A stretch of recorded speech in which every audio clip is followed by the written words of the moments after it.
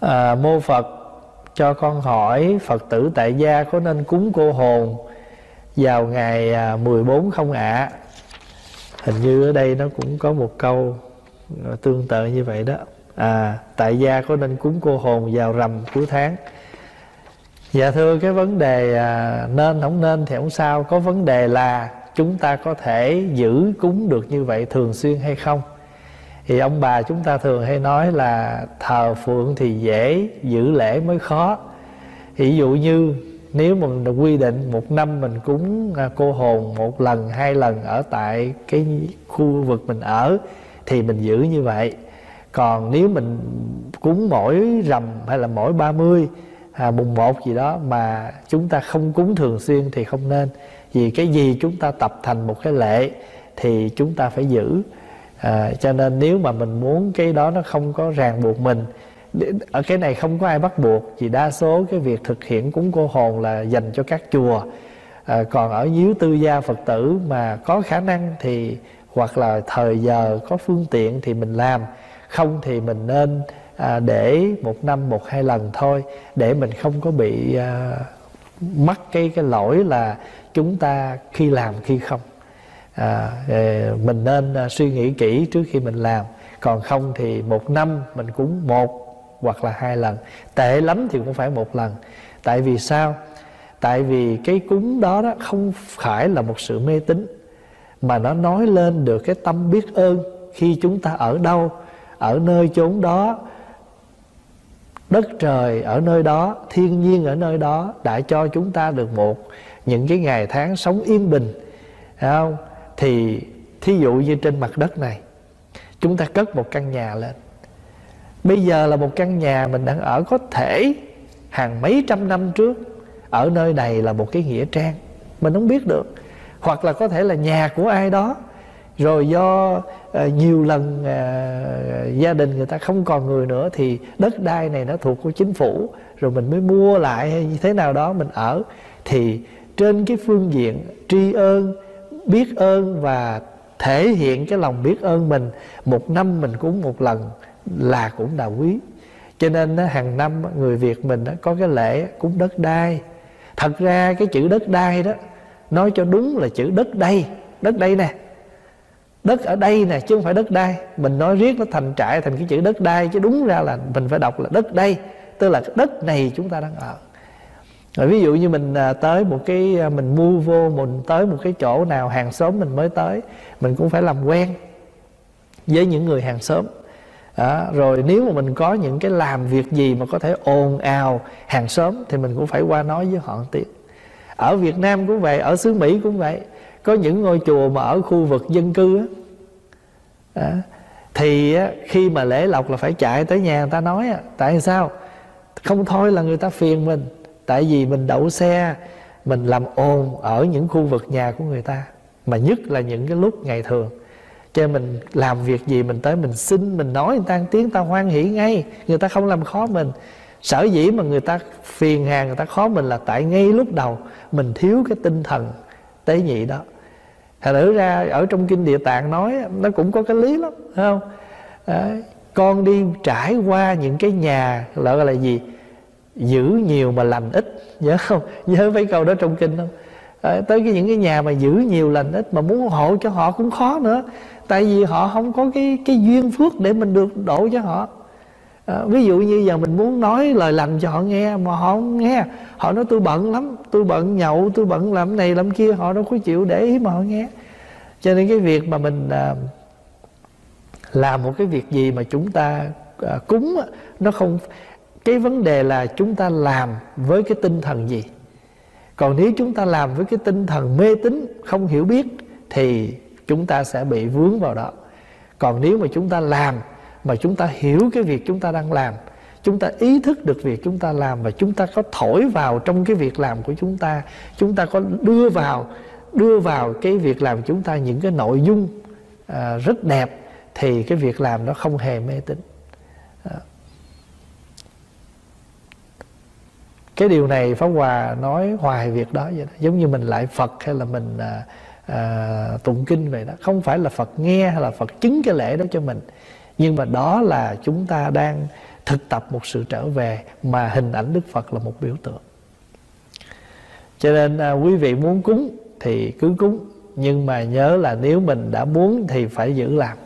À, còn không thì cứ năm lần hai lần tạ ơn như người việt mình đầu năm hay cuối năm tạ ơn đất trời. Thậm chí rồi mỗi đến cái mùa trung thu sau một cái mùa gặt hái à, chúng ta cũng cảm tạ đất trời. Thiên nhiên à, đã ưu đãi chúng ta để cho chúng ta có được những cái cái à, nguồn nước hay là những cái à, mảnh đất để chúng ta trồng trọt. Năm đó mình trúng mùa thì gia đình mình được à, hạnh phúc an vui nhờ cái cái cái đời sống đó. Câu hỏi kế, trước hết cho con chúc sức khỏe thầy, mấy ngày nay trong tâm con có một thắc mắc. Giống như con với mấy người bạn con sống chung, nấu ăn thường ngày con tự nấu ăn chung, đi chợ con cũng đi, xong về con cũng nấu. Nhưng mấy mùa dịch này con cũng làm như vậy, con cũng nấu ăn chung và thậm chí con còn xuất tiền ra đi chợ trước. Ai có tiền thì trả lại con. Nhưng có một người bạn không trả lại tiền đi chợ cho con. Con không trách nhưng con buồn vì người bạn đó có tiền đi đánh bài đi ăn nhậu. Vậy mà không có tiền trả lại cho con nên con tức. Và con không nấu ăn cho bạn đó nữa. À, và thưa thầy hành động của con như vậy có gọi là ích kỷ không? Xin thầy cho con biết nếu hành động đó là ích kỷ thì con sẽ bỏ ngay hành động đó. À, cảm ơn à, vị phật tử này rất là thành thật. Dạ thưa thì à, thật sự ra thì cũng không phải là ích kỷ. Thì à, trong cuộc sống thì à, mình có đôi lúc mình có những cái à, bất đồng. Khi mình thấy à, nó có một cái gì đó không có công bằng trong cuộc sống à, thà là người bạn đó không có tiền đi rồi người bạn đó à, mình đi chợ, mình nấu ăn cho bạn đó, mình không buồn. Đằng này bạn đó có tiền mà không có chi mà lại bắt mình như vậy. Thì à, trước khi mình làm như vậy đó thì à, sao mình không có rõ ràng đi? Mình đi chợ về thì đã là sống chung chia tiền mà. Thì mình cứ rõ ràng, bạn kỳ này đi chợ trăm thì mỗi người mình hai chục, ba chục chi đó. Thì bạn đó gửi vô cho mình. Tức là mình khoan trách vì mình có thể là mình chưa có nói vấn đề tiền bạc à, cho nó rõ ràng thì người người kia nghĩ là mình à, à, à, khoản đãi hoặc là người kia lờ được nhiêu thì lờ. Còn nếu như mà mình hay là bình thường lúc bình thường bạn này vẫn đi chơi vẫn bình thường à, không có nạn dịch gì gì hết mình vẫn nấu ăn cho mọi người mình không có vấn đề gì khó khăn mà bây giờ thì mình lại có khó khăn là tại vì mình bất đồng. Trong khi đó mọi người cũng nghĩ làm ai cũng không có đi làm mà tại sao lại như vậy? Cho nên à, để trước khi mình xác định mình có phải ích kỷ hay không hay là mình có những cái đối xử nó kỳ cục hơn chẳng hạn như là không thèm nấu nữa vân vân thì mình nên một lần sòng phẳng. À, còn nếu như người bạn kia à, vẫn không thì chừng đó mình có cách giải quyết nào đó thì tùy theo cái hoàn cảnh sống của mình à, ích kỷ là khi nào mình có khả năng người kia không có mà mình ganh tị mình không có mình không có nấu hay mình không có giúp thì cái đó cũng có thể có một phần. Còn ở đằng này là mọi việc nó rất là rõ ràng người đó cũng có khả năng. Nhưng có lẽ là mình chưa sòng phẳng cho nên rồi mình lại đem cái cái phiền về cho mình. À, thì à, sống chung thì cũng không phải là vấn đề tiền bạc không mà ngay cả trong vấn đề mình chia sớt với nhau trong vấn đề dọn dẹp nhà cửa hay vân vân để mọi người không có phiền. À, cái gì cũng vậy hết. À, vợ chồng mà đôi khi vợ làm hoài mà chồng không làm gì mà nếu người vợ mà chưa có chưa có à, nhịn nhục đủ là có thể cũng phiền hà đó. Tại sao tôi làm quá trời mà anh không làm gì hết? Huống chi mình chỉ là những người bạn sống chung cái đó chỉ là những cái bình thường trong cuộc sống. Khi chúng ta thấy một cái gì nó không có được công bằng thì chúng tự nhiên nội tâm của chúng ta, cái nội kết mình nó phải nổi lên và chúng ta thường có thái độ và có lời nói.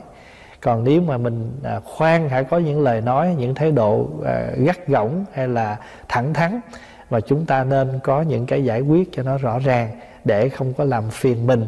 Có nhiều khi mình không làm thì người ta nói, tại sao đi chợ về không nói rõ tiền bạc? Thì người ta trách ngược lại mình cho nên mình nên rõ ràng trước khi mình à, có những cái thái độ khác. Bạch thầy cho con hỏi người xuất gia có được mua nhà riêng không? Ờ, nhà riêng là uh, private house. Thì à, tùy theo cái nhà riêng.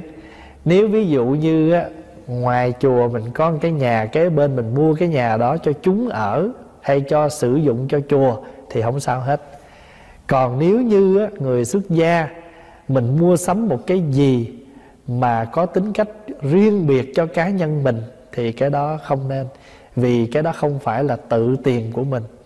À, mà tiền gì mà của bá tánh của những người người ta ủng hộ cho tam bảo thì chúng ta nên sử dụng đúng cho tam bảo. Thật ra thì trước hết là cho bản thân mình. À, tất cả những cái gì là cũng tự mình à, tạo cái phước của mình mà tạo cái lỗi của mình.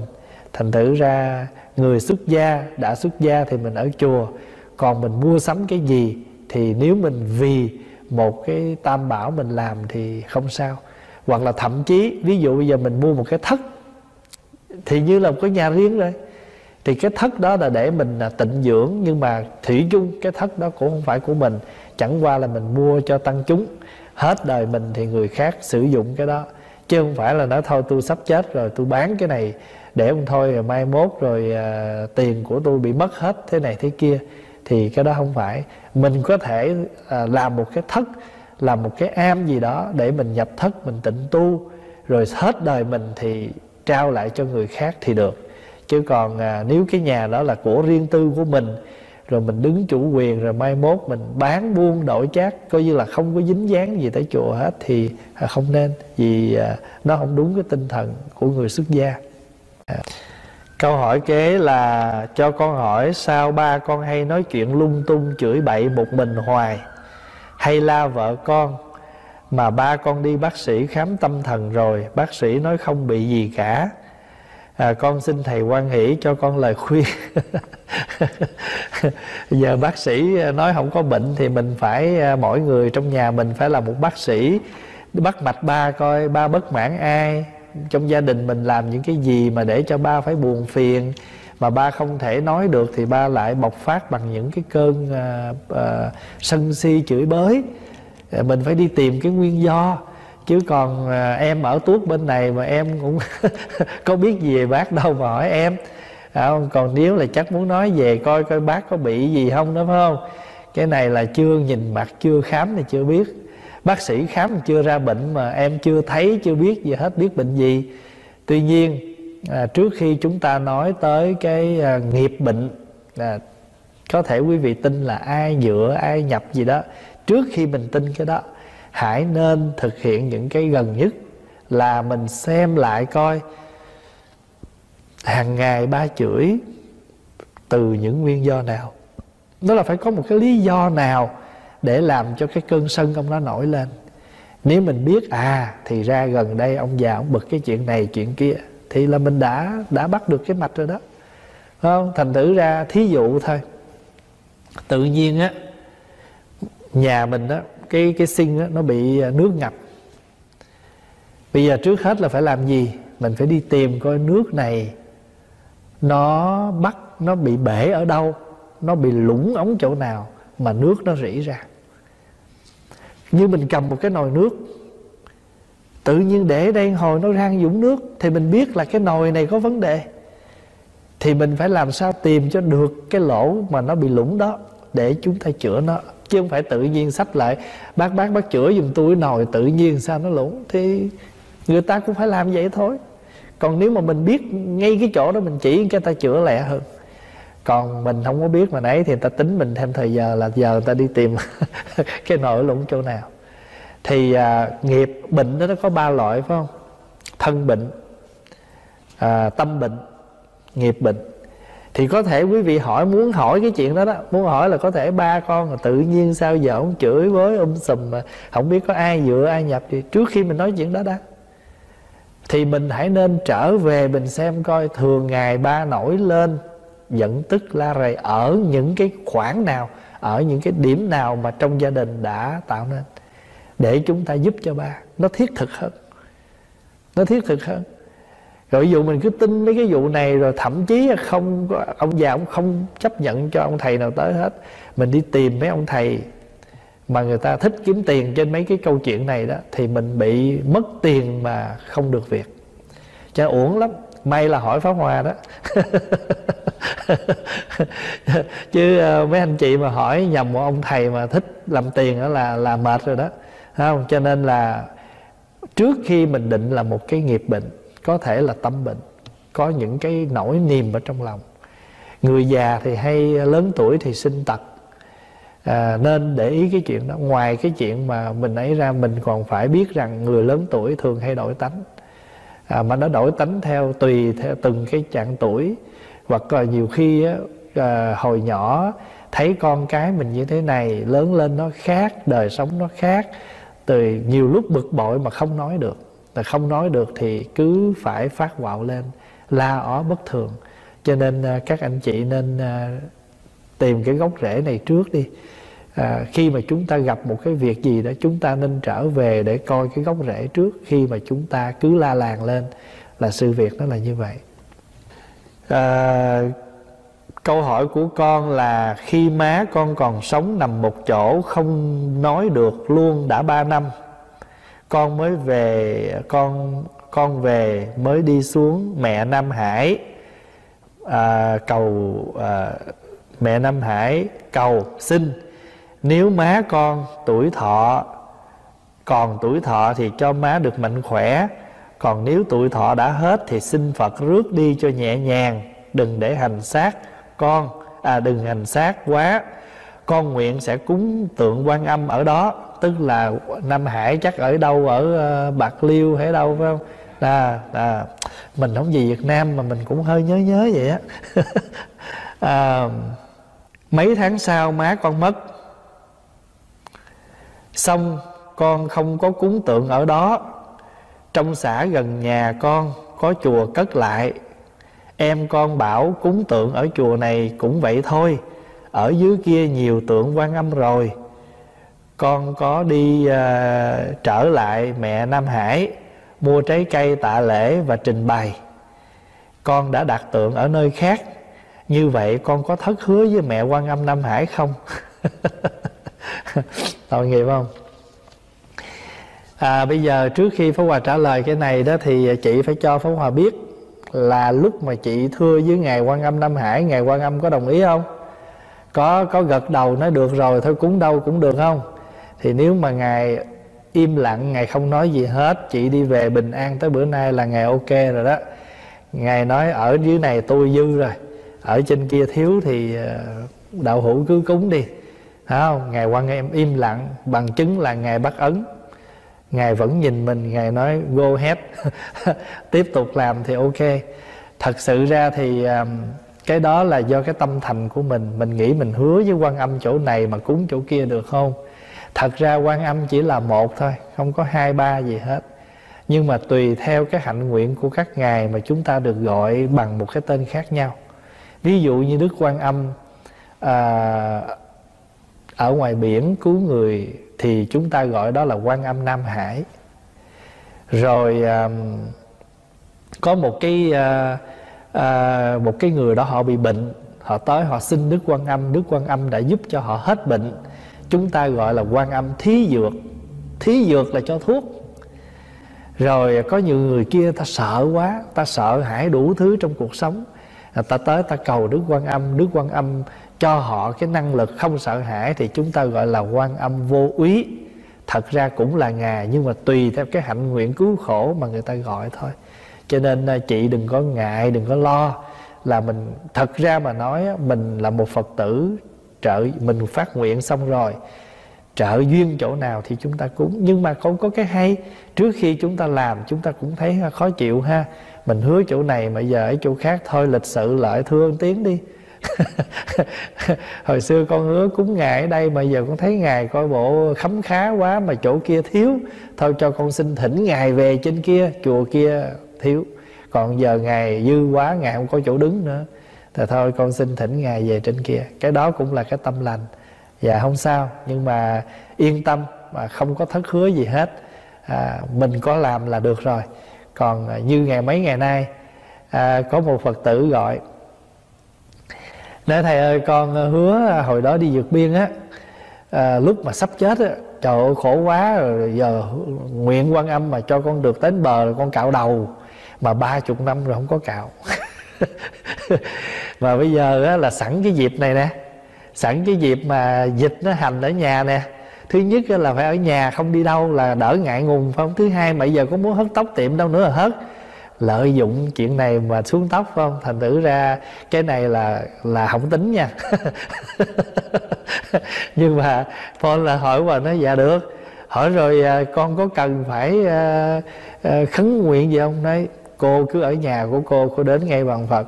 Ngày trước con gặp nạn con hứa con xuống tóc vậy đó. Bây giờ đủ duyên con xin xuống tóc à, hoàn nguyện xin phật chứng minh cho con. Rồi lại ba lại nhờ ông đức lưng quần mình ra cạo. Nhờ ông chồng mình ra cạo giùm. À, thì à, thật ra quý vị thấy không? Đến nỗi trả nguyện thôi đó mà cũng phải đợi đúng nha nè thứ nhất là tiệm giờ muốn đi hớt tóc không con để nhà dài quá không được phải không? Thôi sẵn kỳ này cạo mà cạo rồi là không sợ phải ra đường ai cười. Rồi cộng thêm là giờ có muốn cũng chẳng tiệm nào. Hay quá đúng lúc luôn. À, vừa tiện lợi được hai ba thứ nữa không? Thở mình thấy lúc mà mình cần Phật Bồ Tát á, là mình không cần một cái điều kiện nào hết. À, mình có điều kiện các ngài là nhưng mà khi mình trả lại cũng phải có điều kiện à ký sổ ra hoàng. À, thôi thì không sao. Cái đó cũng là những cái um, nhiều lúc mình nghe như vậy đó mình mới à, mình mới thấy thương à, những cái tâm của chúng sanh mình. Và mình sẽ thấy rất thương các đức phật và các bồ tát các ngài có cái nguyện. Thì trước khi dứt lời thì uh, pháp hòa xin à, cũng nói thêm một chút á, là đại chúng nhớ á, là phật bồ tát á, khi các ngài phát nguyện á, các ngài có hai thứ nguyện một cái gọi là nguyện chung một cái rồi là nguyện riêng. Nguyện chung á, ví dụ như đó là rộng độ khắp chúng sanh. Các ngài không có một cái biệt nguyện nào hết. Nhưng mà có những vị có những cái biệt nguyện có những cái nguyện riêng như ai? Như Phật Dược Sư có 12 nguyện riêng của Ngài. Như uh, như uh, Đức Quan Âm có 12 nguyện riêng của Ngài. Như à, Địa Tạng Bồ Tát, nguyện riêng của Ngài là ở dưới địa ngục để cứu độ chúng sanh. Còn như nguyện chung là như thế nào, mình không nói riêng một cái gì hết, mình nói sao? Chúng sanh vô biên thệ nguyện độ phiền não vô tận thệ nguyện đoạn. Vì những câu đó là cái nguyện chung. Hay chúng sanh nào khổ thì mình độ. Còn đối với à, các ví dụ Đức Phật Di Đà có 48 nguyện riêng của ngài. Thì mỗi một Đức Phật hay là vị Phật nào có những cái nguyện đó riêng của các ngài thì chúng ta gọi là nguyện riêng. Còn có những vị nói những cái lời nguyện chung thì chúng ta gọi là nguyện chung tức là không có biệt riêng ờ, một cái biệt nguyện nào. Thì nói như vậy để chúng ta thấy rằng tất cả Phật Bồ Tát Ừ, các ngài đều sống và hạnh phúc theo cái bản nguyện của mình. Nhờ vậy cho nên các ngài không hề đau khổ. À, thỉnh thoảng đau khổ mà không có đau khổ. À, pháp hòa cảm thấy bây giờ làm ở nhà mình làm việc nhiều hơn. À, một ngày phải ra với chúng à, gần như là coi như là bốn lần. À, là hai thời kinh rồi hai thời à, sinh hoạt Phật pháp. Coi như là bảy ngày liên tiếp không có ngày nào nghỉ hết nhưng mà pháp hòa không buồn khổ gì hết. Pháp hòa rất là vui là tại vì pháp hòa thấy rằng à, cái nguyện của mình làm được gì cho Phật pháp thì mình hết lòng mình làm.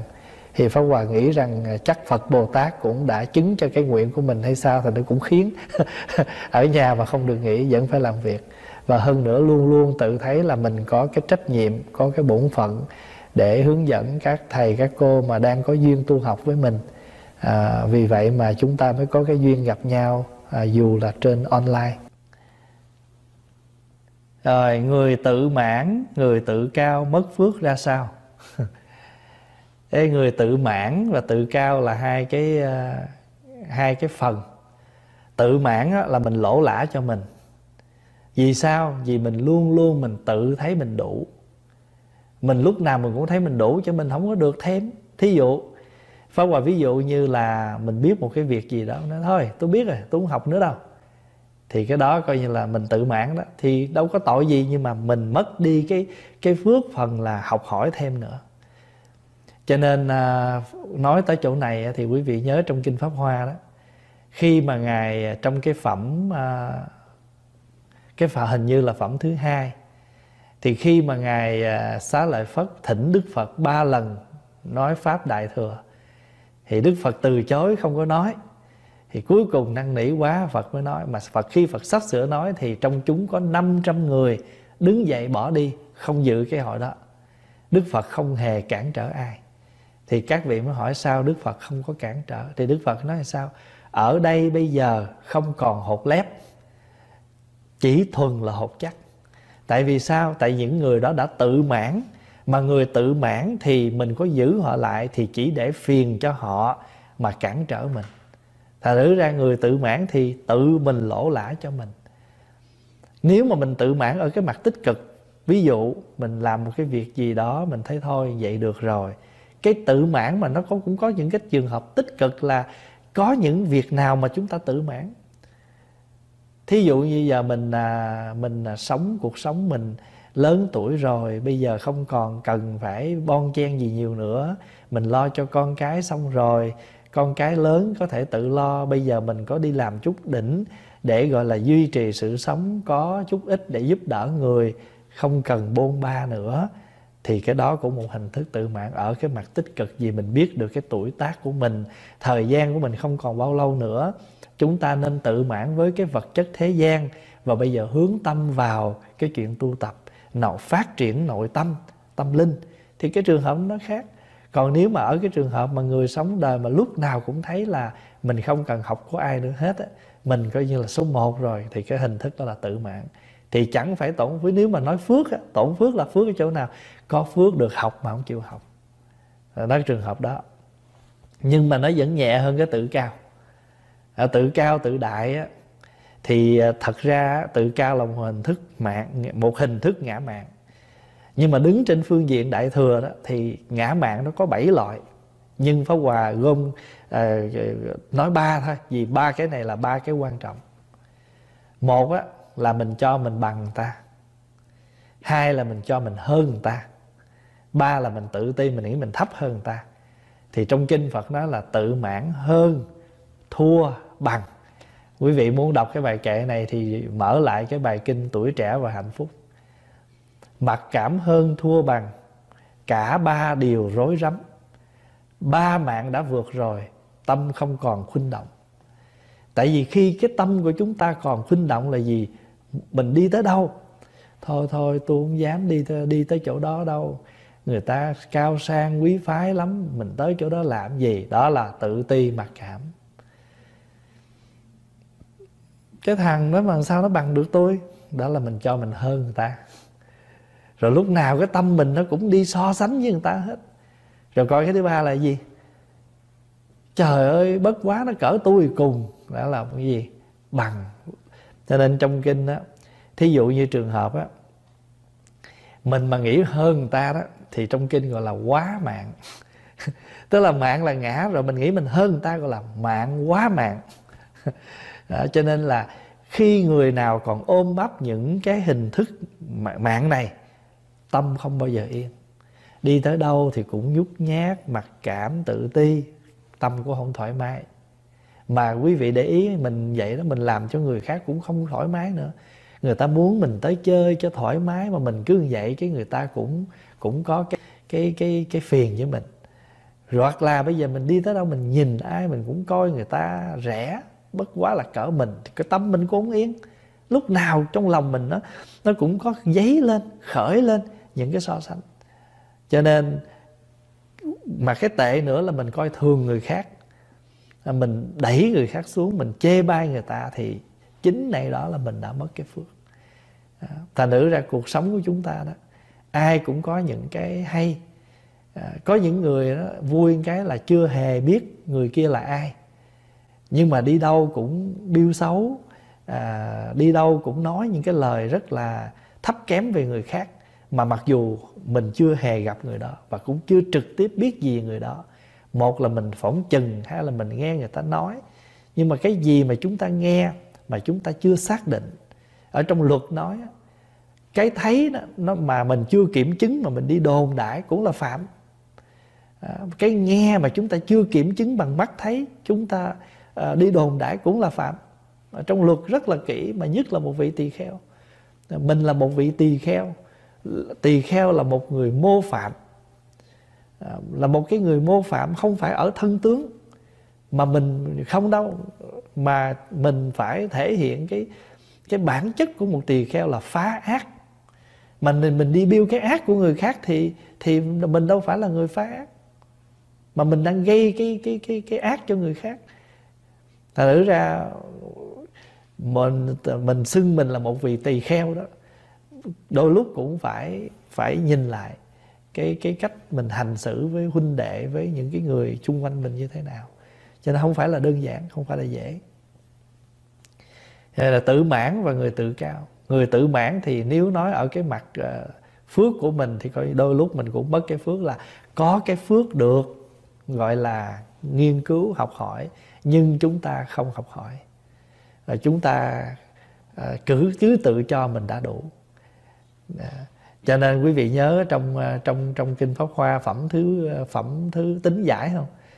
Bữa mình tụng đó cái người con nó đâu có dám nghĩ mình là con của trưởng giả đâu. Nghĩ mình là người hút người hút phân. Chấp nhận một cuộc đời hút phân. Đó là một hình thức gọi là tự ti đó.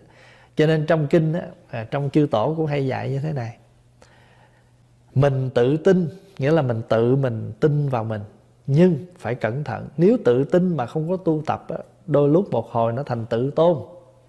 Tự mình tôn mình lên. Cho nên tự tin là tốt mà đừng để mình tự tôn. Mình phóng khoáng là tốt. À, nhưng mình để mình đừng có gì? Phóng túng. Phóng khoáng là thoải mái nhẹ nhàng trong mọi việc nhưng nó không quá phạm vi của một cái người tu tập còn không khéo thì nó thành ra phóng túng. À, ví dụ như mình thoải mái với à, mình gần gũi với à, huynh đệ với phật tử đi. Nhưng không phóng túng là sao? Họ mời mình uống bia uống rượu không có uống. Họ mời mình à, ăn thịt hút thuốc không có làm. Nó thôi phóng khoáng đi cái đó không phải cái đó là phóng túng. Còn phóng khoáng là mình gần gũi lân mẫn nhưng không đi quá hơn thì mới gọi là cái phóng khoáng đó có tu tập. Cho nên tự ti mà không tốt không khéo thành tự tôn. À, tự tin không tốt là thành tự tôn. Phóng khoáng không khéo là thành phóng túng. Câu hỏi tiếp là qua đại dịch này có phải là cộng nghiệp không? Mặc dù dịch này do con người tạo ra thì à, dù là bệnh dịch hay là dù là thiên tai tự nhiên tất cả không ngoài cái cái cái nghiệp của chúng sanh. Và cái nghiệp đó thì nó có biệt nghiệp, nó có cộng nghiệp. Pháp Hòa ví dụ, Mỗi một con người chúng ta ai cũng có cái biệt nghiệp, Và có những người biệt nghiệp sống. Thí dụ à, trong một ngôi nhà, biệt nghiệp của mấy đứa con á, là thích xả rác. Biệt nghiệp của người mẹ đó thì làm biến dọn dẹp. Biệt nghiệp của người cha đó thì hay ờ, càm ràm. Thành thử ra mỗi người trong một căn nhà đó họ sống bằng cái biệt nghiệp của họ. Người mẹ đã lười dọn dẹp rồi mà gặp con thì hay xả rác. Rồi ờ, ba thì ông già ông đụng đâu là ông la đó, cho nên rồi tự nhiên nó tạo ra một cái không khí trong gia đình. Mỗi người tung cái biệt nghiệp của mình là nó làm một cái nghiệp chung. Cái gia đình là rác đầy dãy mà cộng thêm không có không khí an lành thì cái xã hội này cũng vậy. Mỗi người chúng ta sống bằng cái biệt nghiệp của mình. Rồi chúng ta gom những cái biệt nghiệp đó trở thành một cái nghiệp chung à, mà chúng ta đang cộng hưởng. Phước nó cũng có cộng hưởng nghiệp nó cũng có cái cộng hưởng. Ví dụ bây giờ à, xin phép đại chúng ví dụ bây giờ á, mình à, quý vị đặt ra một câu hỏi rồi à, pháp hòa chia sẻ trong cái khả năng hiểu biết của pháp hòa. Thì mình à, quý thầy trẻ chịu khó làm những cái chương trình này giúp cho pháp hòa. Thì đây là chúng ta đang cộng hưởng cái phước. Do cái cơ hội này mà mọi người cùng không mất cái thời gian mình ở nhà mà mình đã dùng đã tận dụng cái thời gian này để chúng ta bồi dưỡng cái cái cái đời sống tâm linh của mình bồi dưỡng cái trí tuệ hiểu biết của mình, thì đây là cái phước mà chúng ta đang cộng hưởng. Nhưng mà bù lại nếu mà chúng ta không làm những cái chương trình này đi, thì bây giờ quý vị ở nhà không biết làm gì thì mỗi người sẽ sống theo cái tùy nghiệp của mình. Thành thử ra cái đó là bất cứ cái hình thức tai họa nào xảy ra đều tùy vào cái nghiệp. Và bất cứ một cái phước nào nó xảy ra chung, nó cũng tùy vào cái phước của chúng sanh à, phước của cái cái vùng ở đó. Thì chúng ta gọi là cộng nghiệp hay là biệt nghiệp. À, à, à, có phước thì cũng có những cái cái phước riêng của mỗi người và phước chung của tất cả. Ví dụ như một người cha sống rất là tốt ở trong hãng cho nên à, cuối tuần nào hãng cũng tặng cho một cái bánh to đem về. Thì mấy người con vợ đâu có làm gì đâu nhưng mà đem về là chia sẻ cái bánh đó là cộng phước. Vì nhờ cái phước riêng của người cha được mọi người thương quý. Ví dụ vậy đó. À, khi cúng cô hồn ngoài muối gạo thì có cúng cái gì khác được không? Và cúng xong rồi thì đồ cúng đó nên làm thế nào? Cái này kỳ trước và trả lời rồi. Đó là khi mà mình à, cúng cô hồn á mình có thể cúng bất cứ cái gì chứ không nhất thiết phải là muối gạo vì chúng ta cúng muối gạo là vì chúng ta là người Việt Nam. Chỉ duy nhất có dân tộc Việt Nam cúng cô hồn muối gạo vì người Việt Nam là sống bằng gạo nước. Nhưng mà quý vị qua bên Tàu quý vị không hề thấy trên cái bàn thờ cúng cô hồn có gì muối gạo ạ. À. tại vì sao? Tại vì người Tàu ăn bánh bao. Không có bữa cúng nào của người Tàu thiếu bánh bao. Rồi bây giờ mình nói theo cái dân tộc à, nước Việt Nam mình nói theo từng vùng nha. Người miền Tây á, mỗi một lần cúng dỗ là không thể thiếu bánh ít. Hồi nhỏ là Pháp Hòa thích à, bánh ít nhân dừa lắm. À, rất là trong có cái dỗ để mà được ăn bánh ít nhân dừa. Pháp Hòa nói một cái biểu tượng thôi chứ còn có nhiều cái nữa. Rồi mà ra tới ngoài Trung là sẽ có bánh ít lá gai. Thí dụ vậy ra tới ngoài Bắc là có bánh gì nữa đó. Thì bánh chưng hay là à, oảng gì đó thì mỗi một cái vùng người ta người ta ăn cái món bánh nào thì người ta cúng cái món bánh đó.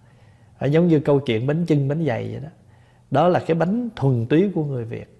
Để nói lên là người khi mà vua hùng giải thích đó người dân của chúng ta là làm ruộng để có gạo có nếp thì hãy lấy cái gì mà chúng ta thu hoạch được để mà chúng ta làm ra thức ăn để tạ ơn trời đất. Cho nên làm cái bánh tròn với bánh vuông để tượng trưng cho đất trời để tạ ơn đất trời đã che chở, đã giúp đỡ cho chúng ta có được cái thu hoạch này. Và chính những cái thu hoạch này từ đất trời mà ra, thì hôm nay làm nên món bánh để cảm tạ đất trời. Đó là cái ý. Cho nên người việt mình ăn cái gì thì chúng ta cúng cái này ví dụ bây giờ qua xứ mỹ rồi, quý vị cũng không cần phải búi gạo nữa. Thí dụ, nếu muốn thì có cũng những cái món tây họ, người mỹ họ thích, pizza rồi vậy đó, mình cúng họ còn tại vì mình là người việt cho nên mình quen cái cách cúng rồi lúc nào cũng phải có cơm. À, mà, mà rồi cái mình người việt mình ăn đũa thì mình cúng đũa thấy không? Chứ có bao giờ mà thấy mà rồi người cúng mà đem quên đem đôi đũa lên đâu cái nó cúng thiếu không có thiếu. Không có đũa thì lấy muỗng lấy nĩa. Tại mình người việt mình ăn đũa thôi chứ mình cúng cho ấn độ chẳng cần đũa. À, tại vì họ ăn bóc không à. à Để ra quý vị nhớ vậy đó cúng là cái tâm của mình mình mình ăn như thế nào đời sống mình thế nào mình cúng cái đó. Ở dưới miền tây á, người ta ở trước cửa nhà người ta có trồng bông trang bông vạn thọ. Cho nên những cái ngày rằm mùng một nhiều khi không cần ra chợ mua bông gì hết trơn người ta hái cái cái bông trang vô người ta để trong cái chén nước ta để bàn thờ người ta cúng cũng được nữa. Đó rồi thậm chí quý vị biết ở nhà người ta có bông mồng gà đó ta cắt bông mồng gà vô người ta cúng. Có vị mới nói không có được cúng mồng gà hỏi sao vậy? Tại cái tên của nó cái tên nó chứ mắt mới cái bóng. Nhưng mà mình để có cái quan niệm như vậy. Chứ ở chùa đây cũng vậy pháp hòa cũng chẳng cử cúng chuối. Ai muốn đem gì cúng lên cũng được hết cái tâm của người ta. Nhưng mà thường thì ông bà mình hồi xưa thì không có cho mang những cái cái nể chuối già lên cúng. Cúng là cúng chuối sim thôi. Vì chuối già cái dáng nó thô cho nên các vị không cho cúng. À, thì à, cái đó là tùy tâm của mình. Ở xứ này thì hoàn toàn chỉ à, chú già thôi chứ làm gì có chú sim mà nếu có thì nó cũng mắc lắm. Mua mua cúng ủa, không dám mua không không có đủ khả năng. Còn mình khi mình cúng rồi những thức ăn cúng ông bà cúng cô hồn mình có đem vô mình ăn cũng không sao hết. Còn mình có rải miếng ra ngoài để làm biểu tượng thôi. Còn những thức ăn quý vị cứ hâm lên ăn bình thường không có khùng không có không có mất trí nhớ gì đâu đừng có lo. Con à, có ngày ngồi tụng kinh con thấy tâm con chú tâm lời kinh nhưng cũng có ngày đọc bị sao lãng. Cái này pháp hòa cũng trả lời mấy bữa trước rồi. À, hiện con đang ở nhà thuê và muốn thỉnh một vị phật để thờ trong nhà. Nhưng có người nói là khi nào có nhà thật sự mới thờ được. Còn đang ở thuê thì không thờ được. Liệu có đúng không? À, thứ hai là con muốn thờ phật di đà có được không? Hay phải theo bổn mạng hay duyên gì mới thờ được? À, nếu như á, mà đợi mình có cái nhà mới được thờ phật á thì như vậy là chỉ có những người nào có nhà mới được kết duyên với tam bảo thôi. Còn những người nào mà ở thuê thì chắc mãi mãi không được. Ví dụ giờ cái người đó không có khả năng mua một căn nhà suốt đời ở thuê về suốt đời người đó không tiếp cận được với với tam bảo sao? Thì cái quan niệm này không có đúng. Mình thờ phật, nói chung là mình thờ tam bảo. Bất cứ ở đâu, quý vị nào đã từng sống ở việt nam mà những cái gia đình người ta nghèo nghèo đến mức độ là nhìn lên là thấy trời, hai bên là dách trống, vậy mà người ta vẫn có bàn thờ. Thậm chí người ta không có tiền mua một bát hương, người ta lấy cái lon sữa bò người ta hứng lon cát ta để lên ta làm cái đồ cắm nhang có sao đâu. Tất cả đều cái tâm thành của mình. Phật từ một cái người giàu sang là một thái tử, phật bỏ hết, phật đi nhận làm một người nghèo. Thì ngày nay mà chúng ta thờ phật bằng hình thức nào? Đó là biểu tượng chứ ngài không gì mục đích đi tu để được nhân gian sau này thờ ngài ở một hình thức nào đó sang trọng. Thưa không phải như vậy mà chúng ta ở bất cứ hoàn cảnh nào, chúng ta thờ, đều tốt cả. Có nhiều vị nói, nếu có nhiều vị, cái này là hơi khó hơn nhà nhà thuê không cho không cho thờ nha. Có vị thì nhẹ hơn chút, nói là sao? Mình ở dưới lầu, người ta ở trên lầu không có được thờ. Nếu vậy thì chỉ có người nào ở sân thượng mới được thờ thôi. Còn từ cái thí dụ cái nhà đó ba chục tầng thì những cái người tầng thứ ba chục được thờ thôi. Còn từ 29 đổ xuống là không ai được thờ Phật hết vậy mình lỗ lã quá. Phật mất member, Phật mất dân nhiều quá. Phải không? Thành đừng có quan niệm đó. Thì quan niệm đó là một cái hình thức nó sai lệch, cho nên gọi là tà kiến. Chữ chữ chánh là ngay thẳng, chữ tà là nó lệch, nó không có đúng với cái tinh thần của của Phật giáo. Thì cái đó gọi là tà kiến thôi, chứ không có gì. Cho nên quý vị đừng có đừng có quan tâm. Mà nó khổ một cái gì nè? Có những cái trong kinh sách không bao giờ nói. Chưa có một quyển kinh sách nào chính thống của Phật giáo nói những cái điều này. Tự con người mình lại đặt ra mà thành như là một, như kinh vậy đó, như thánh phán vậy đó. Thành tử ra mình bất di bất dịch. Mà điều đó Phật chưa bao giờ Phật nói. Mà quý vị nghĩ đi, nếu mà Đức Phật mà bỏ cung vàng điện ngọc đi tu để mà tìm cái đó thôi, thì thôi, ngài ở trên cung vàng điện ngọc cho rồi, chứ mắc chi đi tu để người ta thờ mà còn phải có điều kiện vậy. Cho nên đối với Phật giáo thì tất cả là do tâm của mình đó. giờ quý vị cứ nghĩ đi, mình thờ ở nhà thuê đó, với một cái tượng Phật mình đeo vô trong cái người của mình đó, cái nào ta ra tùy theo cái tâm của chúng ta còn nếu mà nói về cuộc sống này mà gọi là cung kính, là sợ nó dơ, nó ô uế, không có chỗ nào sạch hết đó. con người mình đem cái tượng phật chở nhỏ trong người mình suốt ngày đó, sạch không mình đi làm mồ hôi, mồ kê không rồi thậm chí có những người có mồ hôi, nó thật sự nó hôi nữa chứ không phải là bình thường nữa. Phật cũng chịu trận ở trong đó với mình thôi. Tất cả đều là tùy vào cái cái lòng tâm của mình thôi chứ không có gì hết. Còn thờ phật cũng vậy, mình chọn bất cứ một đức phật nào mình có duyên. Phật Di Đà cũng được, Phật Thích Ca cũng được, Đức Quan Âm cũng được. Không có cần phải coi bổn mạng duyên gì hết á. Cái duyên là cái duyên tam bảo, duyên Phật, duyên Pháp, duyên Tăng. Chúng ta quy kính tam bảo thờ Phật để tưởng nhớ cái ơn của Phật học cái hạnh của Phật và phát cái nguyện tu theo hạnh Phật. Đó là mục đích của người thờ Phật. Trước hết là mình cảm nhận được cái ân đức của phật à, đã gieo cho chúng ta bằng những cái lời dạy của ngài. Thứ hai là chúng ta phát nguyện học theo hạnh phật. Để chúng ta sống như phật. Mà hơn nữa cái hình phật có trong nhà là một biểu tượng nếu như rủi mình cái nhà mình nó không có một cái hoàn cảnh để mình đặt một cái bàn thờ thì chúng ta cứ thỉnh một bức tranh của phật về chúng ta để trong nhà. Rồi chúng ta hàng ngày đi tới đi ngang chúng ta xá cũng được. Hoặc là chúng ta mỗi khi nhìn thấy hình phật là một sự nhắc nhở cho mình. Điều tốt hết. À, thờ á, nghĩa là chúng ta cung kính còn cái hình thức như thế nào là tùy. Không có cần theo bổn mạng hay gì hết. Cái thứ ba là à, à, con tuổi à, con tuổi khỉ. Nhưng trong giấy tờ khai sinh thì khai tuổi con gà. Vì lúc đi khai ba con nhầm vậy bây giờ khi niệm chú hay khấn bái con khai tuổi gì cho đúng? Mình khai tuổi gì á, thì cũng là con gì thôi. Thành thử ra không có con nào trúng hết trơn á à, con nào nó cũng còn ở trong cái cái cái pháp thế gian cả. Nhưng mà cái đây là rất là tâm thành hỏi không sao hết.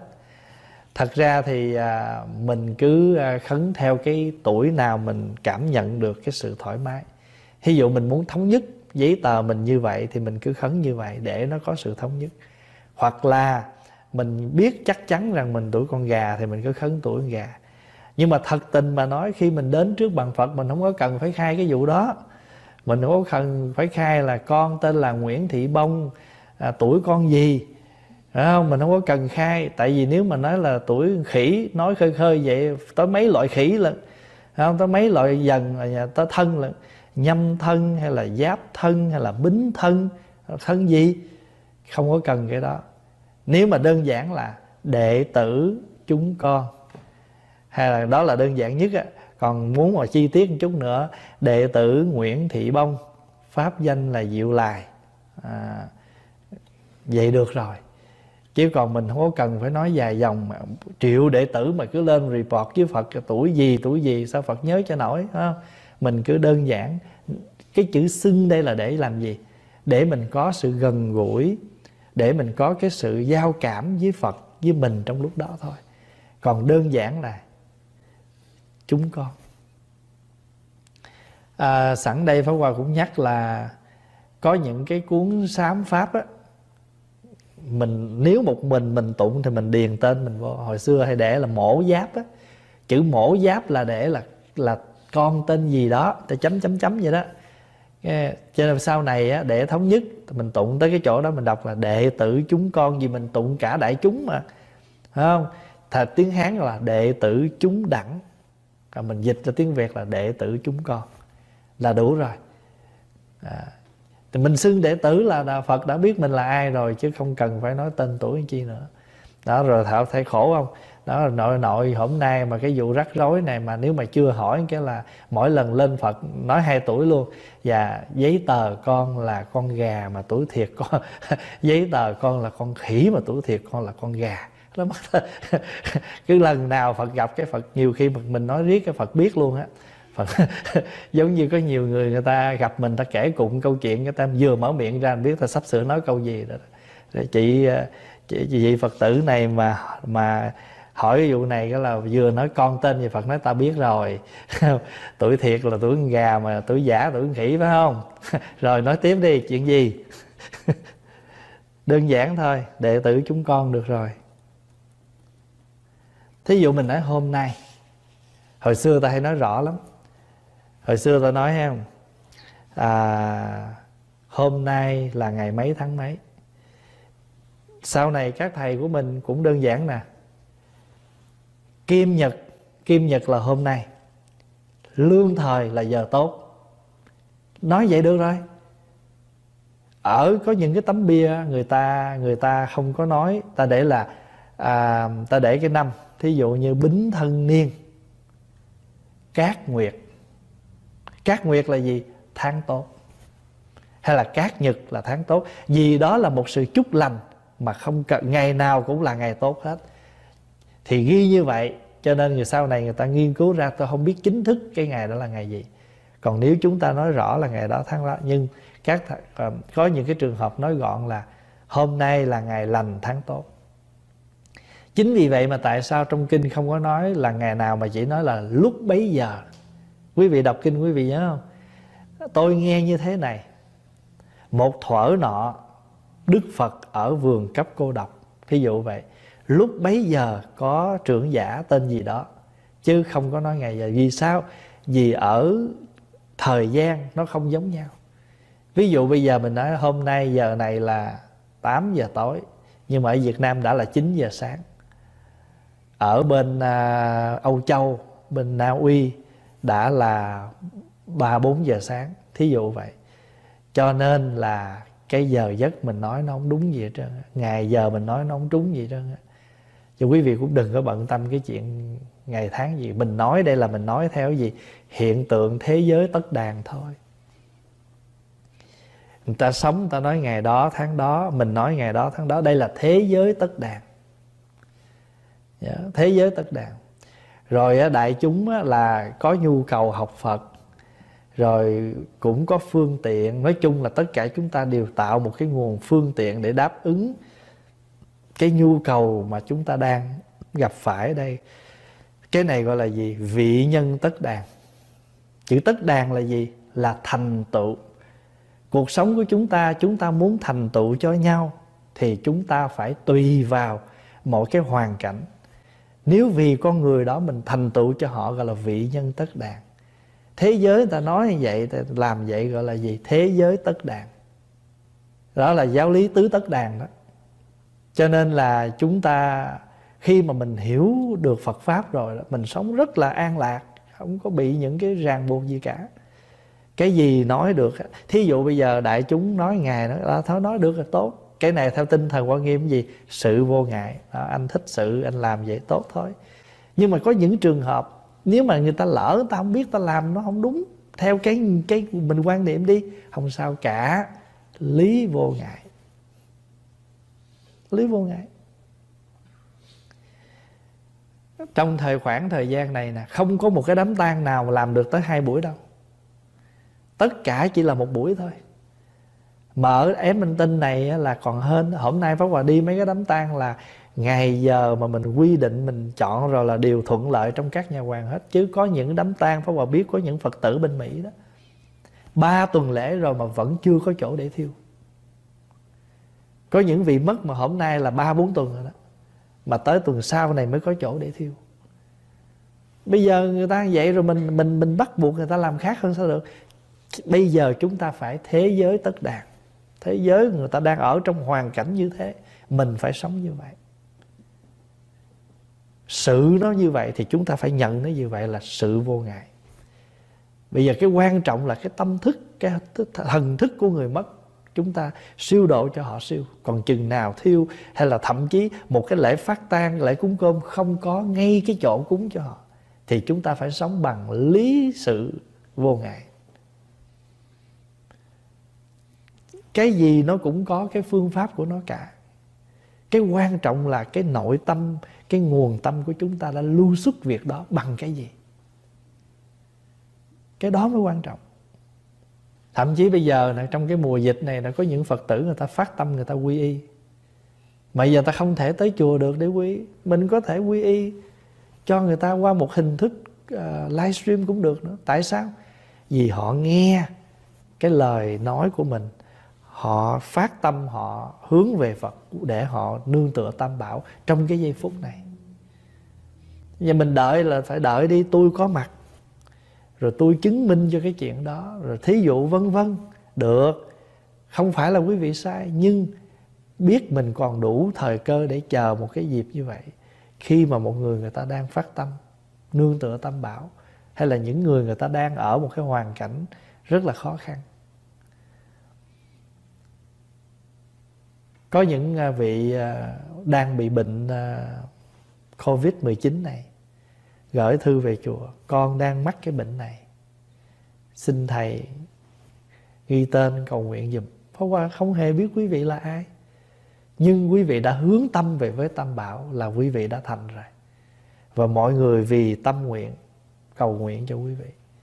Cho nên mình mình làm sao mình có thể dung thông và thế giới này có thể liên lạc với thế giới kia. Hồi xưa mình đọc trong kinh đó, ngày một kiền liên lên những cảnh giới này những cảnh giới nọ. À, đọc kinh pháp hoa cũng vậy. Các phật khác sai thị giả tới thăm đức phật thích ca. Đức phật bạch đức thế tôn thầy con hỏi là đức thế tôn có ít não ít bệnh không? Chứ không hỏi phật.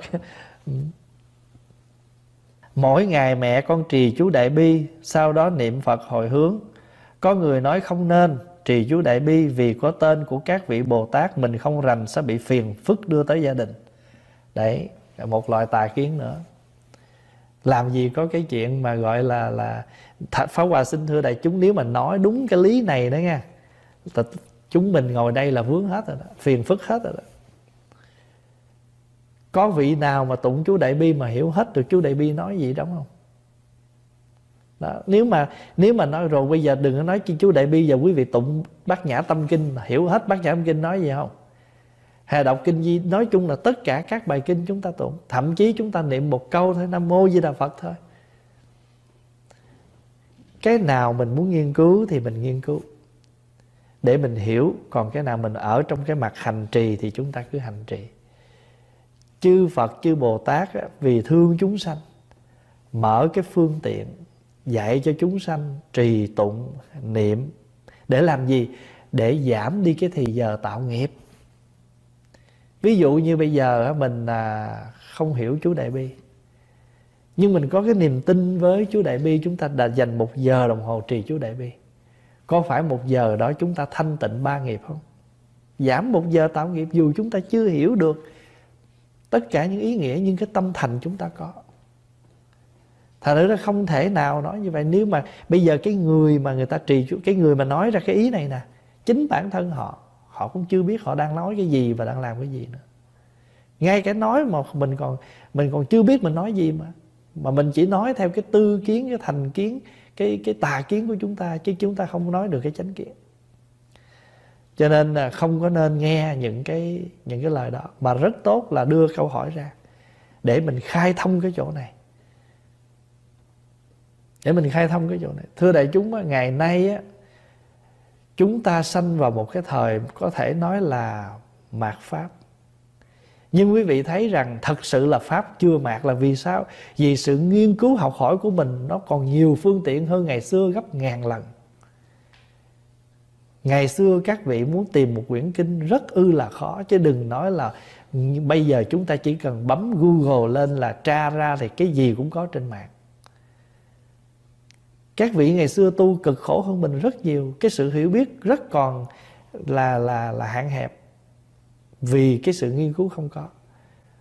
Cho nên trong kinh nói á, nếu như mà chúng ta sống vào thời mạt pháp nhưng con người còn nương pháp để tu thì chưa gọi là mạt pháp. Pháp chưa thật mạt vì chúng ta còn học pháp. Cho nên những câu hỏi như thế này được đưa ra. Mặc dù mình nghe nếu người nào mà học Phật nhiều thì thích cười vậy nhưng mà Pháp Hòa trân trọng. Vì sao? Cái gì không biết thì phải hỏi. Hỏi cho nó rõ ràng để chúng ta ứng dụng không có sai lầm. Bây giờ nếu mà cái câu này sợ không dám nói ra thì vị này sẽ buông bỏ cái sự hành trì có phải tội nghiệp không? À, cho nên á cái này là một hình thức gọi là phá kiến. Thí dụ như à, mình à, nói dối mình uống rượu mình à, tà hạnh, ví dụ vậy đi. Mình phá cái giới đó là khổ đau chỉ một mình mình thôi. Không liên hệ, không dẫn dắt người ta sai lầm. Nhưng nếu chúng ta đưa một cái thấy nào của chúng ta mà nó sai lệch, nó làm cho người khác đi sai hướng, lệch đường, rồi cứ tiếp tục dẫn một người, hai người cho đến một đoàn người, thì chúng ta lỗi vô cùng. Cái này chúng ta có cái lỗi là gì? Phá kiến còn chúng ta phá giới mình, bản thân mình thôi. Phá giới phạm trai nó tội lỗi mình mình thôi. Còn mình không có tác hại đến ai. Cho nên cẩn thận cái gì chúng ta, thí dụ bây giờ mình nghe ông bà nói vậy, mình muốn biết chắc không? Hỏi quý thầy đi. Mà phải lựa quý thầy nào ta biết Phật pháp đó nha. Chứ có nhiều thầy, có nhiều vị xuất gia cũng không Phật pháp rồi cũng sống theo cái kiểu tà kiến như vậy. Đã rất nhiều thơ gửi về đây. Ờ, có những câu nói do các vị xuất gia nói. Ví dụ như nó là không cho tụng kinh pháp hoa. Do một sư cô nói vì nó là tụng kinh pháp hoa, tánh tình sẽ nóng nảy, gia đình xào xáo. Sư cô kia nói ở nhà không được tụng kinh địa, kinh kim cang, vì kinh kim cang tụng cho người chết thôi. Người nào mà sắp chết tụng kim cang cái đi liền à. Cho nên nghe như vậy rồi là từ đó về sau người ta buông bỏ. Mà quý vị đọc kinh kim cang coi. Có câu nào nói vậy không? Mà nếu không muốn nói là kinh kim cang nghĩa lý rất là sâu màu. Nó là một hệ thống bát nhã mà. Cho nên mình phải rất là cẩn thận. Vì vậy mà chính mình có những người phật tử hiểu biết như vậy đó. Cho nên rồi đã đưa đạo Phật mình đi vào một cái cái cái cái cái cái vòng mà làm cho người ta nhìn nó rất ư là lệch lạc, rất ư là sai lầm. Mà thực tế đạo Phật không hề như vậy cho bổn phận của chúng ta là phải tồi tà phụ chánh. Chữ tồi tà là gì? Chữ tồi tà là chúng ta phải đẩy đẩy cái sai lầm đó ra. Chúng ta phải trợ, chúng ta phải phụ cho cái chánh đó nó được xiển dương. Cho nên đó là tinh thần cái tinh thần tồi tà phụ chánh. Cái gì sai là chúng ta phải đẩy nó ra, nếu nó không đúng ở trong phật pháp như là những cái chuyện gọi là tụng kinh này không được tụng kinh kia không được không được thờ phật này không được thờ phật kia. Thậm chí gia đình phật tử người ta đang thờ những cái tượng phật. Mình tới mình nói ở nhà không có được thờ tượng. Thờ tượng như vậy là ma quỷ nó dựa vô. Ở nhà chỉ được thờ hình thôi. Rồi mình nói tuổi của con còn nhỏ lắm không được thờ phật thích ca phật di đà. À, tuổi này là chỉ thờ đức quan âm. Đó là những cái tin những cái điều mà nó không có nó không có make sense nó không có một cái đạo lý gì cả. Ví dụ một đứa cháu nội nó nhớ ông nội nó nó thương ông nội nó và có thể nó sanh ra ông nội nó chết rồi nó không biết ông mặt ông nội nó là ai. Nhưng giờ ba nó nó biết cái hình đó là ông nội nó nó xin ba nó cho nó để cái hình ông nội nó để nó kỷ niệm được không? Mình nói với nó không. Con còn nhỏ lắm con không có được uh, uh, để cái hình ông nội. Một cái đứa nhỏ nó, nó phát tâm nó hướng về ông nội nó mình phải ủng hộ nó chứ tại sao mình lại lại lại không cho? Thì, thì thờ phật cũng như vậy. Một người ta muốn tụng lời lành với người ta có làm gì đâu không đúng đâu mà mình cản trở. Cho nên chúng ta phải có một cái tinh thần tồi tà phụ chánh. Cái gì mà nó lệch lạc sai lầm là phải đẩy nó ra. Cái gì mà nó đúng chánh pháp thì chúng ta phải phụ trợ xiển dương để làm cho cái cái cái cái ý nghĩa của đạo Phật cái bộ mặt của đạo Phật, nó rõ ràng như vậy vậy dĩ nhiên dĩ nhiên là việc làm này là việc làm của tất cả những người đệ tử chúng ta, những người con Phật trước hết là các vị xuất gia có bổn phận, hướng dẫn cho những người cư sĩ Phật tử hiểu biết được Phật Pháp cho nó chân chính. Dù mình không phải là người học giỏi, nhưng khi chúng ta đã phát tâm xuất gia rồi thì ít nhiều cái hiểu biết của chúng ta cũng phải phải có hơn một người cư sĩ rồi. Thì làm sao chúng ta có thể đi truyền bá những cái điều lệch lạc đó được?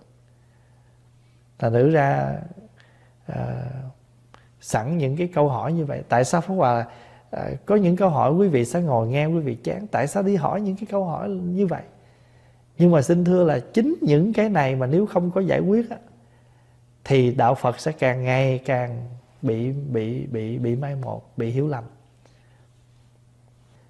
hôm nay có một cái gia đình đó họ lên. Ờ, dạ, xin ờ, mời đám tang. Thì hòa cũng nói bây giờ là cô làm cái đám tang này là không phải là mình làm cho chú, làm cho mình không. Mà mình đang hướng dẫn cho các con em mình. Nó sống được, nó biết được cái cội nguồn, cái văn hóa truyền thống của người Việt Nam. Cái chuyện cúng kiến không phải của đạo Phật đó là của dân tộc Việt Nam. Nhưng đạo Phật đã tiếp được, tiếp nhận được cái cái cái sự cúng kiến này. Và đạo Phật thổi vào cái cái cái nghi lễ cúng kiến này bằng những cái chân lý, bằng những cái đạo lý để đưa cái cái cái cái cái hình thức cúng kiến này trọn vẹn cái vừa nội dung, vừa hình thức. Hình thức là chúng ta bày một mâm cơm và chúng ta chở, thổi vào đó những cái nội dung gì của một cái bữa cúng cơm đó. Cho nên đại chúng, nếu chúng ta không hiểu được cái đẹp của dân tộc, thì chúng ta không bao giờ chúng ta thấy được cái hay của nó. Thí dụ như người mỹ họ chôn người thân họ xong thôi. Chúng ta chôn xong rồi, chúng ta nhớ có ngày thanh minh. Cho nên mỗi một năm chúng ta đi tảo mộ. Thì người mỹ họ rất là surprise. Tại sao hôm nay người người việt nam người á đông đi vào trong nghĩa trang này đông đến thế. Hỏi ra mới biết, ồ, người á đông có một ngày đi thăm mộ. Và nói cho họ nghe cái ý nghĩa đó, họ quý vô cùng. Không mất nguồn, không mất cội. Và ngày tại sao sống chúng ta nhớ sinh nhật, chết chúng ta không nhớ ngày Thành Đức Pháp Hòa mới nói với mấy thầy Rồi mới nói, nếu mà mấy đứa không có hiểu đó, Thì mấy đứa sẽ nói, Đạo Phật không có cái này. Nhưng bổn phận của thầy phải giải thích. Chỉ cho mấy thầy cúng Và phải giải thích cho mấy thầy nghe. Để mấy thầy thấy được cái ý nghĩa Mà khi mình hiểu được ý nghĩa rồi Mình sẽ hết lòng mình làm. Mình không dừng ở cái mặt hình thức cúng đó. Mà chúng ta biết rằng khi chúng ta tổ chức một cái cúng này chúng ta đã đưa vào trong cái buổi cúng này một cái nội dung gì? Và khi mình bày lên trên bàn Phật á, bát hương cây đèn và hai ly nước hai bên đó, hay là ba ly nước vậy đó, tùy mình đó. Ngay cái bộ mặt đầu tiên của đạo Phật thôi, ngay cái bộ mặt mà, ngay cái bàn thờ đã nói lên cái đạo lý tam vô lậu học. Hương là giới nè, nước là định nè, đèn là tuệ nè. Có phải là ngay trước này là giới định tuệ không? Bình bông là nhân nè, trái cây là quả nè thì làm sao gọi là mê tín được? Nếu chúng ta chỉ thắp một cây hương, chỉ rót một chung nước cúng mà chúng ta nghĩ rằng có ông phật nào đó uống ly nước này, có một ông phật nào đó ăn cái dĩa trái cây này, thì chúng ta chỉ đã dừng ở ngay cái chỗ hình thức đó. Và chúng ta sống bằng cái sự thôi. Không sao hết. Nhưng mà nó chưa ba la mật bây giờ trí tuệ ba la mật là chúng ta hiểu tại sao chúng ta thắp hương tại sao chúng ta cúng nước tại sao chúng ta thắp đèn thì ngay cái mặt cái mặt tiền của bàn phật thôi giới định tuệ mà giới định tuệ là là nền tảng của đạo Phật. Người muốn tu tập mà không có giới, không có định, không có tuệ. Cho nên mình có những chương trình học Phật là để phát huy cái tuệ. Mình có những cái phương tiện trì kinh, niệm Phật để làm gì? Để sống bằng cái định. Để đưa cho người Phật tử, chứ người hành giả đó ở trong định về trở về được với cái định của tâm qua những cái cái phương tiện nào đó để giúp cho họ và khi mà quý vị ngồi đây nè mình ngồi mình nghe pháp mình không nói bậy nè mình không làm bậy nè có phải là mình có giới không? Cái này gọi là gì? Khi mình học luật đó mình nhớ không? Định đạo giới. Định định cộng giới, đạo cộng giới. Trong cái định, trong cái không nói giới mà khi chúng tâm chúng ta định là chúng ta đã có giới. Vì có phạm giới gì đâu. Mà không cần phải nói giới mà trong định đã có giới, gọi là định cộng giới chúng ta sống được với cái đạo lý, không cần phải nói phạm giới gì hết mà chúng ta không hề phạm. Cho nên trong định nó có giới, trong đạo nó có giới. Mà cái này là chư tổ luật sư gọi là định cộng giới. Trong cái định nó include cái precept practicing. Vì đối với người mà họ còn ra ngoài thì phải đặt vấn đề giới với họ chứ nếu một người họ sống trong định không thì mắc gì nói chứ, nói giới với họ làm gì? Phóng vào ví dụ như bây giờ á, Trong cái khoảng thời gian này Chúng ta không hề ra cửa ờ, vô cớ. Có cần phải ngồi mà nói hoài cái vụ mà nhiễm trùng, nhiễm gì với người mà ta trong nhà định cộng giới rồi. Họ không vi phạm nhưng bây giờ nếu mà người nào đó mà cảm thấy trời ấm quá rồi, thôi dịch cũng bớt rồi, tôi chịu hết nổi rồi tôi phải ra ngoài. Mà ra ngoài mà không cẩn thận nữa thì chừng đó chúng ta phải đem luật lệ ra nói. Thật thử ra, cái tinh thần của đạo phật, nó vô cùng tuyệt vời. Nhưng mà tại vì chúng ta không có để tâm chúng ta học, chúng ta không có để tâm phát huy những cái tuyệt vời của đạo Phật. Và chúng ta cứ nói mấy cái chuyện rất ư là negative của đạo Phật. Mà nói trật chứ phải nói đúng sao? Thời cái tinh thần tồi tà phụ chánh nó không có. Cho nên cứ tụng chú, chú đại bi bình thường. Không có gì trở ngại hết. Còn cái chuyện mình muốn học hỏi muốn nghiên cứu rất nhiều để chúng ta nghiên cứu chúng ta hiểu. Nhưng khi chúng ta đi vào cái hành trì thì chúng ta cứ hành trì mỗi ngày con đọc sám hối sáu căn. À, kinh dược sư bổ nguyện công đức sám pháp dược sư niệm phật. Thầy cho con hỏi là nghiệp con rất nhiều con nên cố gắng làm 10 điều thiện và mỗi ngày niệm phật mỗi ngày. Vậy con cần làm gì để giảm bớt nghiệp xấu trong quá khứ con đã làm? Thật sự ra không phải là mình tụng tùm lum kinh vậy đó. Tụng thì không sao nhưng mà không có nghĩa là mình tụng vậy thì cái nghiệp nó tiêu muốn tiêu nghiệp thì tự thân mình trong đời sống hàng ngày mình thấy được cái nghiệp quá khứ chúng ta giảm thì chúng ta không tiếp tục làm cái nghiệp ở trong cái hiện tại này. Tụng kinh à, nhiều không sao nhưng đừng nghĩ rằng mình tụng như vậy mới là đúng.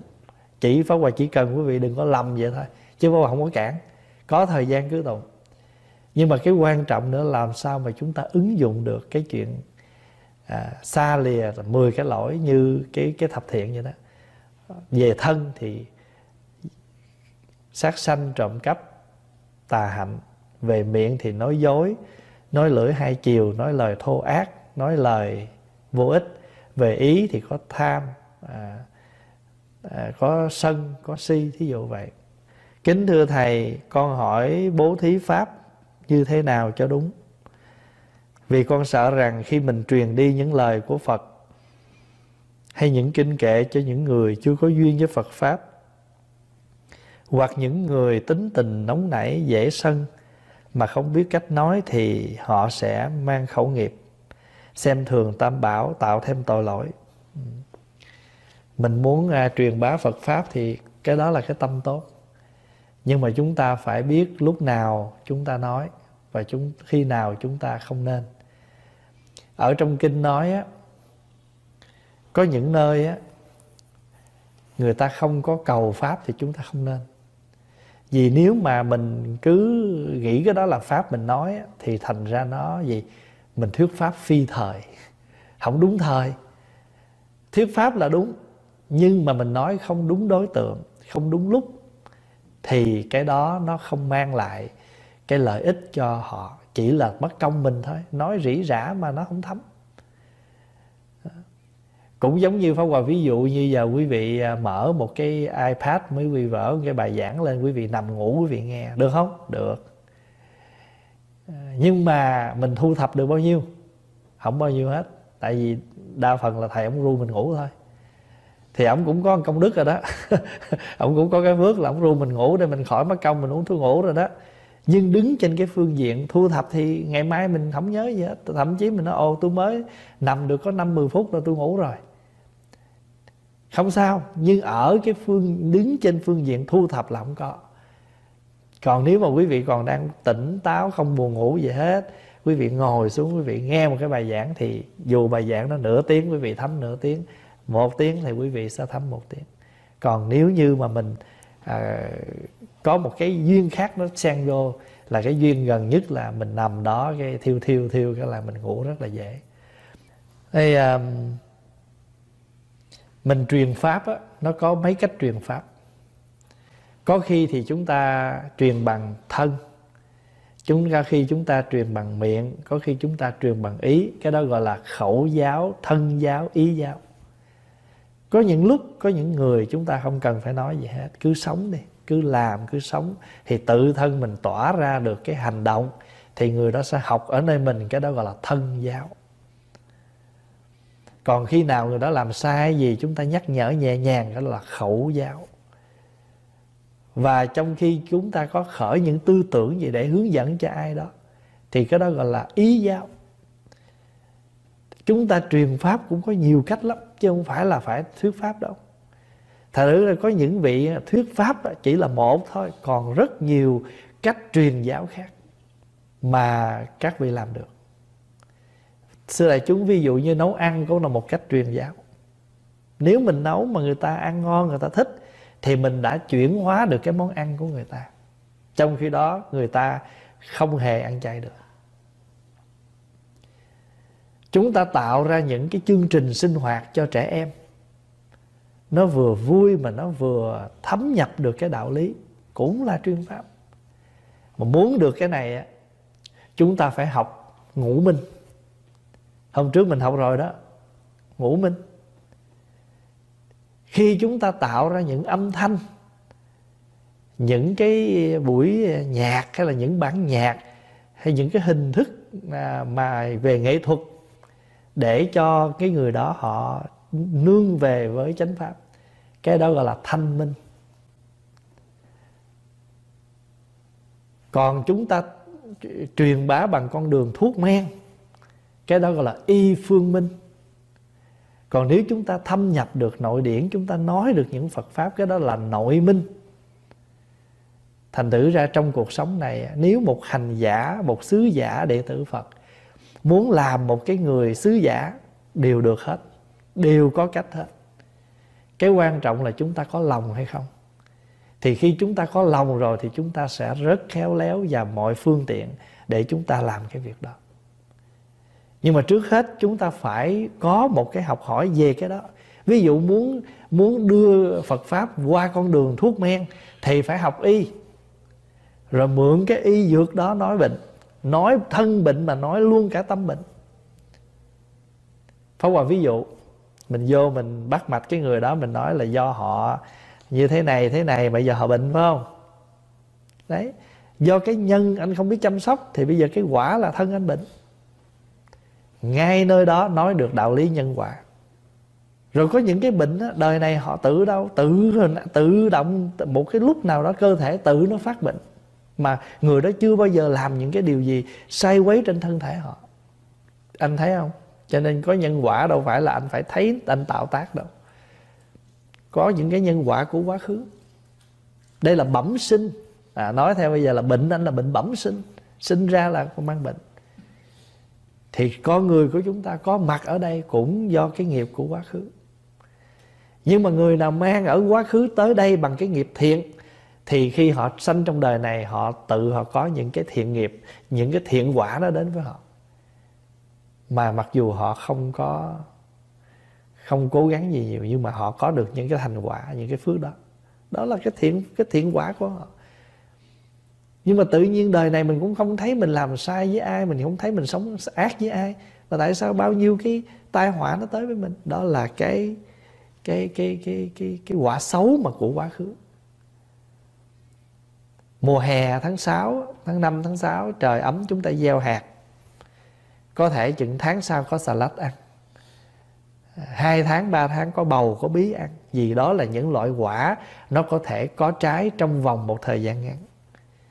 Nhưng nếu chúng ta trồng cây cam, cây bưởi, phải vài năm mới có trái được.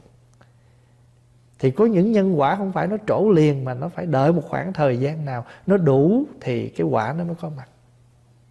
Cho nên có nhiều khi đức phật độ không được. Ngài ca Ngài xá lời Phất độ được Ngài Một Kiền Liên độ được. Vậy mà Ngài La Hầu La độ được.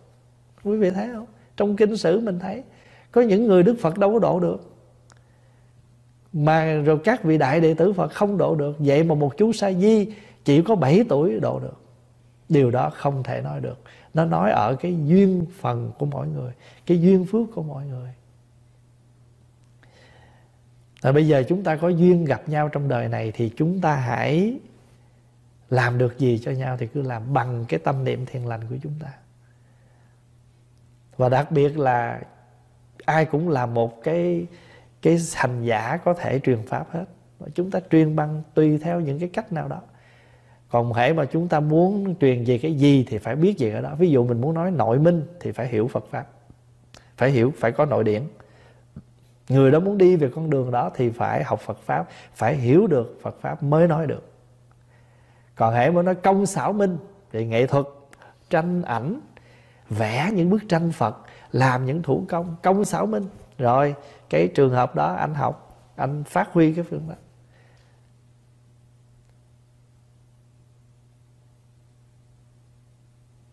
Cho nên nó đều có cái cái cái cách của mình để mình uh, truyền bá hết đó và con đường hoàng pháp hoàng pháp là gì? Là làm cho giáo pháp được rộng rãi ra. Và những thầy chỉ có nội điển không chưa đủ, phải cần những thầy khác nữa. Phải cần những thầy, những những người là làm việc nữa. Ví dụ như giờ trong Phật giáo phải có những người làm xã hội, đi cứu tế, chẩn bần, phát ờ, cho người nghèo. Thì các thầy đó không giảng kinh thì các thầy làm việc đó cho nên đã nói là cái tinh thần đạo Phật là từ bi cứu tế. Ta là từ bi cứu độ, từ bi cứu khổ. Thì có những chúng sanh người ta phải giải quyết cái khổ thân trước là ăn mặc của người ta trước đi rồi nói chuyện gì tính cho nên phải có những thầy, những sư cô, những vị lăn xả vào con đường xã hội. Có những chúng sanh ta không khổ cái đó, ta không khổ cơm áo gạo tiền, ta khổ tâm có những người ta rất nhiều tiền nhưng mà ta đang khổ tâm. Người ta khổ chuyện gia đình người ta khổ chuyện vật chất tâm linh. Cho nên mỗi người đều có bản có bổn phận để mà cứu khổ độ sanh cả. À, con là một phật tử một tháng con có hai ngày sám hối tại chùa. Nhưng vì dịch covid 19 con không đến chùa như thường khi. Phòng con thì nhỏ vừa là phòng ngủ sinh hoạt vậy tới ngày sám hối con mở video có hình phật và danh hiệu con niệm và lại phật được không? Như vậy có bất kính không? Dạ không. Mình mình mình tu tập mình sống theo cái hoàn cảnh của mình đều tốt hết. Có những em á, đi học á, ở nhà ở mà những cái kem của trường học mà đâu có làm gì được. Thì Pháp Hòa nói đó tới ngày tới giờ tụng kinh mở cái laptop ra vô cái image mở hình Phật ra rồi ngồi đó lại xá gì đó. Không có chỗ lại xá cũng được. Cái quan trọng là chúng ta đã thực hiện được một cái thời khóa gì đó theo cái khả năng cái hoàn cảnh của mình. Cho quý phật tử cứ là giống như bây giờ đấy. Đó, mấy ngày nay là tụng kinh rồi cúng cơm rồi đám tang gì đó là toàn online không? Không chừng đây năm nay đó mùa phật đản năm nay là quý vị đều phải tham dự qua online hết đó, chứ không phải là được tới chùa tham dự đâu phải không? Thì phật cũng vui đó. Nó đời tôi sống tới hai ngàn mấy trăm tuổi lần đầu tiên được celebrate uh, sinh nhật qua online. Đó. thành nữ ra cái gì cũng có thể xảy ra hết. Và chúng ta đã ứng dụng được. Và cái đó là cái gì? Đó là cái tinh thần uyển chuyển của đạo phật. Đó là cái tinh thần uyển chuyển của đạo phật. Và đó là tại làm đó là cũng một ý nghĩa là ngôi chùa chúng ta xây dựng một ngôi chùa thì cái mái chùa là cái mái công cái mái công đó là tượng trưng cho cái tinh thần uyển chuyển của đạo phật. Và bây giờ chúng ta sẽ hiểu được thế nào gọi là tùy duyên bất biến. Bất biến mà tùy duyên. Tùy duyên là bây giờ cái duyên chúng ta không tập hợp được. Nhưng mà chúng ta bất biến là chúng ta vẫn không bỏ tinh thần học phật không bỏ được những cái, không bỏ đi, không vì cái chuyện đó rồi chúng ta chúng ta không có, chúng ta dừng lại cái sự tu tập của chúng ta. Đây, giây phút này đúng là cái tinh thần tùy duyên mà bất biến. Bất biến nhưng vẫn tùy duyên. Ok, bây giờ tôi rất muốn làm chuyện đó. Nhưng mà đụng cái ờ, thầy ông bệnh. Đấy, tôi muốn làm chuyện đó mà bất biến mà. Nhưng mà giờ thầy ông bệnh chùa không làm được thì tùy duyên thậm chí bây giờ á, rất muốn tổ chức chương trình, chúng ta sẵn sàng hết, tự nhiên internet nó hư, nó không làm được, thì chừng đó là bất biến, tinh thần là bất biến, nhưng phải tùy vào hoàn cảnh gọi là bất biến tùy duyên. Còn bây giờ chúng ta sống là tùy duyên, nhưng bất biến. Tùy được cái duyên sống này mà tinh thần không mất. Nhưng mà ngược lại, tinh thần không mất nhưng mà hoàn cảnh không cho, thì chừng đó gọi là gì? Bất biến tùy duyên hiểu được như vậy rồi đó, trong ba ngàn cõi ấy, đâu chẳng phải là nhà. Đó là câu nói của một vị thiền sư việt nam. Đạo vốn không nhan sắc, mà ngày thêm gấm hoa. Trong ba ngàn cõi ấy, đâu chẳng phải là nhà. Vậy thì bây giờ đại chúng ơi, trong ba ngàn cõi ấy, đâu chẳng phải là chùa. Quý vị đang ở đạo tràng hết rồi đó trong giờ phút này, mấy trăm người đang có mặt online đây, quý vị đang đang ở trong đạo tràng đó. Như vậy bây giờ tinh thần Di Ma Cật, Tinh thần Di Ma Cật đang có mặt. Chỗ nào có tu tập, chỗ đó là đạo tràng. Trực tâm là đạo tràng, Thâm tâm là đạo tràng, Nhớ không? Bấm rồi mình học đó. Cho nên rồi mỗi một cái hoàn cảnh nó xảy ra Thì chúng ta sẽ thấy vô vàng kinh điển. Vô vàng lời dạy Mà xưa giờ mình học, Xưa giờ mình mình nghe, Nó đang có mặt với chúng ta Bây giờ có thể đang online 500 người, Phải không? Bây giờ đang online bao nhiêu vị? 800 vị Thì bây giờ trong Kinh Di Ma Cật nói á 32.000 Bồ Tát ở trong một căn phòng nhỏ, Có mặt đó cái nhà, cái áp bạc quý vị có chút nị thôi Mà giờ quý vị đang chứa được 800 người rồi đó. Cái phòng cái phòng tổ này cái nhà tổ này nói chút xíu thôi mà 800 người đã có mặt rồi đó. Vậy thì cái này là cái cái cái có mặt đây là gì? Không phải cái space của cái phòng mà cái không gian của tâm. Cái không gian của nội tâm cái phòng mình chật mà nếu mình chấp nhận cho đồng đạo của mình vô ở, nhiều cũng đủ hết. Còn cái phòng mình mênh mông, mình không muốn cho ai vô hết thì không một người nào vô lọt. Tinh thần đại thừa nằm trong đó đó. Vậy thì bây giờ quý vị sẽ hiểu đại thừa không phải là cái nhóm đó tu cái gì. Đại thừa là cái tâm mình đại thừa. Cái tâm, cái tư tưởng mình đại thừa chứ không phải là là cái nhóm đó tu cái pháp gì kêu là tiểu thừa đại thừa. Cho nên cái đề tài mà chúng ta học mỗi thứ bảy là xe báo đại thừa. Mà rốt cuộc nói ra chẳng thấy gì đại thừa cả. Xa lìa ngũ dục là đại thừa. Xa lìa những cái cảnh mà làm cho mình uh, uh, dễ bị dính mắc là đại thừa. À, dạ thưa thầy cho con hỏi được biết à xá lợi tử trong bát nhã tâm kinh có phải là xá lợi phất không? À, dạ đúng vậy. Sẵn đây pháp hòa nói về cái việc này để cho đại chúng à, được à, được được rõ luôn. Nguyên thủy tên của ngài xá lợi phất tiếng phạn là Sariputra. Chữ Sari á, là cái dòng tộc của ngài đó là dòng Sari. Còn cái chữ Putra đó nghĩa là con trai. Tiếng Anh dịch the son of. Vậy thì nếu như trường hợp nếu chúng ta muốn nếu chúng ta dịch tên của ngài xá lợi phất á, chúng ta phải dịch là người con trai của dòng Sari. Vì vậy mà khi khi Đức Phật gọi xá lợi tử tử là con vậy thì chữ tử đó là người người tàu đã dịch chư tổ, dịch kinh đó dịch cái chữ puja thành chữ tử. Sari là xá lợi, tử là puja. Cái chữ đó là xá lợi tử là phạn hán ráp lại.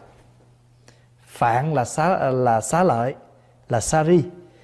Hán là tử, chữ tử trong tiếng hán là con. Còn nếu mình muốn dịch cái tên của ngài nữa là người con trai dòng tộc sari.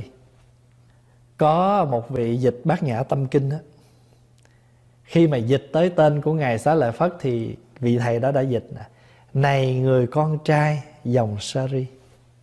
Vậy thì khi gọi là xá lợi tử, thì chúng ta biết rằng đó là ngài xá lợi Phật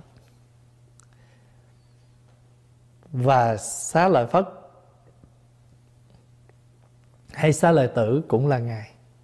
Thưa thầy, con thường nghe pháp của thầy cho con hỏi, con chưa quy tam bảo, nhưng có một vị hòa thượng tạm cho con một pháp danh.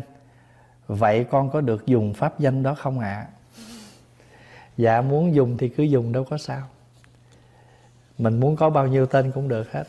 Cái pháp danh là một cái cái mà chúng ta đặt ra để cho kỷ niệm cái ngày mình quy y thôi. Còn cái chính là cái pháp quy y. Cho nên à, nếu mà chị có, cô có cái pháp danh rồi, nhưng mà cô chưa có quy thì nên tìm một cái hoàng một cái phương tiện nào đó, một cái ngày nào thuận lợi trong các chùa nào mà gần mình đó, hay là vị thầy nào mình có cảm mến đó, mà mình nghĩ là mình đủ duyên tu tập đó, thì xin vị thầy đó làm lễ quy cho mình hoặc là mình à, xin quy y nhưng mình à, tôn trọng cái pháp danh mà vị hòa thượng ban cho mình, thì mình cũng xin thẳng luôn là con xin giữ lại cái pháp danh này của vị hòa thượng đó cho con. Nhưng mà cái về cái cái tên thì mình muốn có bao nhiêu cũng được, nhưng mà cái cái tinh thần chính là cái tâm mình hướng về tam bảo. Miệng mình phải nói lời quy y, tâm thức mình phải tiếp xúc với cái ý nghĩa tam bảo Phật pháp tăng đó, thì nó mới trọn vẹn cái tinh thần quy y của một người Phật tử cho con hỏi ý nghĩa mười à, gì? Con nghĩ à, một chùa cũng thờ cúng bao nhiêu vị Phật thì 10 chùa cũng có bao nhiêu vị Phật. Tại sao phải đi đủ 10 chùa trong tháng giêng? Thưa đại chúng cái chuyện mà chúng ta đặt ra 10 chùa đó là mình đặt chứ không có kinh luật nào hết trơn á mình muốn đi 50 chùa cũng được nữa đi trăm chùa ngàn chùa cũng được nữa. Không có sao hết á muốn đi bao nhiêu đi. Nhưng mà tại vì bây giờ á, tổ chức một chuyến đi thì phải quy định một số chùa nào chứ bây giờ chùa quá trời chùa mà không quy định là biết đi đâu. Thí dụ bây giờ mình nói mình quy định đi năm chùa vì cái thời gian mình chỉ nhiêu đó thôi thì đã quy định cái số thì bắt đầu phải chọn chùa nào mình đi cho nó thuận một tuyến đường.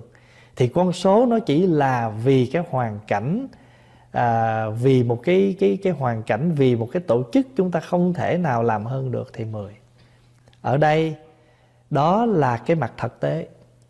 Còn cái việc chúng ta thổi vào cái con số đó ý nghĩa gì là tùy mình. Pháp Hòa ví dụ Bây giờ quý vị đi 10 chùa phải không?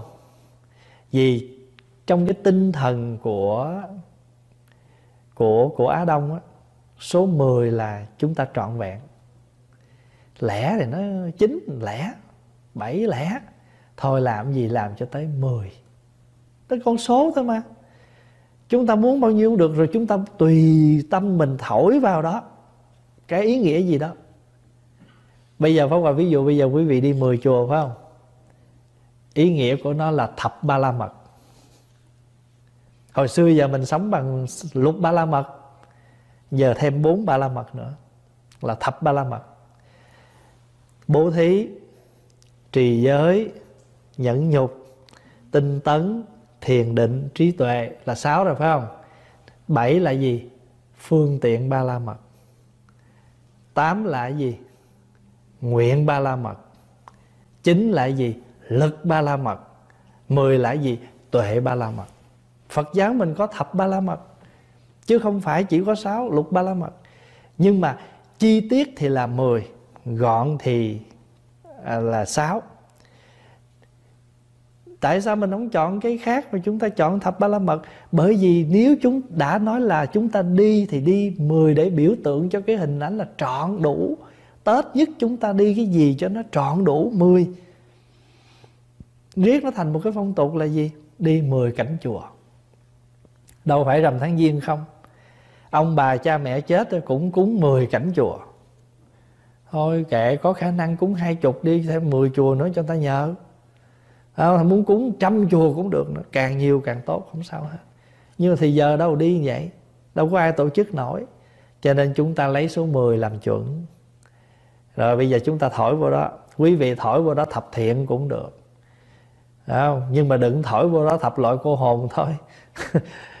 Số 10 trong Phật giáo thiếu gì? 10 hạnh phổ hiền lễ kính chư Phật, xưng tán như lai, quảng tu, cúng dường gì đó, sám hối nghiệp chướng, vân vân. Còn nếu như mà giờ mình lỡ, mình không có thời giờ mình đi, tết năm nay mình đi được năm chùa, phải không? Thổi vô đó con số năm. Ngũ giới nè, ngũ minh nè. Thiếu gì những cái số năm mà chúng ta thổi vô đó? Trời ơi, chúng phật giáo có hằng hà sa số, pháp số cho nên tùy theo mình thổi vào đó. Ví dụ mình sợ bốn, phải không? Tại sao? Tại vì mình nói là sanh lão bệnh tử. Mắng gì? Mình không thích đó mình đổi lại đi. Từ bi hỷ xã tứ vô lượng tâm. Có sao đâu. Thành nữ ra tất cả là do chúng ta. Pháp hòa đã nói từ xưa giờ đến đại chúng đó, nếu chúng ta làm việc gì, chúng ta dừng ngay đó, thì chúng ta kẹt rồi đó chúng ta thổi vào đó một ý nghĩa nào của Phật pháp thì tự nhiên chúng ta làm cũng được, không làm cũng không tội. Ví dụ giờ quý vị đi được 10 cảnh chùa, phải không? Và quý vị hiểu rằng 10 cái này là tượng trưng cho thập ba la mật. Rồi khi mình đi hành hương á, cái quan trọng là mình hiểu được ý nghĩa của hai chữ hành hương. Nói hành hương là hành gì? Hành hương là giống như hành tây đi tới đâu mình phải tạo ra cho mình một cái đoàn thể mình đi nó tỏa ngát cái hương tới đó. Pháp Hòa ví dụ bây giờ tổ chức à, đoàn hành hương của tu viện Trúc Lâm. Tưởng sao vô trong đó toàn là dành chỗ ngồi, dành ăn, dành chỗ ngủ Toàn là dành không à. Lên xe bus cũng dành, tới giờ ăn cũng dành, đi toilet cũng dành ngồi đâu cũng dành rốt cuộc cái thành rửa là mình tới đó xong cái ta, mình vừa về một cái thôi. Cái thì cái chùa mà tiếp mình á, ta cũng nói, trời ơi, cái đoàn hành hương này quá trời hương luôn. Mà cái này không phải hương thơm, hương trầm, toàn là hương mặt cưa không à đốt lên nó hôi muốn chết. Tại vì sao? Mình đi xong rồi mình đã để lại cho đó một cái tiếng không thơm. Mình đi tới đâu, mình để lại cho ở nơi đó một cái tiếng thơm mới gọi là hành hương chứ. Đăng ký đi hành hương mà cái tinh thần hành hương không có. Mà mình đăng ký đi hành hương là tại vì mình nghĩ là đi 10 cảnh chùa mới tốt. Và cho nên chúng ta đóng tiền đi hành hương nhưng mà cái tâm hành hương không có, cái tinh thần hành hương không có. Cho rốt cuộc rồi mình đi tới đó không thể hiện được một chút gì của sự hành hương hết. Còn nếu mà nói là 10 để con số gọi là trọn vẹn cho đẹp đi, mình đi 10 cảnh chùa về phiền não không? Chẳng đẹp gì hết. Còn nếu mình nói về thập ba la mật đi, mình tới đó mình không có thực hiện một cái gì của ở trong luật thập ba la mật đó. Dù là bố thí, trì giới, nhẫn nhục, tinh tấn, thiền định, trí tuệ, nguyện lực, phương tiện và tuệ. Cho nên cái chữ hành hương đó không phải là đơn giản là đi 10 cái chùa, sách giỏ nhau, đóng tiền đi kêu hành hương đâu cho nên thưa đại chúng là đại chúng cứ nắm lấy cái tinh thần của tu tập của chúng ta là chúng ta làm việc gì? Chúng ta hiểu được cái đó. Rồi từ đó chúng ta có làm cũng tốt chúng ta có bỏ cũng chẳng sai. Mà chúng ta biết biết chấp nhận biết buông xả vì chúng ta hiểu nó. Hiểu cả lý cả sự. Phá Hòa ví dụ như uh, trường hợp mà mình chết mình để 8 tiếng đó hôm nay có mấy trường hợp là bây giờ bệnh viện chết họ không cho để lâu. Vì cái nạn covid này nó rất là ờ, phiền phức. Bây giờ mình đi ra mình chống với, với, với nhà thương à? Không. Đạo phật tôi là phải để 8 tiếng.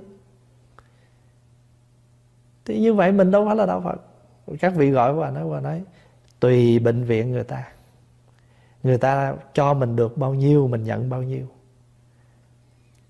Rồi có nhiều vị nói con dặn rồi đó khi mà nhà con người gia đình con mà có người mất rồi bác sĩ không được đụng vô. Nó nói vậy đâu có được. Người ta phải đụng vô để người ta khám nghiệm tử thi, coi xác định người này chết chưa mà cho đi làm đám chứ. Và không cho ta đụng đâu được. Phải nói là quý vị có làm gì, quý vị nhẹ nhàng giùm tôi. Tại vì mình muốn tôn trọng cái người mất khi họ vừa mất thôi. Đừng có nói ba cái chuyện là họ đau quá rồi nhăn mặt, họ phiền não. Mình nói cái đó. Tôn trọng để cho người đi được thanh thản nhẹ nhàng, chúng ta không sốc, không làm những cái điều mà nó nó nó nó nó mạnh ở trên cơ thể. Chứ phải cho người ta làm việc chứ. Mình mình nói như vậy, cái người ta nói, trời ơi, cái đạo này nó ngộ quá ha. Thành ra mình mình biến cái cái cái cái đạo Phật mình cho người ta nhìn một cách rất là lệch lạc, mà thực tế đạo Phật không phải như vậy. Sự vãng sanh của một con người không phải định ở trong 8 tiếng đồng hồ đó thành nữa là mình nói một hồi cái là người ta có cảm tưởng như là người chết có được siêu hay không là do lúc 8 tiếng đó đó. Còn suốt đời này chẳng cần làm gì cả. Mình mình nói như vậy là mình không có một cái cái cái cái hiểu sâu sắc về Phật giáo.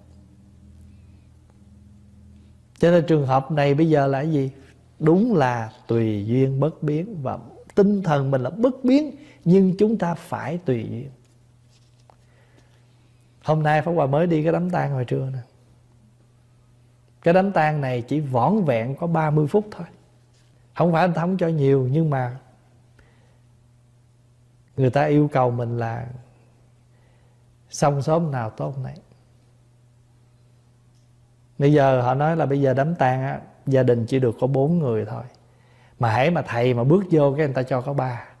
Rồi nói vậy thôi để tôi, tôi đứng ở ngoài tôi đứng ngoài tôi tụng cho để người thân vô được bốn người người thân mới quan trọng hơn. Còn mình đứng ngoài mình phóng tâm vô mình tụng kinh cũng được chứ có sao đâu.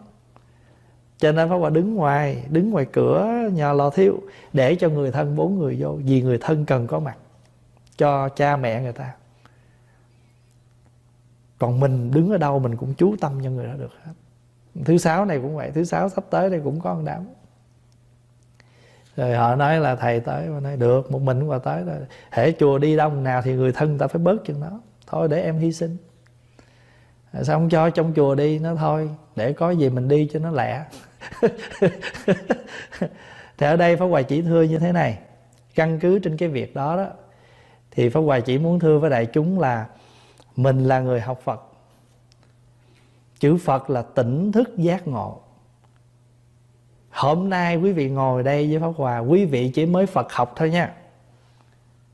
Mà mình mới phật học thôi, nghĩa là mình mình học giáo lý. Học phật gọi là học giáo lý. Thí dụ như là trường phật học. Học phật phật học. Mình là phật học thôi. Học cái gì phật dạy. Nhưng mà rồi mình đem về mình ứng dụng để mình được học làm phật. Cho hai chữ đó, phật học và học phật. Phật học là học giáo lý, còn học phật là học làm phật. Những gì chúng ta nói, nó là văn tự thôi. Quý vị đem về, quý vị ứng dụng, quán chiếu tư duy. Hôm qua mình học cái bài tứ pháp đại thừa, nó có cái gọi là giáo lý vô tận đó. Nhớ không? Kho tàng giáo lý đó một khi chúng ta đã có kho tàng giáo lý rồi, bất cứ việc gì chúng ta đều thổi vào đó được một cái ánh sáng của giáo lý hết. Ê, không được chụp hình ba người nghe. Tại sao? Ba người xui. Tại sao xui? Tôi thổi vô đó cái cái vô tận giáo lý cho. Ba là phật pháp tăng, tam bảo. Ba là tam tự quy y. Phải không? Ba là tam vô lậu học giới định tuệ tại sao không được? Di đà quan âm thế chí cũng có ba. Thích ca văn thù, ba. Dược sư, nhật quan bồ tát, nguyệt quan bồ tát cũng ba. Nhang thấp ba cây. Lại phật, lại ba lại. Chị em gặp nhau, chị quẩn không? Ngồi để ăn ba hột chơi. Mặc dù ăn nguyên chén, kêu ăn ba hột mà. Cơm cũng ba chén trà rót ba chung. Việc gì chúng ta tụng ba biến. Thế thì tại sao chúng ta cử ba? Cho anh, tại vì cái đầu anh, nó chỉ không có cái khác, toàn là cái xui không à. Cho anh sợ số ba, tôi toàn là hên không, tôi thổi vô đó. Mình có vô tận giáo pháp rồi, cái gì mình cũng thổi phật pháp vô được hết. Cho mình đi tới đâu người ta nói ồ đạo phật dễ thương quá sao sống cũng được hết. Cho nên ngài ngài hám sơn đi tới đâu ta cũng sống nhẹ nhàng hồng trần bạch lãng lưỡng thương mang. Nhẫn nhục nhu hòa thị diệu phan đáo xứ tùy di, duyên duyên tuế nguyệt. Đáo xứ tùy duyên duyên tuế nguyệt chung thân an phận độ thời quan cuộc đời này á, giữa cái cái cái hồng trần là cái bụi bặm, cái bạch lãng là cái sóng gió, hồng trần, bạch lãng, lưỡng thương mang. Đi ở ngoài trên bờ thì bị bụi, đi xuống nước thì sóng gió, phải không? Sống ngoài đời cũng không yên. Vô trong đạo cũng có yên đâu ở đâu cũng có sóng gió hết. Hồng, trần, bạch lãng lưỡng, thương mang. Nhưng mà món thuốc của mình là gì? Là nhẫn nhục nhu hòa, thị diệu phan món thuốc của mình là món thuốc của nhẫn nhục, của nhu hòa. Là món thuốc linh diệu đó. Đáo xứ tới chỗ đó, tùy duyên đi tới đâu, ta biết tùy duyên tới đó. Thì duyên tuế nguyệt, ta cho sống lâu. Lạng hoạn ta trảm. Thậm chí, ta nói thẳng luôn, ở đây không có welcome anh. Anh đi về sớm giùm tôi. Đó làm tao nói thẳng nha, còn ta lịch sự tao đuổi khéo thì mình sống được vậy rồi thì đáo xứ tùy duyên duyên tuế nguyệt. Chữ duyên là dài ra. Tuế là năm, nguyệt là tháng. Mình làm cho nó tăng trưởng cái tháng năm ra là tượng trưng cho cái sự sống lâu, ở lâu ở đó. Chung thân an phận. Hết cuộc đời này mình vẫn an phận. Độ thời quan là gì? Qua được từng ngày từng giờ từng phút từng giây.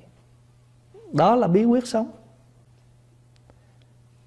Cho nên trong kinh tứ, t, tứ, gì? Tứ đại thừa tứ pháp đó, một vị bồ tát có những cái kho tàng vô tận. Trong đó có cái gọi là giáo pháp kho tàng giáo pháp vô tận. Cái gì mình cũng thổi vào đó hồn phật pháp được hết. Pháp Hòa nhớ có một thi sĩ Không nhớ ông gì, hình như Nếu họ nhớ không lầm là Nhà thơ trụ vũ. Làm sao phổ được phiến hùng tâm? Của Phật vào trong khúc nhạc trầm. Chỉ đọc quyền kia dù một sợi Mà vang lên thành hải triều ấm. Đó là cái đàn gì của Việt Nam? Đọc khuyên câm, One string guitar cái độc huyền cầm đó, một giây thôi mà nó đánh được tất cả các bản nhạc. Phải không? Làm sao phổ được phiến hùng tâm? Của Phật vào trong khúc nhạc trầm. Để một để đọc để đọc huyền kia dù một sợi, mà vang lên thành hải triều âm. Chúng ta nắm được cái sống của cái áo rồi, treo cái áo nào ngay cái đó phải không? Máng cái áo lên, máng ngay cái sống áo. Áo nào lệch được? Cầm cái áo nào lên xếp, nắm ngay cái sống áo, hai tay nó gấp vô liền. Nắm cái sống này, kéo hai cái tay này ra rồi là vũ được cái áo, vô khuôn hết. Cho nên chúng ta chỉ cần nắm được cái cái cái then chốt của Phật pháp phổ được tất cả những khúc nhạc. Bài thơ rất hay vọn vẹn có bốn câu. Làm sao phổ được khúc hùng tâm của phật? Cái bài pháp đó nó hay lắm. Cho nên ngài thiền sư việt nam mình hình như là ngài trần thái tông, một tiếng một tiếng sấm xuân à, một tiếng sấm mà vừa trỗi dậy khắp nơi cây cối nảy mầm xuân. Cho nên à, hòa thượng à, lần mai chú giải cái bài kinh người bắt rắn im lặng sấm sét. Silence of understorm). cho có những cái mình làm rất đơn giản nhưng mà nó rất hùng hồn. Có những cái mình im lặng nhưng mà cái im lặng đó nó nói lên được một bài pháp tuyệt vời. Cho nên mình có một thiền sư tên là vô ngôn thông. Không có một lời nào hết mà chuyện gì cũng thông. Đâu phải mình nói cả ngày mới gọi là thông. Có những cái im lặng đi là thông hết à. Tại vì những lúc đó cần được làm một thiền sư vô ngôn thông. Hết giờ rồi. Hai tiếng rồi. Xin à, cảm ơn đại chúng đã cho Pháp Hòa cơ hội chia sẻ với quý vị trong cái buổi à, vấn đáp tối hôm nay. Thì à, nếu có điều gì sơ sót mong đại chúng hoan hỷ bỏ qua cho à, chúc đại chúng có một giấc ngủ an lành. Ngày mai chúng ta lại gặp nhau 10 giờ sáng để tụng kinh. À, sẵn đây pháp hòa cũng thông báo ngắn thôi chắc có lẽ thôi để ngày mai đi giờ à, thêm giờ nữa của đại chúng. Thì à, trong cái mùa an cư đó, hàng năm của tu viện thì sẽ có những chương trình rồi à, thì à, lúc đó pháp hòa sẽ thông báo chương trình an cư thường lệ của tu viện. Rồi quý vị cũng à, tùy nghi tham dự. Nếu mà tới ngày an cư mà chúng ta vẫn còn ở nhà thì những chương trình sinh hoạt của tu viện cũng sẽ được trực tiếp chia sẻ với quý vị. À, bây giờ chúng ta hồi hướng. Chúc quý vị nào ở nơi đó là tối thì an lành nơi đó là ban ngày thì có một ngày thật là bình an. Nguyện à, đem à, công à, đức này hướng về khắp tất cả đệ tử. Và chúng sanh đều trọn thành Phật đạo. À, mô Phật cho con hỏi Phật tử tại gia có nên cúng cô hồn vào ngày à, 14 không ạ? À? Hình như ở đây nó cũng có một câu à, tương tự như vậy đó.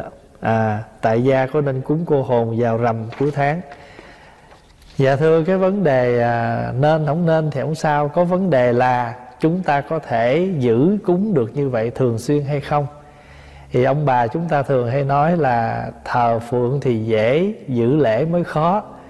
Ví dụ như nếu mà mình quy định một năm mình cúng à, cô hồn một lần hai lần ở tại cái khu vực mình ở thì mình giữ như vậy. Còn nếu mình cúng mỗi rằm hay là mỗi 30 à, mùng một gì đó mà chúng ta không cúng thường xuyên thì không nên. Vì cái gì chúng ta tập thành một cái lệ thì chúng ta phải giữ à, cho nên nếu mà mình muốn cái đó nó không có ràng buộc mình ở cái này không có ai bắt buộc vì đa số cái việc thực hiện cúng cô hồn là dành cho các chùa. À, còn ở dưới tư gia phật tử mà có khả năng thì hoặc là thời giờ có phương tiện thì mình làm không thì mình nên à, để một năm một hai lần thôi để mình không có bị à, mắc cái cái lỗi là chúng ta khi làm khi không à, mình nên à, suy nghĩ kỹ trước khi mình làm. Còn không thì một năm mình cúng một hoặc là hai lần. Tệ lắm thì cũng phải một lần. Tại vì sao?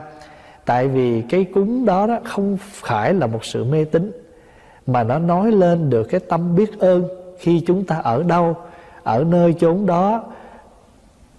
Đất trời ở nơi đó thiên nhiên ở nơi đó đã cho chúng ta được một.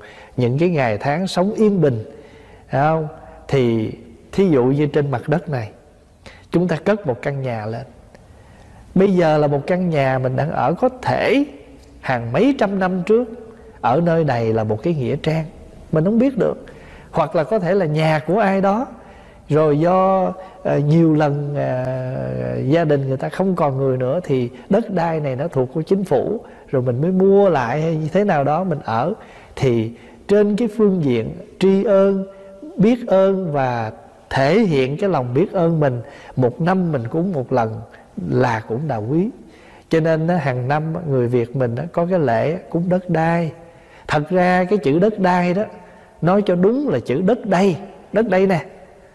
Đất ở đây nè, chứ không phải đất đai. Mình nói riết nó thành trại thành cái chữ đất đai, chứ đúng ra là mình phải đọc là đất đây.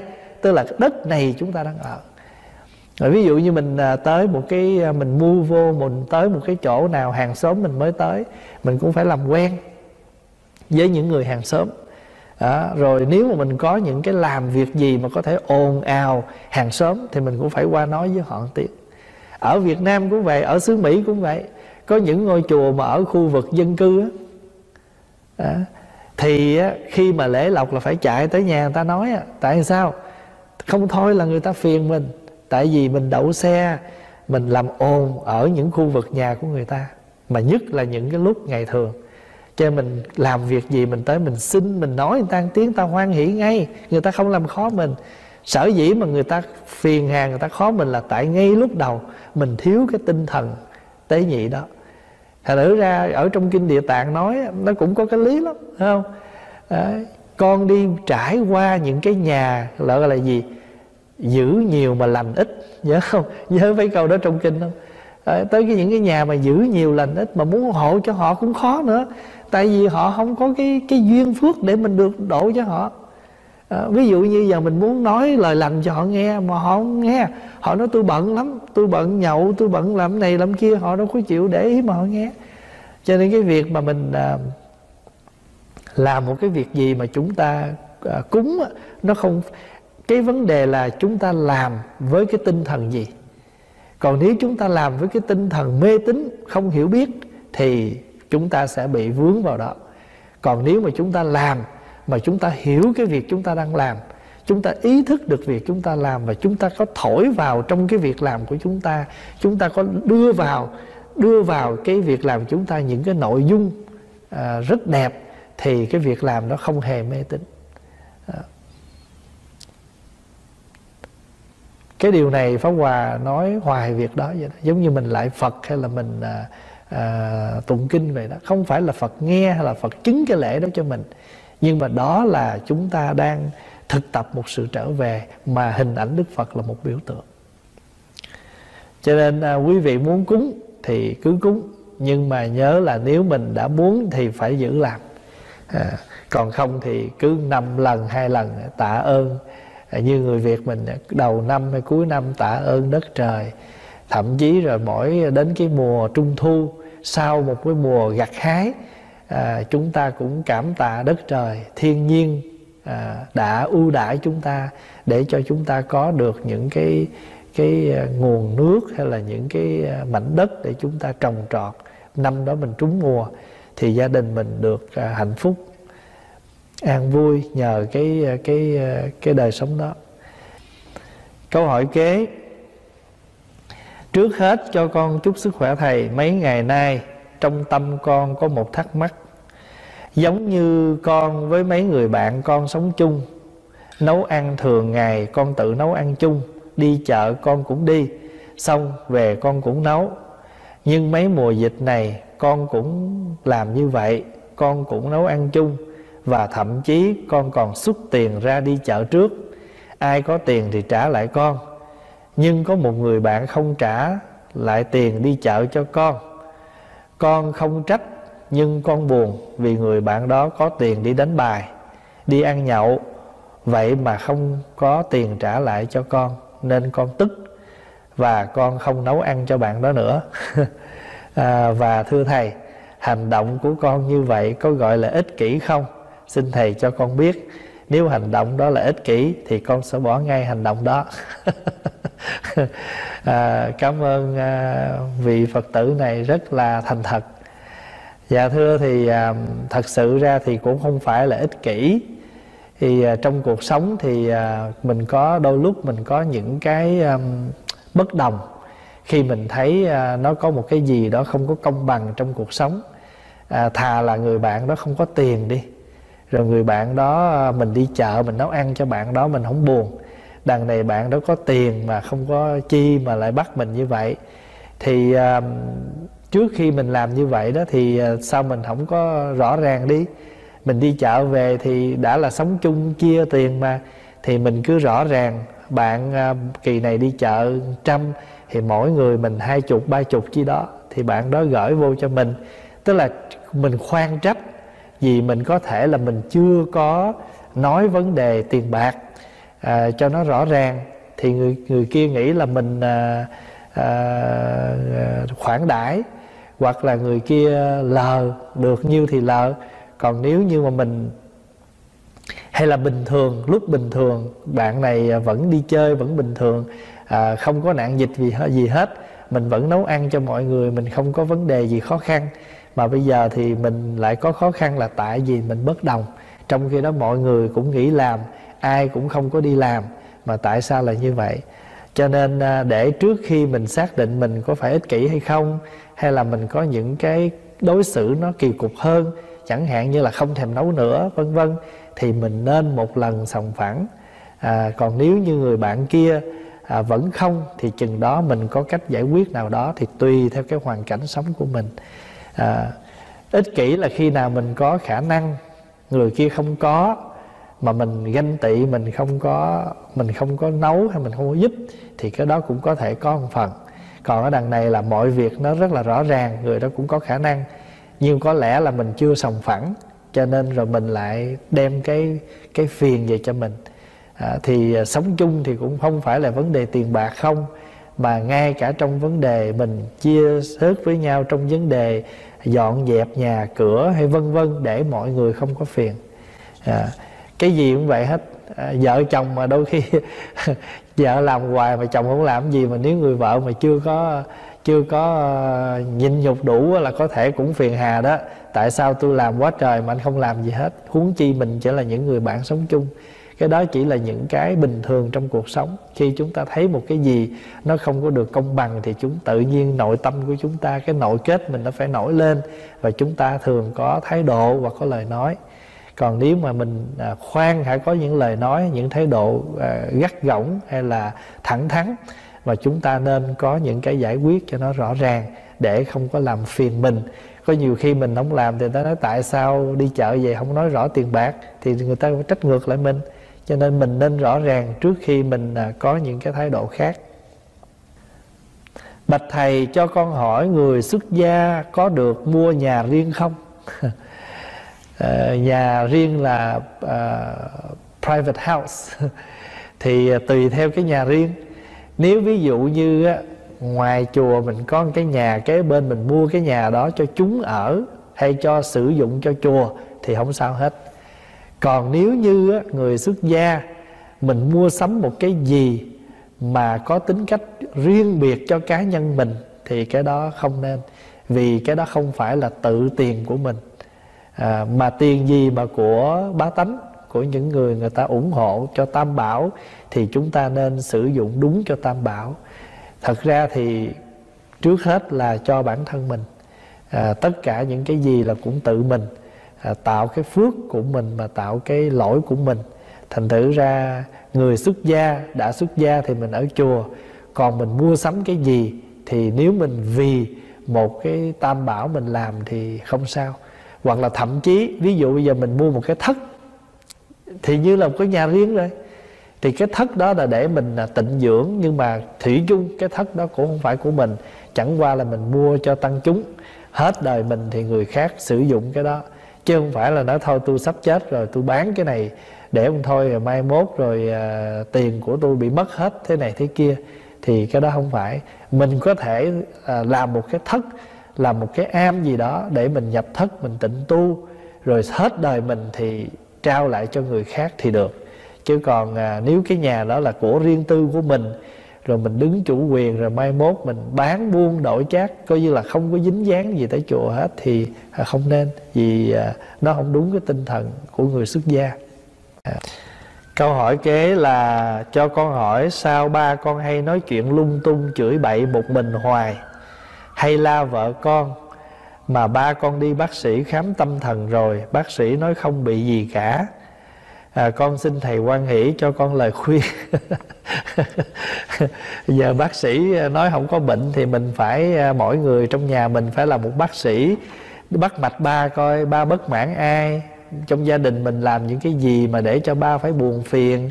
Mà ba không thể nói được thì ba lại bộc phát bằng những cái cơn à, à, sân si chửi bới. Mình phải đi tìm cái nguyên do chứ còn à, em ở tuốt bên này mà em cũng có biết gì về bác đâu mà hỏi em. À, còn nếu là chắc muốn nói về coi coi bác có bị gì không đó phải không? Cái này là chưa nhìn mặt chưa khám thì chưa biết. Bác sĩ khám chưa ra bệnh mà em chưa thấy chưa biết gì hết biết bệnh gì. Tuy nhiên à, trước khi chúng ta nói tới cái à, nghiệp bệnh à, có thể quý vị tin là ai dựa ai nhập gì đó. Trước khi mình tin cái đó hãy nên thực hiện những cái gần nhất là mình xem lại coi. Hàng ngày ba chửi từ những nguyên do nào? Đó là phải có một cái lý do nào để làm cho cái cơn sân ông nó nổi lên? Nếu mình biết à thì ra gần đây ông già ông bực cái chuyện này, chuyện kia, thì là mình đã đã bắt được cái mạch rồi đó. Không? Thành thử ra thí dụ thôi. Tự nhiên á, nhà mình đó cái cái sinh đó, nó bị à, nước ngập. Bây giờ trước hết là phải làm gì? Mình phải đi tìm coi nước này nó bắt nó bị bể ở đâu nó bị lủng ống chỗ nào mà nước nó rỉ ra. Như mình cầm một cái nồi nước tự nhiên để đây hồi nó rang dũng nước thì mình biết là cái nồi này có vấn đề. Thì mình phải làm sao tìm cho được cái lỗ mà nó bị lủng đó để chúng ta chữa nó chứ không phải tự nhiên sách lại.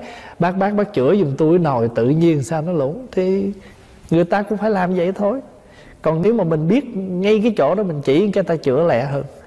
Còn mình không có biết mà nấy thì người ta tính mình thêm thời giờ là giờ người ta đi tìm cái nỗi lũng chỗ nào. Thì à, nghiệp bệnh đó nó có ba loại phải không?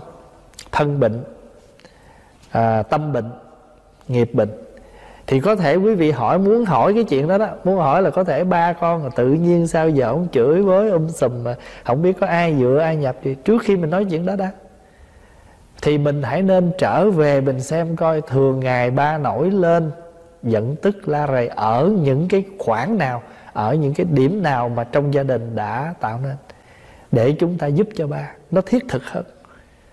Nó thiết thực hơn rồi ví dụ mình cứ tin mấy cái vụ này rồi thậm chí không ông già ông không chấp nhận cho ông thầy nào tới hết. Mình đi tìm mấy ông thầy mà người ta thích kiếm tiền trên mấy cái câu chuyện này đó, thì mình bị mất tiền mà không được việc. Cho uổng lắm. May là hỏi pháp hòa đó. Chứ ờ, mấy anh chị mà hỏi nhầm một ông thầy mà thích làm tiền đó là là mệt rồi đó.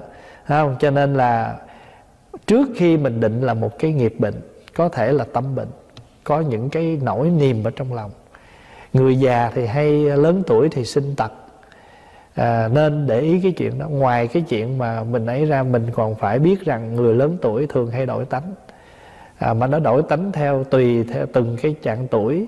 Hoặc là nhiều khi á, à, hồi nhỏ thấy con cái mình như thế này lớn lên nó khác đời sống nó khác từ nhiều lúc bực bội mà không nói được là không nói được thì cứ phải phát quạo lên la ó bất thường. Cho nên à, các anh chị nên à, tìm cái gốc rễ này trước đi. À, khi mà chúng ta gặp một cái việc gì đó chúng ta nên trở về để coi cái gốc rễ trước. Khi mà chúng ta cứ la làng lên là sự việc nó là như vậy. À, câu hỏi của con là khi má con còn sống nằm một chỗ không nói được luôn đã ba năm con mới về con con về mới đi xuống mẹ Nam Hải. À, cầu à, mẹ Nam Hải cầu xin. Nếu má con tuổi thọ còn tuổi thọ thì cho má được mạnh khỏe. Còn nếu tuổi thọ đã hết thì xin Phật rước đi cho nhẹ nhàng. Đừng để hành xác con à đừng hành xác quá. Con nguyện sẽ cúng tượng quan âm ở đó tức là Nam Hải chắc ở đâu ở ờ, Bạc Liêu hay đâu phải không? Là là mình không gì Việt Nam mà mình cũng hơi nhớ nhớ vậy á. À, mấy tháng sau má con mất. Xong con không có cúng tượng ở đó. Trong xã gần nhà con có chùa cất lại. Em con bảo cúng tượng ở chùa này cũng vậy thôi. Ở dưới kia nhiều tượng quan âm rồi con có đi uh, trở lại mẹ Nam Hải mua trái cây tạ lễ và trình bày. Con đã đặt tượng ở nơi khác. Như vậy con có thất hứa với mẹ quan âm Nam Hải không? Tội nghiệp không? À, bây giờ trước khi Pháp Hòa trả lời cái này đó thì chị phải cho Pháp Hòa biết là lúc mà chị thưa với ngài quan âm Nam Hải ngài quan âm có đồng ý không? Có có gật đầu nói được rồi thôi cúng đâu cũng được không? Thì nếu mà ngài im lặng, ngài không nói gì hết chị đi về bình an tới bữa nay là ngài ok rồi đó. Ngài nói, ở dưới này tôi dư rồi, ở trên kia thiếu thì ờ, đạo hữu cứ cúng đi. Thấy không? Ngài quan em im lặng, bằng chứng là ngài bắt ấn. Ngài vẫn nhìn mình, ngài nói, go ahead. Tiếp tục làm thì ok. Thật sự ra thì cái đó là do cái tâm thành của mình. Mình nghĩ mình hứa với quan âm chỗ này mà cúng chỗ kia được không? Thật ra quan âm chỉ là một thôi không có hai ba gì hết. Nhưng mà tùy theo cái hạnh nguyện của các ngài mà chúng ta được gọi bằng một cái tên khác nhau. Ví dụ như đức quan âm à, ở ngoài biển cứu người thì chúng ta gọi đó là quan âm nam hải. Rồi à, có một cái à, à, một cái người đó họ bị bệnh họ tới họ xin đức quan âm đức quan âm đã giúp cho họ hết bệnh chúng ta gọi là quan âm thí dược. Thí dược là cho thuốc. Rồi có nhiều người kia ta sợ quá, ta sợ hãi đủ thứ trong cuộc sống. À, ta tới ta cầu đức quan âm. Đức quan âm cho họ cái năng lực không sợ hãi thì chúng ta gọi là quan âm vô úy. Thật ra cũng là ngài nhưng mà tùy theo cái hạnh nguyện cứu khổ mà người ta gọi thôi. Cho nên à, chị đừng có ngại, đừng có lo là mình, thật ra mà nói mình là một phật tử trợ mình phát nguyện xong rồi, trợ duyên chỗ nào thì chúng ta cúng. Nhưng mà không có cái hay, trước khi chúng ta làm chúng ta cũng thấy khó chịu ha. Mình hứa chỗ này mà giờ ở chỗ khác thôi, lịch sự lại thương tiếng đi. Hồi xưa con hứa cúng ngài ở đây mà giờ con thấy ngài coi bộ khấm khá quá mà chỗ kia thiếu. Thôi cho con xin thỉnh ngài về trên kia, chùa kia thiếu. Còn giờ ngài dư quá, ngài không có chỗ đứng nữa thì thôi con xin thỉnh ngài về trên kia. Cái đó cũng là cái tâm lành. Dạ không sao. Nhưng mà yên tâm mà không có thất hứa gì hết. À, mình có làm là được rồi. Còn à, như ngày mấy ngày nay à, có một phật tử gọi nói thầy ơi con hứa hồi đó đi vượt biên á à, lúc mà sắp chết á trời ơi khổ quá rồi giờ nguyện quan âm mà cho con được đến bờ rồi con cạo đầu. Mà ba chục năm rồi không có cạo. và bây giờ á, là sẵn cái dịp này nè sẵn cái dịp mà dịch nó hành ở nhà nè. Thứ nhất là phải ở nhà không đi đâu là đỡ ngại ngùng phải không? Thứ hai mà giờ có muốn hớt tóc tiệm đâu nữa là hớt. Lợi dụng chuyện này mà xuống tóc phải không? Thành thử ra cái này là là không tính nha. Nhưng mà Paul là hỏi mà nói dạ được. Hỏi rồi à, con có cần phải à, à, khấn nguyện gì không? Nói cô cứ ở nhà của cô cô đến ngay bằng phật. Ngày trước con gặp nạn con hứa con xuống tóc vậy đó. Bây giờ đủ duyên con xin xuống tóc à, hoàn nguyện xin phật chứng minh cho con. Rồi lại ba lại nhờ ông đức lưng quần mình ra cạo nhờ ông chồng mình ra cạo giùm. À, thì à, thật ra quý vị thấy không? Đến nỗi trả nguyện thôi đó. Mà cũng phải đợi đúng nha nè thứ nhất là tiệm giờ muốn đi hớt tóc cũng có. Để nhà dài quá không được phải không? Thôi sẵn kỳ này cạo mà cạo rồi là không sợ phải ra đường ai cười. Rồi cộng thêm là giờ có muốn cũng chẳng tiệm nào. Hay quá đúng lúc luôn. À, vừa tiện lợi được hai ba thứ nữa không?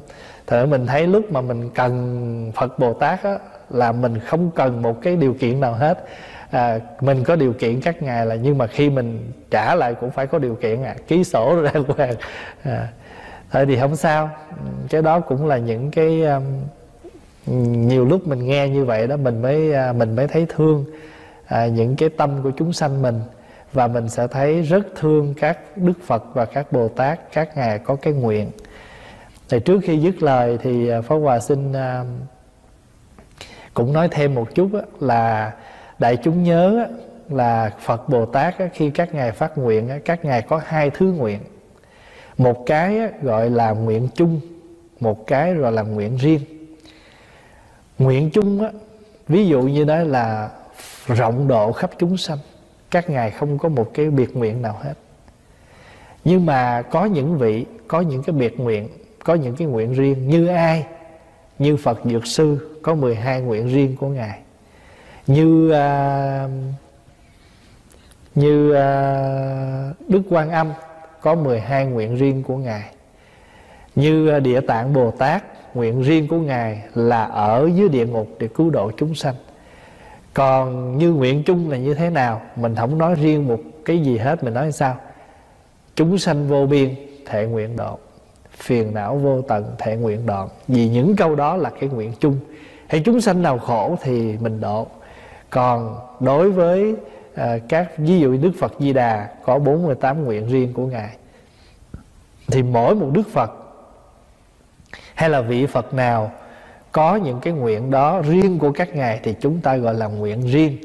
Còn có những vị nói những cái lời nguyện chung thì chúng ta gọi là nguyện chung tức là không có biệt riêng à, một cái biệt nguyện nào. Thì nói như vậy để chúng ta thấy rằng tất cả Phật Bồ Tát ừ, các ngài đều sống và hạnh phúc theo cái bản nguyện của mình. Nhờ vậy cho nên các ngài không hề đau khổ à, thỉnh thoảng đau cổ mà không có đau khổ. À, pháp hòa cảm thấy bây giờ làm ở nhà mình làm việc nhiều hơn à, một ngày phải ra với chúng à, gần như là coi như là bốn lần. À, là hai thời kinh rồi hai thời à, sinh hoạt Phật pháp. Coi như là bảy ngày liên tiếp không có ngày nào nghỉ hết. Nhưng mà pháp hòa không buồn khổ gì hết. Pháp hòa rất là vui là tại vì pháp hòa thấy rằng à, cái nguyện của mình làm được gì cho phật pháp thì mình hết lòng mình làm thì pháp hòa nghĩ rằng à, chắc phật bồ tát cũng đã chứng cho cái nguyện của mình hay sao thì nó cũng khiến ở nhà mà không được nghỉ vẫn phải làm việc. Và hơn nữa luôn luôn tự thấy là mình có cái trách nhiệm có cái bổn phận để hướng dẫn các thầy các cô mà đang có duyên tu học với mình. À, vì vậy mà chúng ta mới có cái duyên gặp nhau à, dù là trên online. Rồi người tự mãn người tự cao mất phước ra sao? Ê, người tự mãn và tự cao là hai cái uh, hai cái phần. Tự mãn là mình lỗ lã cho mình. Vì sao? Vì mình luôn luôn mình tự thấy mình đủ. Mình lúc nào mình cũng thấy mình đủ cho mình không có được thêm. Thí dụ phá Hòa ví dụ như là mình biết một cái việc gì đó nói thôi tôi biết rồi tôi không học nữa đâu. Thì cái đó coi như là mình tự mãn đó. Thì đâu có tội gì nhưng mà mình mất đi cái cái phước phần là học hỏi thêm nữa cho nên à, nói tới chỗ này thì quý vị nhớ trong kinh pháp hoa đó khi mà ngài à, trong cái phẩm à, cái phẩm hình như là phẩm thứ hai thì khi mà ngài à, xá lợi phất thỉnh đức phật ba lần nói pháp đại thừa thì đức phật từ chối không có nói. Thì cuối cùng năn nỉ quá Phật mới nói. Mà Phật khi Phật sắp sửa nói thì trong chúng có 500 người đứng dậy bỏ đi không dự cái hội đó. Đức Phật không hề cản trở ai thì các vị mới hỏi sao Đức Phật không có cản trở? Thì Đức Phật nói là sao? Ở đây bây giờ không còn hột lép, chỉ thuần là hột chắc. Tại vì sao? Tại những người đó đã tự mãn. Mà người tự mãn thì mình có giữ họ lại thì chỉ để phiền cho họ mà cản trở mình. Thật thử ra người tự mãn thì tự mình lỗ lã cho mình. Nếu mà mình tự mãn ở cái mặt tích cực, Ví dụ mình làm một cái việc gì đó, Mình thấy thôi, vậy được rồi. Cái tự mãn mà nó có, cũng có những cái trường hợp tích cực là Có những việc nào mà chúng ta tự mãn. Thí dụ như giờ mình à, mình à, sống cuộc sống mình lớn tuổi rồi bây giờ không còn cần phải bon chen gì nhiều nữa mình lo cho con cái xong rồi con cái lớn có thể tự lo bây giờ mình có đi làm chút đỉnh để gọi là duy trì sự sống có chút ít để giúp đỡ người không cần bôn ba nữa thì cái đó cũng một hình thức tự mãn ở cái mặt tích cực vì mình biết được cái tuổi tác của mình thời gian của mình không còn bao lâu nữa. Chúng ta nên tự mãn với cái vật chất thế gian và bây giờ hướng tâm vào cái chuyện tu tập nội phát triển nội tâm tâm linh. Thì cái trường hợp nó khác. Còn nếu mà ở cái trường hợp mà người sống đời mà lúc nào cũng thấy là mình không cần học của ai nữa hết á mình coi như là số một rồi thì cái hình thức đó là tự mạng thì chẳng phải tổn phước nếu mà nói phước á, tổn phước là phước ở chỗ nào? Có phước được học mà không chịu học. Đó là trường hợp đó. Nhưng mà nó vẫn nhẹ hơn cái tự cao. Ở tự cao tự đại á, thì à, thật ra tự cao là một hình thức mạng một hình thức ngã mạng. Nhưng mà đứng trên phương diện đại thừa đó thì ngã mạng nó có bảy loại. Nhưng pháp hòa gom à, nói ba thôi vì ba cái này là ba cái quan trọng. Một á là mình cho mình bằng người ta. Hai là mình cho mình hơn người ta ba là mình tự ti, mình nghĩ mình thấp hơn người ta. Thì trong kinh phật nói là tự mãn hơn, thua bằng. Quý vị muốn đọc cái bài kệ này thì mở lại cái bài kinh tuổi trẻ và hạnh phúc. Mặc cảm hơn thua bằng, cả ba điều rối rắm. Ba mạng đã vượt rồi, tâm không còn khuynh động. Tại vì khi cái tâm của chúng ta còn khuynh động là gì? Mình đi tới đâu? Thôi thôi, tôi không dám đi đi tới chỗ đó đâu người ta cao sang quý phái lắm, mình tới chỗ đó làm gì? Đó là tự ti mặc cảm. Cái thằng đó mà sao nó bằng được tôi? Đó là mình cho mình hơn người ta. Rồi lúc nào cái tâm mình nó cũng đi so sánh với người ta hết. Rồi coi cái thứ ba là gì? Trời ơi, bất quá nó cỡ tôi cùng. Đã là cái gì? Bằng. Cho nên trong kinh đó thí dụ như trường hợp á, mình mà nghĩ hơn người ta đó thì trong kinh gọi là quá mạng. Tức là mạng là ngã rồi mình nghĩ mình hơn người ta gọi là mạng quá mạng. Đó, cho nên là khi người nào còn ôm ấp những cái hình thức mạng này tâm không bao giờ yên. Đi tới đâu thì cũng nhút nhát mặc cảm tự ti tâm cũng không thoải mái. Mà quý vị để ý mình vậy đó mình làm cho người khác cũng không thoải mái nữa người ta muốn mình tới chơi cho thoải mái mà mình cứ vậy cái người ta cũng cũng có cái cái cái cái phiền với mình. Hoặc là bây giờ mình đi tới đâu mình nhìn ai mình cũng coi người ta rẻ, bất quá là cỡ mình, cái tâm mình cũng yên. Lúc nào trong lòng mình nó nó cũng có giấy lên, khởi lên những cái so sánh. Cho nên mà cái tệ nữa là mình coi thường người khác. À, mình đẩy người khác xuống, mình chê bai người ta thì chính này đó là mình đã mất cái phước. À, thành nữ ra cuộc sống của chúng ta đó ai cũng có những cái hay. À, có những người đó vui cái là chưa hề biết người kia là ai. Nhưng mà đi đâu cũng biêu xấu. À, đi đâu cũng nói những cái lời rất là thấp kém về người khác. Mà mặc dù mình chưa hề gặp người đó và cũng chưa trực tiếp biết gì người đó. Một là mình phỏng chừng hay là mình nghe người ta nói. Nhưng mà cái gì mà chúng ta nghe mà chúng ta chưa xác định. Ở trong luật nói cái thấy đó, nó mà mình chưa kiểm chứng mà mình đi đồn đại cũng là phạm. À, cái nghe mà chúng ta chưa kiểm chứng bằng mắt thấy chúng ta à, đi đồn đại cũng là phạm. Ở trong luật rất là kỹ mà nhất là một vị tỳ kheo.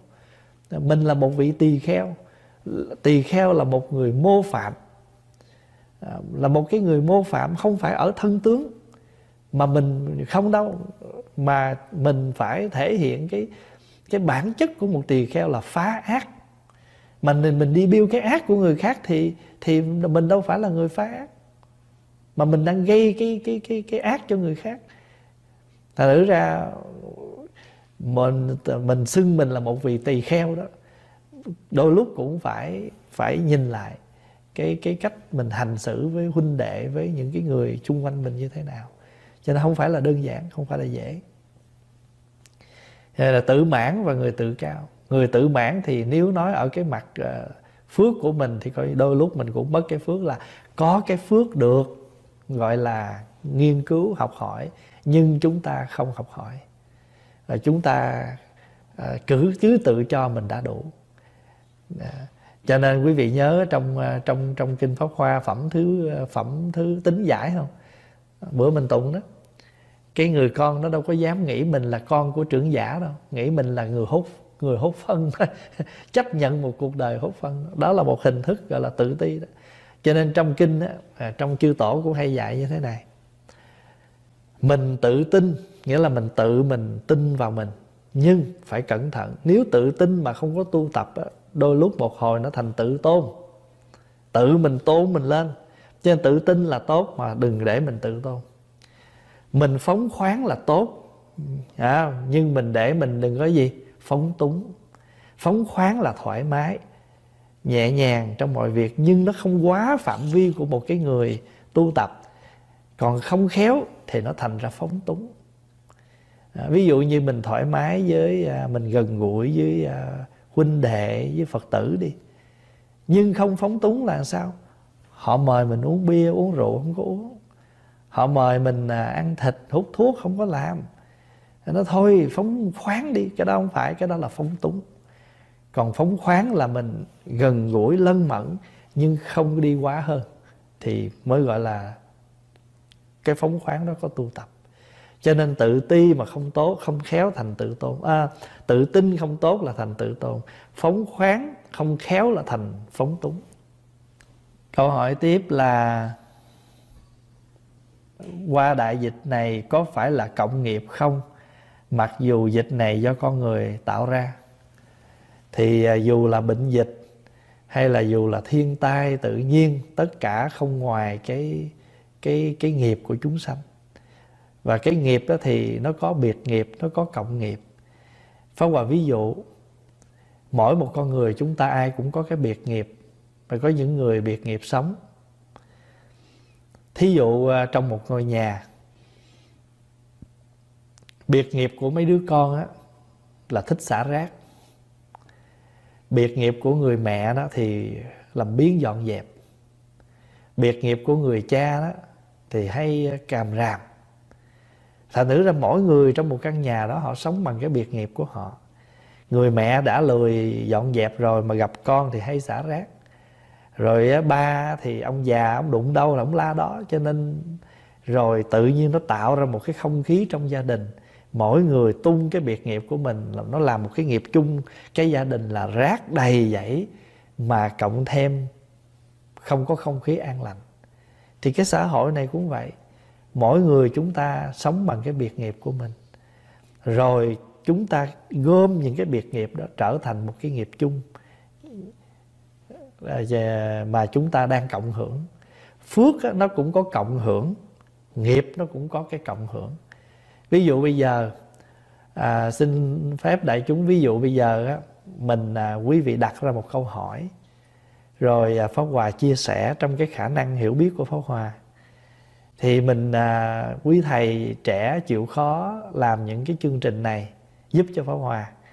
Thì đây là chúng ta đang cộng hưởng cái phước do cái cơ hội này mà mọi người cùng không mất cái thời gian mình ở nhà, mà mình đã dùng, đã tận dụng cái thời gian này để chúng ta bồi dưỡng cái cái cái đời sống tâm linh của mình, bồi dưỡng cái trí tuệ hiểu biết của mình, thì đây là cái phước mà chúng ta đang cộng hưởng. Nhưng mà bù lại nếu mà chúng ta không làm những cái chương trình này đi, thì bây giờ quý vị ở nhà không biết làm gì thì mỗi người sẽ sống theo cái tùy nghiệp của mình. Thành thử ra cái đó là bất cứ cái hình thức tai họa nào xảy ra đều tùy vào cái nghiệp. Và bất cứ một cái phước nào nó xảy ra chung nó cũng tùy vào cái phước của chúng sanh. À, phước của cái cái vùng ở đó. Thì chúng ta gọi là cộng nghiệp hay là biệt nghiệp. À, à, à, Ờ, có phước thì cũng có những cái cái phước riêng của mỗi người và phước chung của tất cả. Ví dụ như à, một người cha sống rất là tốt ở trong hãng cho nên à, cuối tuần nào hãng cũng tặng cho một cái bánh to đem về. Thì mấy người con vợ đâu có làm gì đâu nhưng mà đem về là chia sẻ cái bánh đó là cộng phước vì nhờ cái phước riêng của người cha được mọi người thương quý. Ví dụ vậy đó à, khi cúng cô hồn ngoài muối gạo thì có cúng cái gì khác được không? Và cúng xong rồi thì đồ cúng đó nên làm thế nào? Cái này kỳ trước và trả lời rồi. Đó là khi mà mình à, cúng cô hồn á mình có thể cúng bất cứ cái gì chứ không nhất thiết phải là muối gạo. Vì chúng ta cúng muối gạo là vì chúng ta là người Việt Nam.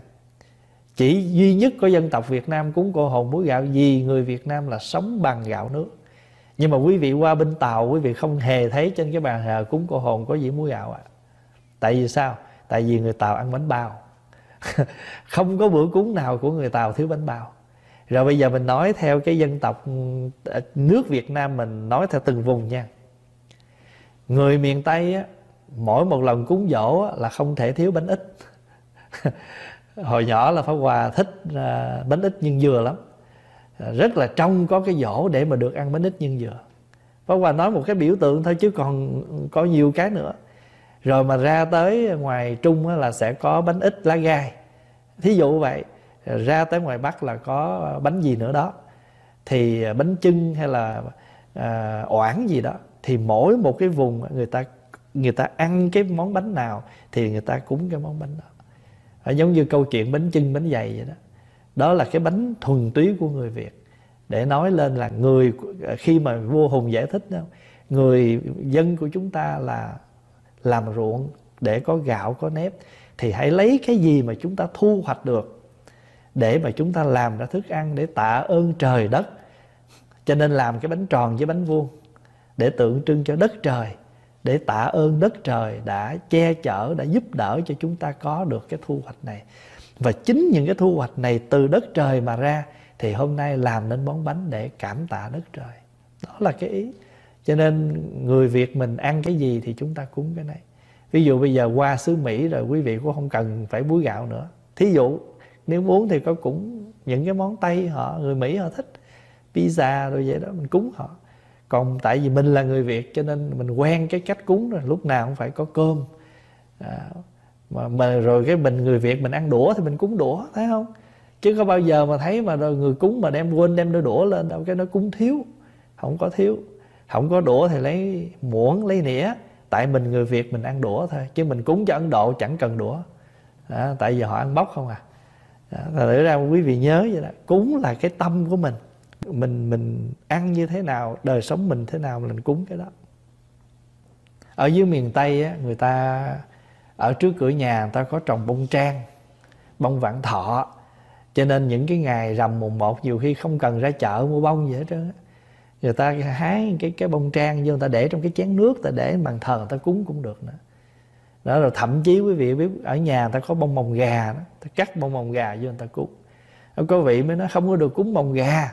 Hỏi, sao vậy? Tại cái tên của nó, cái tên nó chứ mắc mới cái bóng nhưng mà mình thì có cái quan niệm như vậy chứ ở chùa đây cũng vậy pháp hòa cũng chẳng cử cúng chuối. Ai muốn đem gì cúng lên cũng được hết cái tâm của người ta. Nhưng mà thường thì ông bà mình hồi xưa thì không có cho mang những cái cái nể chuối già lên cúng. Cúng là cúng chuối sim thôi. Vì chuối già cái dáng nó thô cho nên các vị không cho cúng. À, thì à, cái đó là tùy tâm của mình. Ở xứ này thì hoàn toàn chỉ à, chuối già thôi chứ làm gì có chuối sim mà nếu có thì nó cũng mắc lắm. Mua mua cúng ủa, không dám mua không không có đủ khả năng. Còn mình khi mình cúng rồi những thức ăn cúng ông bà cúng cô hồn mình có đem vô mình ăn cũng không sao hết. Còn mình có rải miếng ra ngoài để làm biểu tượng thôi. Còn những thức ăn quý vị cứ hâm lên ăn bình thường. Không có khùng không có không có mất trí nhớ gì đâu đừng có lo con à, có ngày ngồi tụng kinh con thấy tâm con chú tâm lời kinh nhưng cũng có ngày đọc bị sao lãng. Cái này Pháp Hòa cũng trả lời mấy bữa trước rồi. À, hiện con đang ở nhà thuê và muốn thỉnh một vị Phật để thờ trong nhà. Nhưng có người nói là khi nào có nhà thật sự mới thờ được. Còn đang ở thuê thì không thờ được liệu có đúng không? À, thứ hai là con muốn thờ Phật Di Đà có được không? Hay phải theo bổn mạng hay duyên gì mới thờ được? À, nếu như á, mà đợi mình có cái nhà mới được thờ Phật á thì như vậy là chỉ có những người nào có nhà mới được kết duyên với Tam Bảo thôi. Còn những người nào mà ở thuê thì chắc mãi mãi không được. Ví dụ giờ cái người đó không có khả năng mua một căn nhà suốt đời ở thuê về suốt đời người đó không tiếp cận được với với Tam Bảo sao? Thì cái quan niệm này không có đúng. Mình thờ Phật nói chung là mình thờ tam bảo. Bất cứ ở đâu, quý vị nào đã từng sống ở việt nam mà những cái gia đình người ta nghèo nghèo đến mức độ là nhìn lên là thấy trời, hai bên là dách trống, vậy mà người ta vẫn có bàn thờ. Thậm chí người ta không có tiền mua một bát hương, người ta lấy cái lon sữa bò á, người ta hứng lon cát ta để lên ta làm cái đồ cắm nhang. Có sao đâu, tất cả đều cái tâm thành của mình. Phật từ một cái người giàu sang, Là một thái tử, Phật bỏ hết, Phật đi nhận làm một người nghèo. Thì ngày nay mà chúng ta thờ Phật bằng hình thức nào? Đó là biểu tượng chứ Ngài không gì mục đích đi tu Để được nhân gian sau này thờ Ngài ở một hình thức nào đó sang trọng. Thưa không phải như vậy. Mà chúng ta ở bất cứ hoàn cảnh nào, chúng ta thờ. Đều tốt cả. Có nhiều vị nói nếu có nhiều vị, cái này là hơi khó hơn nhà nhà thuê, không cho không cho thờ nha. Có vị thì nhẹ hơn chút, nói làm sao? Mình ở dưới lầu, người ta ở trên lầu không có được thờ. Nếu vậy thì chỉ có người nào ở sân thượng mới được thờ thôi. Còn từ cái, thí dụ cái nhà đó ba chục tầng thì những cái người tầng thứ ba chục được thờ thôi. Còn từ 29 đổ xuống là không ai được thờ Phật hết. Vậy mình lỗ lã quá. Phật mất member, Phật mất dân nhiều quá. Không? Thành đừng có quan niệm đó thì quan niệm đó là một cái hình thức nó sai lệch, cho nên gọi là tà kiến. Chữ chữ chánh là ngay thẳng, chữ tà là nó lệch, nó không có đúng với cái tinh thần của của Phật giáo. Thì cái đó gọi là tà kiến thôi, chứ không có gì. Cho nên quý vị đừng có đừng có quan tâm. Mà nó khổ cái gì nè, có những cái trong kinh sách không bao giờ nói. Chưa có một quyển kinh sách nào chính thống của Phật giáo nói những cái điều này. Tự con người mình lại đặt ra mà thành như là một như kinh vậy đó, như thánh phán vậy đó, thành thử ra mình bất di bất dịch. Mà điều đó Phật chưa bao giờ Phật nói. Mà quý vị nghĩ đi, nếu mà đức phật mà bỏ cung vàng điện ngọc đi tu để mà tìm cái đó thôi thì thôi, ngài ở trên cung vàng điện ngọc cho rồi, chứ mắc chi đi tu để người ta thờ mà còn phải có điều kiện vậy. Cho nên đối với phật giáo thì tất cả là do tâm của mình. Đó. giờ quý vị cứ nghĩ đi, mình thờ ở nhà thuê đó, với một cái tượng phật mình đeo vô trong cái người của mình đó, cái nào? Ta ra tùy theo cái tâm của chúng ta. Còn nếu mà nói về cuộc sống này mà gọi là cung kính, là sợ, nó dơ, nó ô uế, không có chỗ nào sạch hết đó. con người mình đem cái tượng phật chở nhỏ trong người mình suốt ngày đó, sạch không? Mình đi làm mồ hôi, mồ kê không? Rồi thậm chí có những người có mồ hôi, nó thật sự nó hôi nữa, chứ không phải là bình thường nữa. Phật cũng chịu trận ở trong đó với mình thôi. Tất cả đều là tùy vào cái cái lòng tâm của mình thôi, chứ không có gì hết còn thờ phật cũng vậy mình chọn bất cứ một đức phật nào mình có duyên Phật Di Đà cũng được, Phật Thích Ca cũng được, Đức Quan Âm cũng được. Không có cần phải coi bổn mạng duyên gì hết á. Cái duyên là cái duyên tam bảo, duyên Phật, duyên Pháp, duyên Tăng. Chúng ta quy kính tam bảo, thờ Phật để tưởng nhớ cái ơn của Phật. Học cái hạnh của Phật và phát cái nguyện tu theo hạnh Phật. Đó là mục đích của người thờ Phật. Trước hết là mình cảm nhận được cái ân đức của Phật à, đã gieo cho chúng ta bằng những cái lời dạy của ngài. Thứ hai là chúng ta phát nguyện học theo hạnh phật. Để chúng ta sống như phật. Mà hơn nữa cái hình phật có trong nhà là một biểu tượng.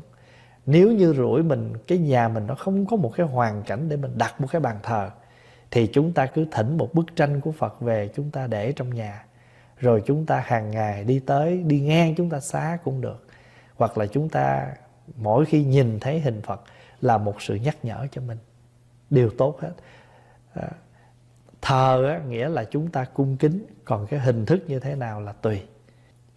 Không có cần theo bổn mạng hay gì hết. Cái thứ ba là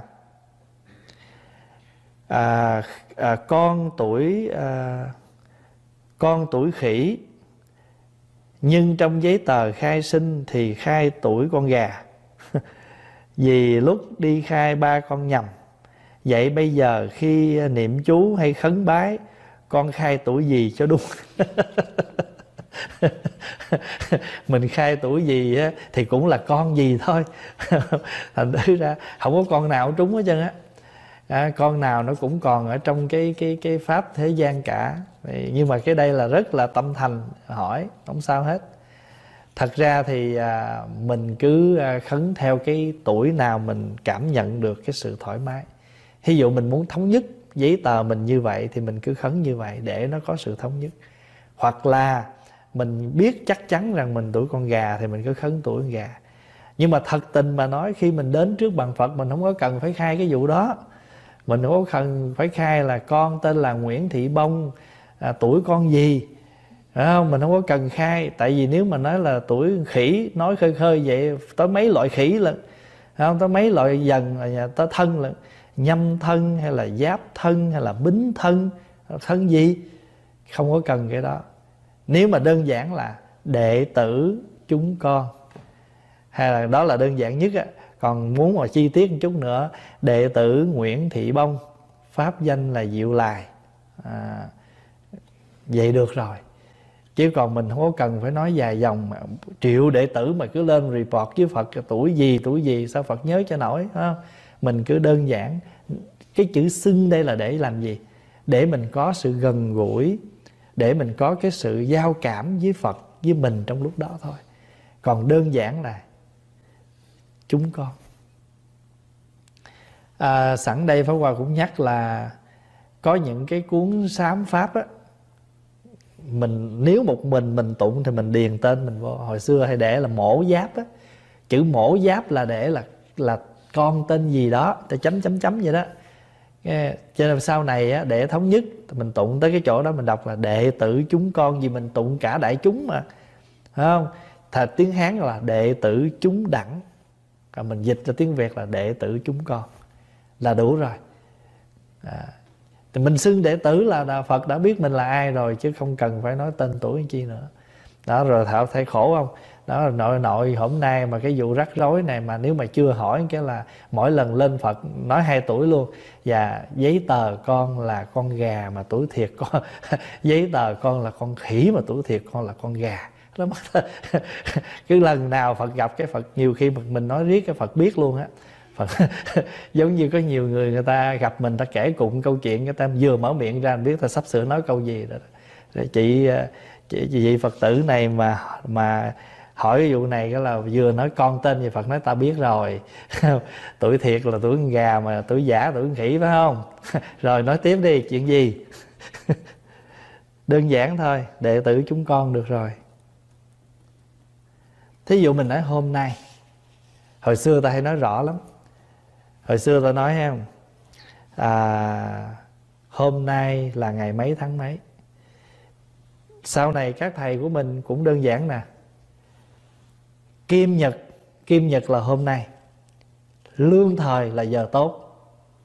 Nói vậy được rồi. Ở có những cái tấm bia người ta người ta không có nói ta để là à, ta để cái năm thí dụ như bính thân niên, cát nguyệt. Cát nguyệt là gì? Tháng tốt. Hay là cát nhật là tháng tốt. Vì đó là một sự chúc lành mà không cần, ngày nào cũng là ngày tốt hết. Thì ghi như vậy, cho nên người sau này người ta nghiên cứu ra, tôi không biết chính thức cái ngày đó là ngày gì. Còn nếu chúng ta nói rõ là ngày đó, tháng đó, nhưng các ờ, có những cái trường hợp nói gọn là hôm nay là ngày lành, tháng tốt chính vì vậy mà tại sao trong kinh không có nói là ngày nào mà chỉ nói là lúc bấy giờ? Quý vị đọc kinh quý vị nhớ không? Tôi nghe như thế này. Một thuở nọ, đức phật ở vườn cấp cô độc. Thí dụ vậy. Lúc bấy giờ có trưởng giả tên gì đó, chứ không có nói ngày giờ. Vì sao? Vì ở thời gian nó không giống nhau. Ví dụ bây giờ mình nói hôm nay, giờ này là 8 giờ tối, nhưng mà ở Việt Nam đã là 9 giờ sáng ở bên à, Âu Châu bên Na Uy đã là ba bốn giờ sáng thí dụ vậy. Cho nên là cái giờ giấc mình nói nó không đúng gì hết trơn ngày giờ mình nói nó không trúng gì hết trơn cho quý vị cũng đừng có bận tâm cái chuyện ngày tháng gì. Mình nói đây là mình nói theo gì? Hiện tượng thế giới tất đàn thôi. Người ta sống người ta nói ngày đó tháng đó mình nói ngày đó tháng đó. Đây là thế giới tất đàn dạ, thế giới tất đàng rồi đại chúng là có nhu cầu học phật rồi cũng có phương tiện. Nói chung là tất cả chúng ta đều tạo một cái nguồn phương tiện để đáp ứng cái nhu cầu mà chúng ta đang gặp phải ở đây. Cái này gọi là gì? Vị nhân tất đàn. Chữ tất đàn là gì? Là thành tựu. Cuộc sống của chúng ta chúng ta muốn thành tựu cho nhau thì chúng ta phải tùy vào mọi cái hoàn cảnh nếu vì con người đó mình thành tựu cho họ gọi là vị nhân tất đàn. Thế giới người ta nói như vậy làm vậy gọi là gì? Thế giới tất đàn. Đó là giáo lý tứ tất đàn đó. Cho nên là chúng ta khi mà mình hiểu được Phật pháp rồi đó, mình sống rất là an lạc không có bị những cái ràng buộc gì cả. Cái gì nói được thí dụ bây giờ đại chúng nói ngài đó à, thôi nói được là tốt cái này theo tinh thần quan nghiêm gì? Sự vô ngại. Đó, anh thích sự anh làm vậy tốt thôi. Nhưng mà có những trường hợp nếu mà người ta lỡ ta không biết ta làm nó không đúng theo cái cái mình quan niệm đi không sao cả. Lý vô ngại. Lý vô ngại. Trong thời khoảng thời gian này nè không có một cái đám tang nào làm được tới hai buổi đâu. Tất cả chỉ là một buổi thôi mà ở ém minh tinh này là còn hơn hôm nay pháp hòa đi mấy cái đám tang là ngày giờ mà mình quy định mình chọn rồi là điều thuận lợi trong các nhà hoàng hết. Chứ có những đám tang, pháp hòa biết có những phật tử bên mỹ đó. Ba tuần lễ rồi mà vẫn chưa có chỗ để thiêu. Có những vị mất mà hôm nay là ba, bốn tuần rồi đó. Mà tới tuần sau này mới có chỗ để thiêu. Bây giờ người ta vậy rồi mình mình mình bắt buộc người ta làm khác hơn sao được. Bây giờ chúng ta phải thế giới tất đàn thế giới người ta đang ở trong hoàn cảnh như thế, mình phải sống như vậy. Sự nó như vậy thì chúng ta phải nhận nó như vậy là sự vô ngại. Bây giờ cái quan trọng là cái tâm thức, cái thần thức của người mất, chúng ta siêu độ cho họ siêu. Còn chừng nào thiêu, hay là thậm chí một cái lễ phát tang, lễ cúng cơm không có ngay cái chỗ cúng cho họ, thì chúng ta phải sống bằng lý sự vô ngại. Cái gì nó cũng có cái phương pháp của nó cả. Cái quan trọng là cái nội tâm cái nguồn tâm của chúng ta đã lưu xuất việc đó bằng cái gì. Cái đó mới quan trọng. Thậm chí bây giờ này, trong cái mùa dịch này là có những phật tử người ta phát tâm người ta quy y. Mà giờ ta không thể tới chùa được để quy mình có thể quy y cho người ta qua một hình thức uh, livestream cũng được nữa. Tại sao? Vì họ nghe cái lời nói của mình họ phát tâm, họ hướng về Phật để họ nương tựa tam bảo trong cái giây phút này. Và mình đợi là phải đợi đi, tôi có mặt, rồi tôi chứng minh cho cái chuyện đó, rồi thí dụ vân vân, được. Không phải là quý vị sai, nhưng biết mình còn đủ thời cơ để chờ một cái dịp như vậy. Khi mà một người người ta đang phát tâm, nương tựa tam bảo, hay là những người người ta đang ở một cái hoàn cảnh rất là khó khăn có những à, vị à, đang bị bệnh à, covid 19 này, gửi thư về chùa, con đang mắc cái bệnh này. Xin thầy ghi tên cầu nguyện dùm. Pháp Hoa không hề biết quý vị là ai, Nhưng quý vị đã hướng tâm về với Tam Bảo Là quý vị đã thành rồi. Và mọi người vì tâm nguyện Cầu nguyện cho quý vị. Cho nên Mình Mình làm sao mình có thể dung thông và thế giới này Có thể liên lạc với thế giới kia. Hồi xưa mình đọc trong kinh Ngày một kiền liên lên những cảnh giới này, Những cảnh giới nọ. À, đọc kinh pháp hoa cũng vậy. Các phật khác sai thị giả tới thăm đức phật thích ca. Đức phật bạch đức thế tôn, thầy con hỏi là đức thế tôn có ít não, ít bệnh không? Chứ không, hỏi phật. Ừ. Mỗi ngày mẹ con trì chú đại bi, sau đó niệm phật hồi hướng. Có người nói không nên trì chú đại bi vì có tên của các vị bồ tát mình không rành sẽ bị phiền phức đưa tới gia đình. Đấy, một loại tà kiến nữa. Làm gì có cái chuyện mà gọi là là pháo hòa xin thưa đại chúng, nếu mà nói đúng cái lý này đó nha chúng mình ngồi đây là vướng hết rồi đó, phiền phức hết rồi đó. Có vị nào mà tụng chú đại bi mà hiểu hết được chú đại bi nói gì đúng không? Đó. nếu mà nếu mà nói rồi, bây giờ đừng có nói chi chú đại bi giờ quý vị tụng bát nhã tâm kinh, hiểu hết bát nhã tâm kinh nói gì không? Hay đọc kinh di, nói chung là tất cả các bài kinh chúng ta tụng. Thậm chí chúng ta niệm một câu thôi, nam mô di đà phật thôi. Cái nào mình muốn nghiên cứu thì mình nghiên cứu. Để mình hiểu, còn cái nào mình ở trong cái mặt hành trì thì chúng ta cứ hành trì. Chư phật, chư bồ tát vì thương chúng sanh, mở cái phương tiện dạy cho chúng sanh trì tụng, niệm. Để làm gì? Để giảm đi cái thì giờ tạo nghiệp. Ví dụ như bây giờ mình à, không hiểu chú đại bi. Nhưng mình có cái niềm tin với chú đại bi, chúng ta đã dành một giờ đồng hồ trì chú đại bi. Có phải một giờ đó chúng ta thanh tịnh ba nghiệp không? Giảm một giờ tạo nghiệp dù chúng ta chưa hiểu được tất cả những ý nghĩa, nhưng cái tâm thành chúng ta có thành ra nó không thể nào nói như vậy. Nếu mà bây giờ cái người mà người ta trì chú, cái người mà nói ra cái ý này nè, chính bản thân họ họ cũng chưa biết họ đang nói cái gì và đang làm cái gì nữa. Ngay cái nói mà mình còn mình còn chưa biết mình nói gì mà mà mình chỉ nói theo cái tư kiến, cái thành kiến, cái cái tà kiến của chúng ta, chứ chúng ta không nói được cái chánh kiến. Cho nên là không có nên nghe những cái những cái lời đó. Mà rất tốt là đưa câu hỏi ra để mình khai thông cái chỗ này để mình khai thông cái chỗ này. Thưa đại chúng ngày nay á, chúng ta sanh vào một cái thời có thể nói là mạt pháp. Nhưng quý vị thấy rằng thật sự là pháp chưa mạt là vì sao? Vì sự nghiên cứu học hỏi của mình nó còn nhiều phương tiện hơn ngày xưa gấp ngàn lần. Ngày xưa các vị muốn tìm một quyển kinh rất ư là khó chứ đừng nói là bây giờ chúng ta chỉ cần bấm google lên là tra ra thì cái gì cũng có trên mạng các vị ngày xưa tu cực khổ hơn mình rất nhiều. Cái sự hiểu biết rất còn là là là hạn hẹp vì cái sự nghiên cứu không có. Cho nên trong kinh nói nếu như mà chúng ta sống vào thời mạt pháp, nhưng con người còn nương pháp để tu thì chưa gọi là mạt pháp. Pháp chưa thật mạt vì chúng ta còn học pháp. Cho nên những câu hỏi như thế này được đưa ra. Mặc dù mình nghe, nếu người nào mà học Phật nhiều thì thích cười vậy nhưng mà Pháp Hòa trân trọng. Vì sao? Cái gì không biết thì phải hỏi. Hỏi cho nó rõ ràng để chúng ta ứng dụng không có sai lầm. Bây giờ nếu mà cái câu này sợ không dám nói ra thì vị này sẽ buông bỏ cái sự hành trì có phải tội nghiệp không? À, cho nên á cái này là một hình thức gọi là phá kiến.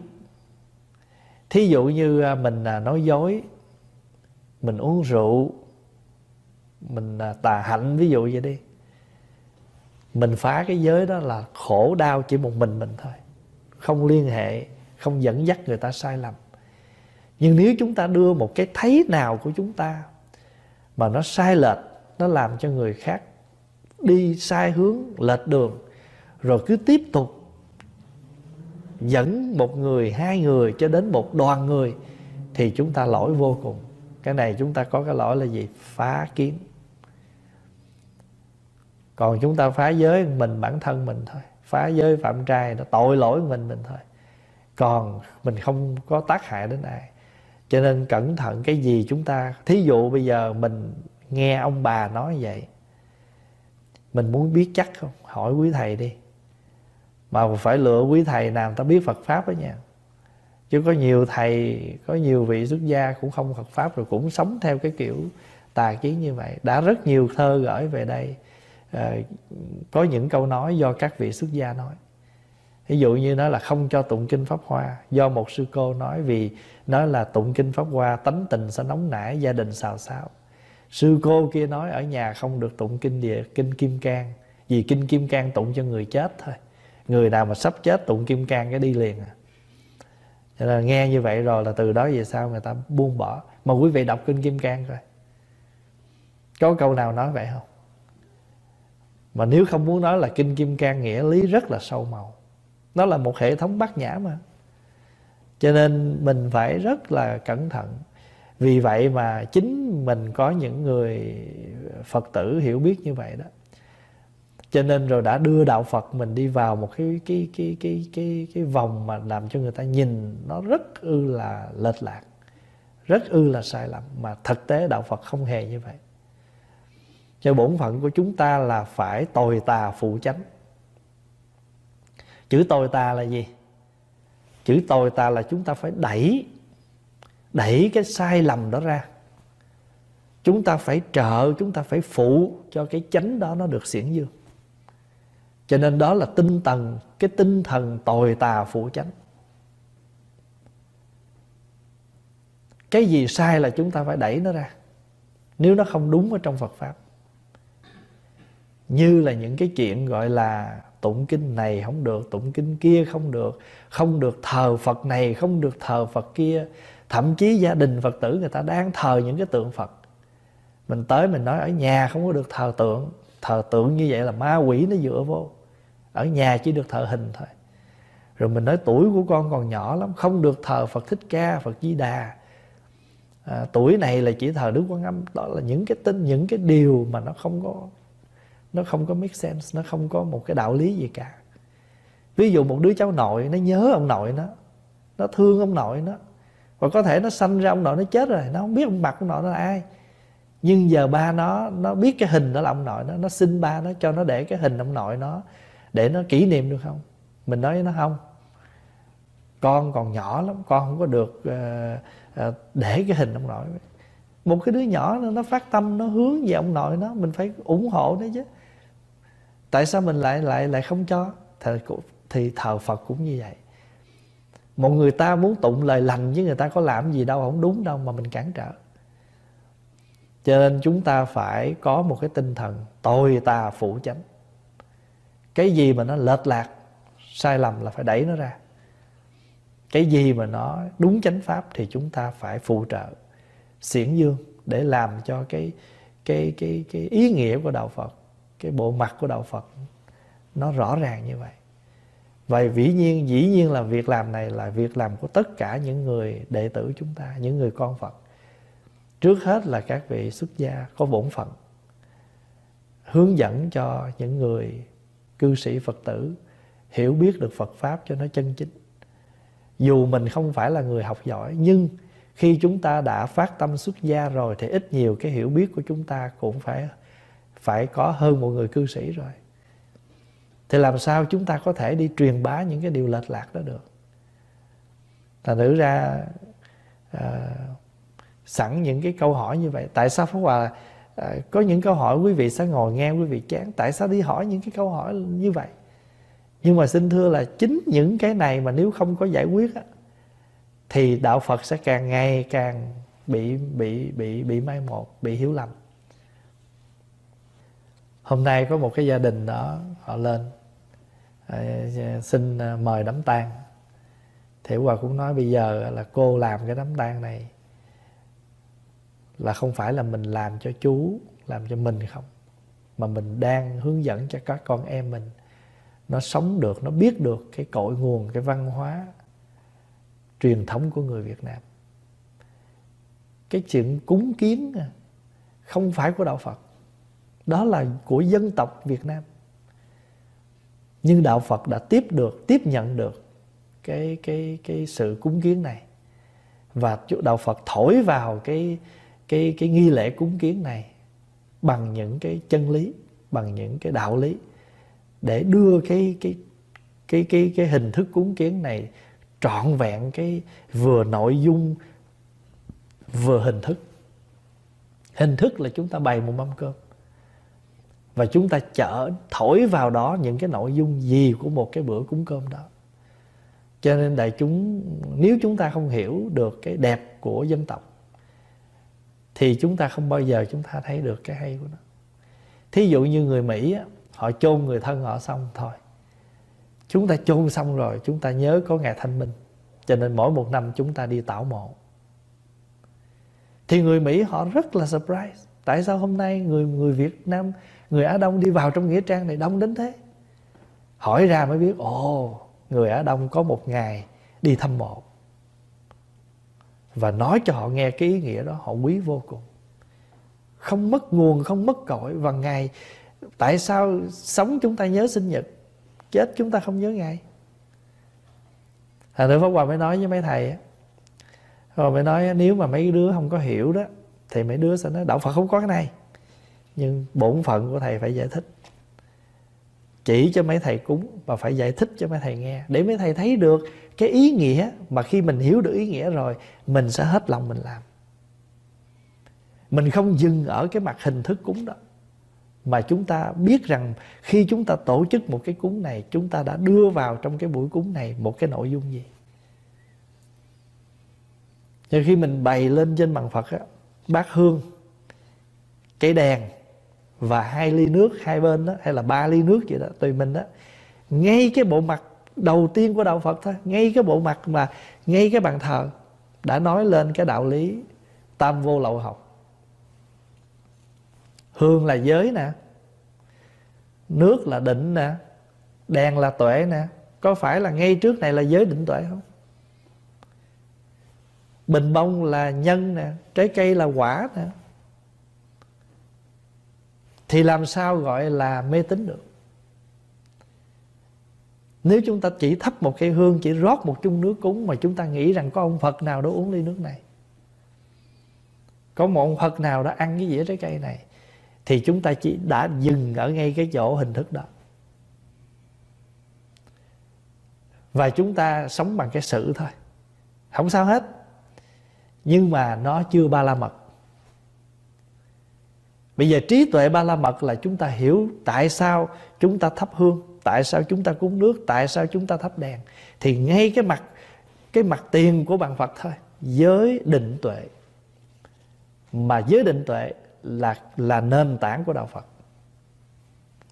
Người muốn tu tập mà không có giới, không có định, không có tuệ. Cho nên mình có những chương trình học Phật là để phát huy cái tuệ. Mình có những cái phương tiện trì kinh, niệm Phật để làm gì? Để sống bằng cái định. Để đưa cho người Phật tử, chứ người hành giả đó ở trong định về trở về được với cái định của tâm qua những cái cái phương tiện nào đó để giúp cho họ và khi mà quý vị ngồi đây nè mình ngồi mình nghe pháp mình không nói bậy nè mình không làm bậy nè có phải là mình có giới không? Cái này gọi là gì? Khi mình học luật đó mình nhớ không? Định đạo giới. Định định cộng giới, đạo cộng giới. Trong cái định, trong cái định không nói giới mà khi chú tâm chúng ta định là chúng ta đã có giới. Vì có phạm giới gì đâu mà không cần phải nói giới, mà trong định đã có giới, gọi là định cộng giới. Chúng ta sống được với cái đạo lý, không cần phải nói phạm giới gì hết, mà chúng ta không hề phạm. Cho nên trong định nó có giới, trong đạo nó có giới. Mà cái này là chư tổ luật sư gọi là định cộng giới. Trong cái định nó include cái precept practicing vì đối với người mà họ còn ra ngoài thì phải đặt vấn đề giới với họ. Chứ nếu một người họ sống trong định không thì mắc gì nói chứ, nói giới với họ làm gì? Phóng vào ví dụ như bây giờ á, trong cái khoảng thời gian này chúng ta không hề ra cửa vô cớ. Có cần phải ngồi mà nói hoài cái vụ mà nhiễm trùng, nhiễm gì với người mà ta trong nhà định cộng giới rồi. Họ không vi phạm nhưng bây giờ nếu mà người nào đó mà cảm thấy trời ấm quá rồi, thôi dịch cũng bớt rồi, tôi chịu hết nổi rồi tôi phải ra ngoài. Mà ra ngoài mà không cẩn thận nữa thì chừng đó chúng ta phải đem luật lệ ra nói. Thật nữ ra, cái tinh thần của đạo phật nó vô cùng tuyệt vời, nhưng mà tại vì chúng ta không có để tâm chúng ta học, chúng ta không có để tâm phát huy những cái tuyệt vời của đạo Phật. Và chúng ta cứ nói mấy cái chuyện rất ư là negative của đạo Phật. Mà nói trật chứ phải nói đúng sao? Thời cái tinh thần tồi tà phụ chánh nó không có. Cho nên cứ tụng chú, chú đại bi bình thường. Không có gì trở ngại hết. Còn cái chuyện mình muốn học hỏi muốn nghiên cứu rất nhiều để chúng ta nghiên cứu chúng ta hiểu. Nhưng khi chúng ta đi vào cái hành trì thì chúng ta cứ hành trì mỗi ngày con đọc sám hối sáu căn. À, kinh dược sư bổ nguyện công đức sám pháp dược sư niệm phật. Thầy cho con hỏi là nghiệp con rất nhiều con nên cố gắng làm 10 điều thiện và mỗi ngày niệm phật mỗi ngày. Vậy con cần làm gì để giảm bớt nghiệp xấu trong quá khứ con đã làm? Thật sự ra không phải là mình tụng tùm lum kinh vậy đó. Tụng thì không sao nhưng mà không có nghĩa là mình tụng vậy thì cái nghiệp nó tiêu muốn tiêu nghiệp thì tự thân mình trong đời sống hàng ngày mình thấy được cái nghiệp quá khứ chúng ta giảm thì chúng ta không tiếp tục làm cái nghiệp ở trong cái hiện tại này. Tụng kinh à, nhiều không sao nhưng đừng nghĩ rằng mình tụng như vậy mới là đúng. Chỉ pháp hòa chỉ cần quý vị đừng có lầm vậy thôi chứ pháp hòa không có cản. Có thời gian cứ tụng. Nhưng mà cái quan trọng nữa làm sao mà chúng ta ứng dụng được cái chuyện à, xa lìa 10 cái lỗi như cái cái thập thiện vậy đó. Về thân thì sát sanh trộm cắp tà hạnh. Về miệng thì nói dối nói lưỡi hai chiều nói lời thô ác nói lời vô ích. Về ý thì có tham à, à, có sân có si thí dụ vậy. Kính thưa thầy con hỏi bố thí pháp như thế nào cho đúng? Vì con sợ rằng khi mình truyền đi những lời của Phật hay những kinh kệ cho những người chưa có duyên với Phật Pháp hoặc những người tính tình nóng nảy dễ sân mà không biết cách nói thì họ sẽ mang khẩu nghiệp xem thường tam bảo tạo thêm tội lỗi. Mình muốn à, truyền bá Phật pháp thì cái đó là cái tâm tốt. Nhưng mà chúng ta phải biết lúc nào chúng ta nói và chúng khi nào chúng ta không nên ở trong kinh nói á có những nơi á người ta không có cầu pháp thì chúng ta không nên. Vì nếu mà mình cứ nghĩ cái đó là pháp mình nói á, thì thành ra nó gì? Mình thuyết pháp phi thời không đúng thời. Thuyết pháp là đúng nhưng mà mình nói không đúng đối tượng không đúng lúc thì cái đó nó không mang lại cái lợi ích cho họ chỉ là mất công mình thôi, nói rỉ rả mà nó không thấm. Cũng giống như pháp hòa, ví dụ như giờ quý vị à, mở một cái ipad mới quý vị vỡ cái bài giảng lên, quý vị nằm ngủ, quý vị nghe. Được không? Được. À, nhưng mà mình thu thập được bao nhiêu? Không bao nhiêu hết. Tại vì đa phần là thầy ông ru mình ngủ thôi. Thì ông cũng có công đức rồi đó. Ông cũng có cái phước là ông ru mình ngủ để mình khỏi mất công, mình uống thuốc ngủ rồi đó nhưng đứng trên cái phương diện thu thập thì ngày mai mình không nhớ gì hết. Thậm chí mình nói ồ tôi mới nằm được có năm mười phút rồi tôi ngủ rồi. Không sao nhưng ở cái phương đứng trên phương diện thu thập là không có. Còn nếu mà quý vị còn đang tỉnh táo không buồn ngủ gì hết quý vị ngồi xuống quý vị nghe một cái bài giảng thì dù bài giảng nó nửa tiếng quý vị thấm nửa tiếng một tiếng thì quý vị sẽ thấm một tiếng.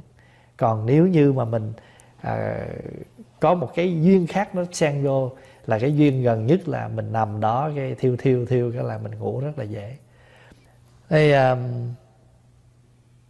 mình truyền pháp á, nó có mấy cách truyền pháp.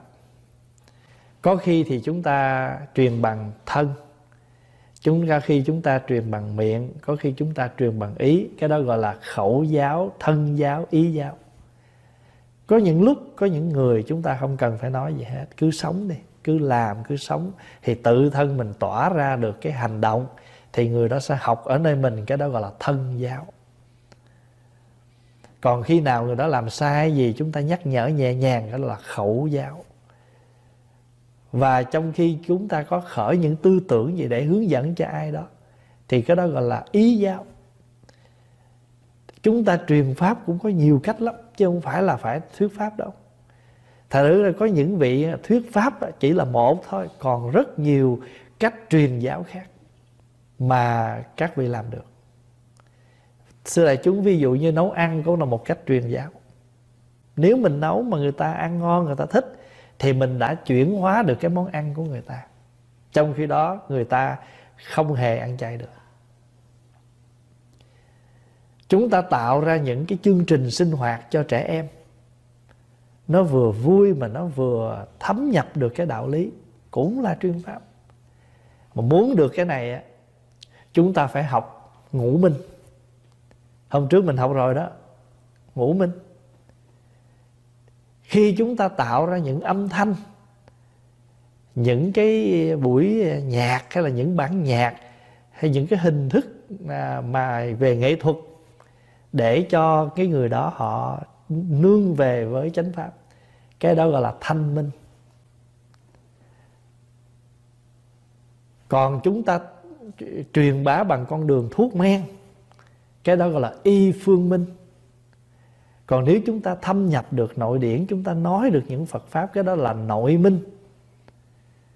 Thành thử ra trong cuộc sống này, nếu một hành giả, một sứ giả đệ tử phật muốn làm một cái người sứ giả, đều được hết, đều có cách hết cái quan trọng là chúng ta có lòng hay không? Thì khi chúng ta có lòng rồi thì chúng ta sẽ rất khéo léo và mọi phương tiện để chúng ta làm cái việc đó. Nhưng mà trước hết chúng ta phải có một cái học hỏi về cái đó. Ví dụ muốn muốn đưa Phật pháp qua con đường thuốc men thì phải học y. Rồi mượn cái y dược đó nói bệnh, nói thân bệnh mà nói luôn cả tâm bệnh. Phá Hòa ví dụ mình vô mình bắt mạch cái người đó Mình nói là do họ như thế này thế này Bây giờ họ bệnh phải không? Đấy Do cái nhân anh không biết chăm sóc Thì bây giờ cái quả là thân anh bệnh. Ngay nơi đó nói được đạo lý nhân quả. Rồi có những cái bệnh đó, đời này họ tự đâu tự tự động một cái lúc nào đó cơ thể tự nó phát bệnh. Mà người đó chưa bao giờ làm những cái điều gì sai quấy trên thân thể họ. Anh thấy không? Cho nên có nhân quả đâu phải là anh phải thấy anh tạo tác đâu. Có những cái nhân quả của quá khứ. Đây là bẩm sinh. À, nói theo bây giờ là bệnh anh là bệnh bẩm sinh. Sinh ra là con mang bệnh. Thì con người của chúng ta có mặt ở đây cũng do cái nghiệp của quá khứ.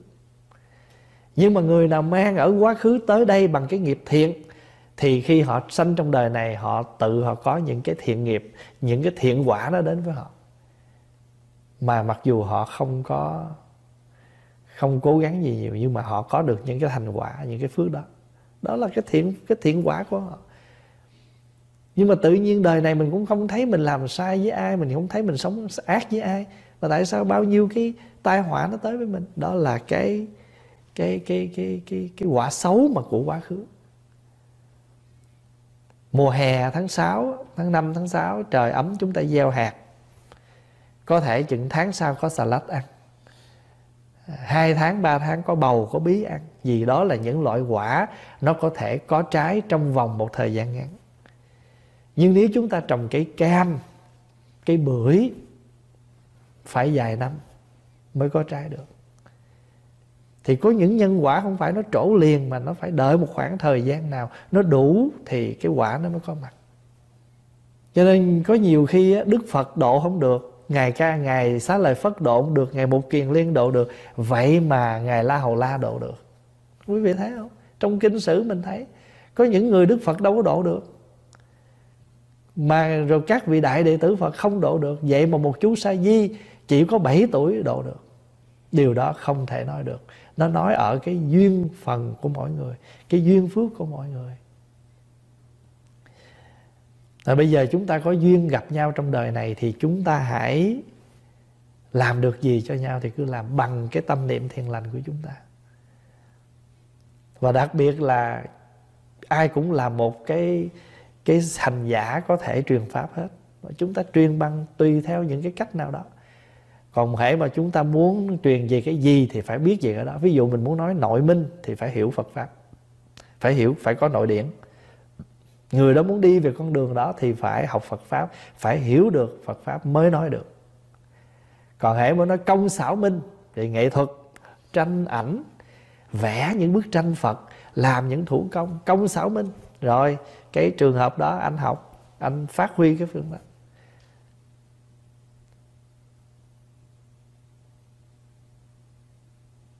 cho nên nó đều có cái cái cái cách của mình để mình uh, truyền bá hết đó và con đường hoàng pháp hoàng pháp là gì? Là làm cho giáo pháp được rộng rãi ra. Và những thầy chỉ có nội điển không chưa đủ, phải cần những thầy khác nữa. Phải cần những thầy, những những người là làm việc nữa. Ví dụ như giờ trong Phật giáo phải có những người làm xã hội. Đi cứu tế, chẩn bần, phát ờ, cho người nghèo. Thì các thầy đó không giảng kinh thì các thầy làm việc đó cho nên đã nói là cái tinh thần đạo Phật là từ bi cứu tế. Ta là từ bi cứu độ, từ bi cứu khổ. Thì có những chúng sanh người ta phải giải quyết cái khổ thân trước là ăn mặc của người ta trước đi rồi nói chuyện gì tính cho nên phải có những thầy, những sư cô, những vị lăn xả vào con đường xã hội. Có những chúng sanh ta không khổ cái đó, ta không khổ cơm áo, gạo tiền, ta khổ tâm có những người ta rất nhiều tiền nhưng mà ta đang khổ tâm. Người ta khổ chuyện gia đình người ta khổ chuyện vật chất tâm linh. Cho nên mỗi người đều có bản có bổn phận để mà cứu khổ độ sanh cả. À, con là một phật tử một tháng con có hai ngày sám hối tại chùa. Nhưng vì dịch covid 19 con không đến chùa như thường khi. Phòng con thì nhỏ vừa là phòng ngủ sinh hoạt vậy tới ngày sám hối con mở video có hình phật và danh hiệu con niệm và lại phật được không? Như vậy có bất kính không? Dạ không. Mình mình mình tu tập mình sống theo cái hoàn cảnh của mình đều tốt hết. Có những em á, đi học á, ở nhà ở mà những cái camp của trường học mà đâu có làm gì được. Thì Pháp Hòa nói đó tới ngày tới giờ tụng kinh mở cái laptop ra vô cái image mở hình Phật ra rồi ngồi đó lại xá gì đó. Không có chỗ lại xá cũng được.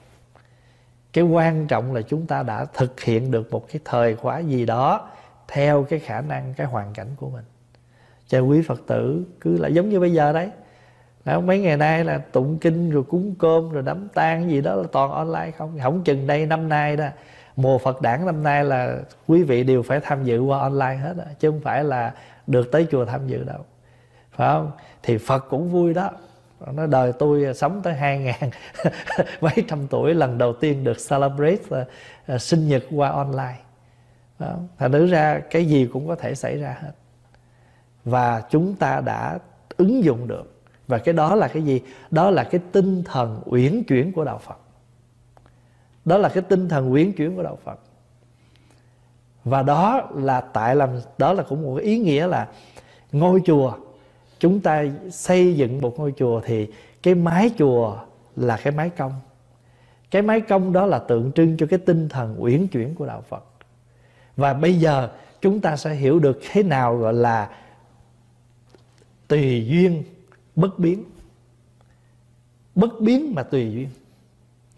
Tùy duyên là bây giờ cái duyên chúng ta không tập hợp được. Nhưng mà chúng ta bất biến là chúng ta vẫn không bỏ tinh thần học phật không bỏ được những cái, không bỏ đi, không vì cái chuyện đó rồi chúng ta chúng ta không có, chúng ta dừng lại cái sự tu tập của chúng ta. Đây, giây phút này đúng là cái tinh thần tùy duyên mà bất biến. Bất biến nhưng vẫn tùy duyên. Ok, bây giờ tôi rất muốn làm chuyện đó. Nhưng mà đụng cái thầy ông bệnh. Đấy, tôi muốn làm chuyện đó mà bất biến mà. Nhưng mà giờ thầy ông bệnh chùa ông làm được thì tùy duyên thậm chí bây giờ á, rất muốn tổ chức chương trình, chúng ta sẵn sàng hết, tự nhiên internet nó hư, nó không làm được, thì chừng đó là bất biến, tinh thần là bất biến, nhưng phải tùy vào hoàn cảnh gọi là bất biến tùy duyên. Còn bây giờ chúng ta sống là tùy duyên, nhưng bất biến. Tùy được cái duyên sống này mà tinh thần không mất. Nhưng mà ngược lại, tinh thần không mất nhưng mà hoàn cảnh không cho, thì chừng đó gọi là gì? Bất biến tùy duyên hiểu được như vậy rồi đó, trong ba ngàn cõi ấy, đâu chẳng phải là nhà. Đó là câu nói của một vị thiền sư việt nam. Đạo vốn không nhan sắc, mà ngày thêm gấm hoa. Trong ba ngàn cõi ấy, đâu chẳng phải là nhà. Vậy thì bây giờ đại chúng ơi, trong ba ngàn cõi ấy, đâu chẳng phải là chùa. Quý vị đang ở đạo tràng hết rồi đó trong giờ phút này, mấy trăm người đang có mặt online đây, quý vị đang đang ở trong đạo tràng đó. Như vậy bây giờ tinh thần Di ma cật, tinh thần Di ma cật đang có mặt. Chỗ nào có tu tập, chỗ đó là đạo tràng. Trực tâm là đạo tràng, thâm tâm là đạo tràng, nhớ không? Bấm rồi mình học đó. Cho nên rồi mỗi một cái hoàn cảnh nó xảy ra thì chúng ta sẽ thấy vô vàng kinh điển vô vàng lời dạy mà xưa giờ mình học, xưa giờ mình mình nghe, nó đang có mặt với chúng ta. Bây giờ có thể đang online 500 người, phải không? Bây giờ đang online bao nhiêu vị? 800 vị. Thì bây giờ trong kinh Di Ma Cật nói á 32.000 Bồ Tát ở trong một căn phòng nhỏ có mặt đó cái nhà, cái áp bạc quý vị có chút nị thôi mà giờ quý vị đang chứa được 800 người rồi đó. Cái phòng cái phòng tổ này, cái nhà tổ này nó chút xíu thôi mà 800 người đã có mặt rồi đó. Vậy thì cái này là, cái cái cái có mặt đây là gì? Không phải cái space của cái phòng mà cái không gian của tâm. Cái không gian của nội tâm cái phòng mình chật mà nếu mình chấp nhận cho đồng đạo của mình vô ở, nhiều cũng đủ hết. Còn cái phòng mình mênh mông, mình không muốn cho ai vô hết thì không một người nào vô lọt. Tinh thần đại thừa nằm trong đó đó. Vậy thì bây giờ quý vị sẽ hiểu đại thừa không phải là cái nhóm đó tu cái gì. Đại thừa là cái tâm mình đại thừa. Cái tâm, cái tư tưởng mình đại thừa chứ không phải là là cái nhóm đó tu cái pháp gì kêu là tiểu thừa đại thừa. Cho nên cái đề tài mà chúng ta học mỗi thứ bảy là xe báo đại thừa. Mà rốt cuộc nói ra chẳng thấy gì đại thừa cả. Xa lìa ngũ dục là đại thừa. Xa lìa những cái cảnh mà làm cho mình uh, uh, dễ bị dính mắc là đại thừa. À, dạ thưa thầy cho con hỏi được biết à xá lợi tử trong bát nhã tâm kinh có phải là xá lợi phất không? À, dạ đúng vậy. Sẵn đây pháp hòa nói về cái việc này để cho đại chúng à, được à, được được rõ luôn. Nguyên thủy tên của ngài xá lợi phất tiếng phạn là Sariputra. Chữ Sari á, là cái dòng tộc của ngài đó là dòng Sari. Còn cái chữ Putra đó nghĩa là con trai. Tiếng Anh dịch the son of. Vậy thì nếu như trường hợp đó, nếu chúng ta muốn nếu chúng ta dịch tên của ngài xá lợi phất á, chúng ta phải dịch là người con trai của dòng Sari. Vì vậy mà khi khi Đức Phật gọi xá lợi tử tử là con vậy thì chữ tử đó là người người tàu đã dịch chư tổ, dịch kinh đó dịch cái chữ puja thành chữ tử. Sari là xá lợi, tử là puja. Cái chữ đó là, xá lợi tử là phạn hán ráp lại. Phạn là xá là xá lợi, là sari. Hán là tử, chữ tử trong tiếng hán là con. Còn nếu mình muốn dịch cái tên của ngài nữa là người con trai dòng tộc Sari. Có một vị dịch bát nhã tâm kinh đó khi mà dịch tới tên của ngài xá lợi phất thì vị thầy đó đã dịch này người con trai dòng Sari. Vậy thì khi gọi là xá lợi tử, thì chúng ta biết rằng đó là ngài xá lợi phất. Và xá lợi phất hay xá lợi tử cũng là ngài. Thưa thầy, con thường nghe pháp của thầy cho con hỏi, con chưa quy tam bảo, nhưng có một vị hòa thượng tạm cho con một pháp danh. Vậy con có được dùng pháp danh đó không ạ? À? dạ muốn dùng thì cứ dùng, đâu có sao. Mình muốn có bao nhiêu tên cũng được hết.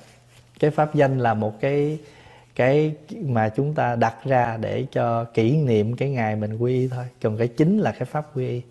Cho nên à, nếu mà chị có, cô có cái pháp danh rồi, nhưng mà cô chưa có quy thì nên tìm một cái hoàng một cái phương tiện nào đó, một cái ngày nào thuận lợi trong các chùa nào mà gần mình đó, hay là vị thầy nào mình có cảm mến đó, mà mình nghĩ là mình đủ duyên tu tập đó, thì xin vị thầy đó làm lễ quy cho mình hoặc là mình à, xin quy y nhưng mình à, tôn trọng cái pháp danh mà vị hòa thượng ban cho mình, thì mình cũng xin thẳng luôn là con xin giữ lại cái pháp danh này của vị hòa thượng đó cho con. Nhưng mà cái về cái cái tên thì mình muốn có bao nhiêu cũng được, nhưng mà cái cái tinh thần chính là cái tâm mình hướng về tam bảo.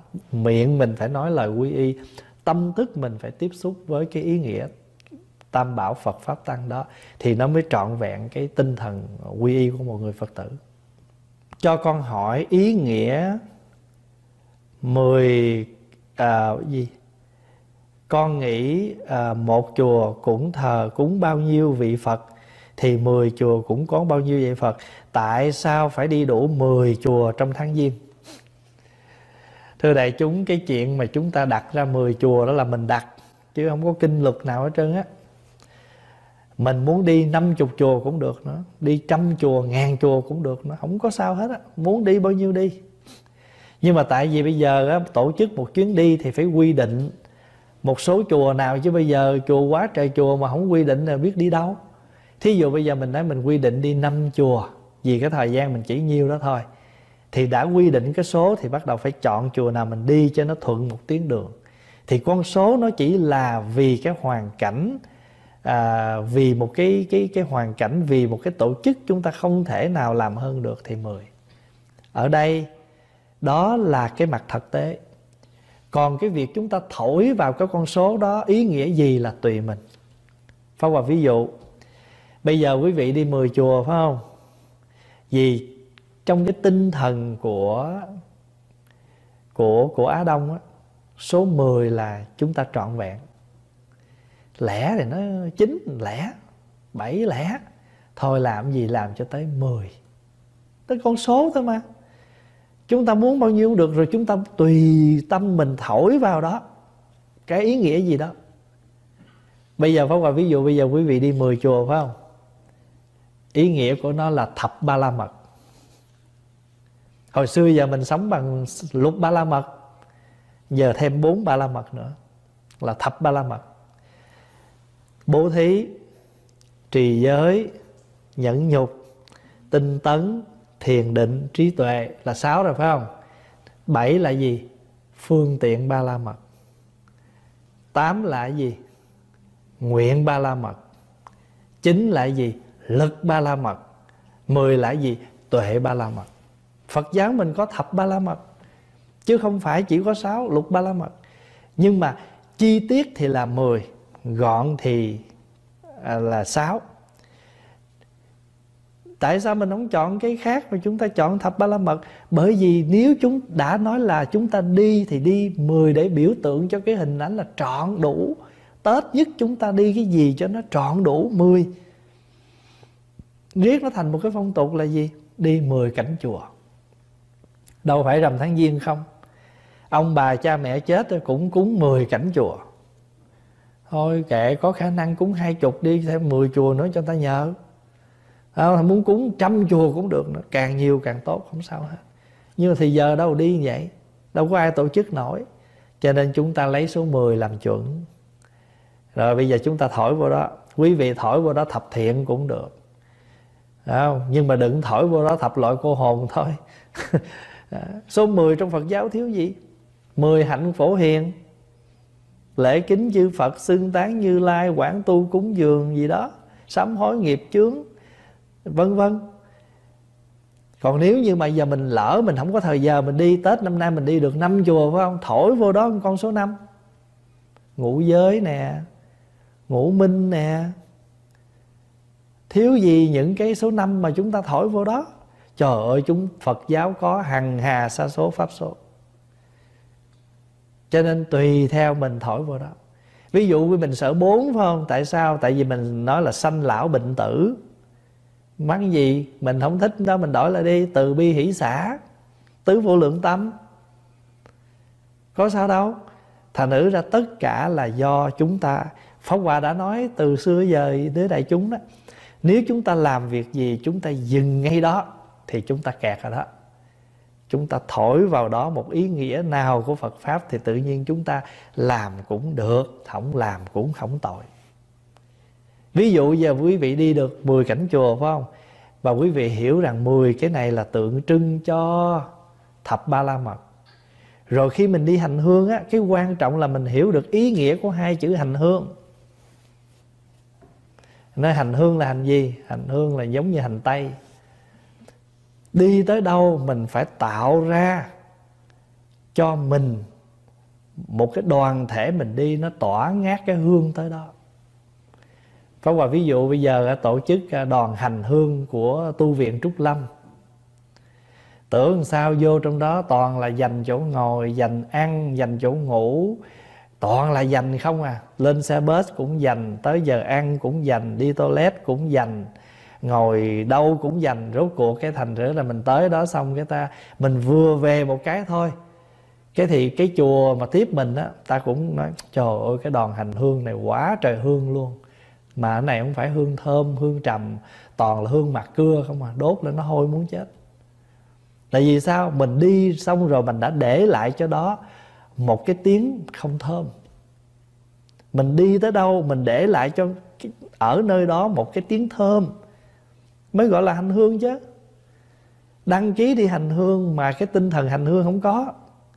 Mà mình đăng ký đi hành hương là tại vì mình nghĩ là đi 10 cảnh chùa mới tốt. Và cho nên chúng ta đóng tiền đi hành hương nhưng mà cái tâm hành hương không có, cái tinh thần hành hương không có. Cho rốt cuộc rồi mình đi tới đó không thể hiện được một chút gì của sự hành hương hết. Còn nếu mà nói là 10 để con số gọi là trọn vẹn cho đẹp đi, mình đi 10 cánh chùa về phiền não không, chẳng đẹp gì hết. Còn nếu mình nói về thập ba la mật đi, mình tới đó mình không có thực hiện một cái gì của ở trong lộ thập ba la mật đó. Dù là bố thí, trì giới, nhẫn nhục, tinh tấn, thiền định, trí tuệ, nguyện lực, phương tiện và tuệ.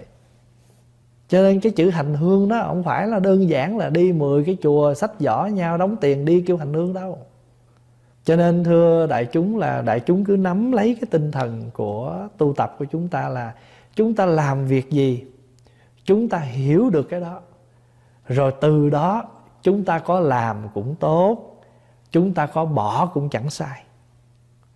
Mà chúng ta biết biết chấp nhận biết buông xả vì chúng ta hiểu nó.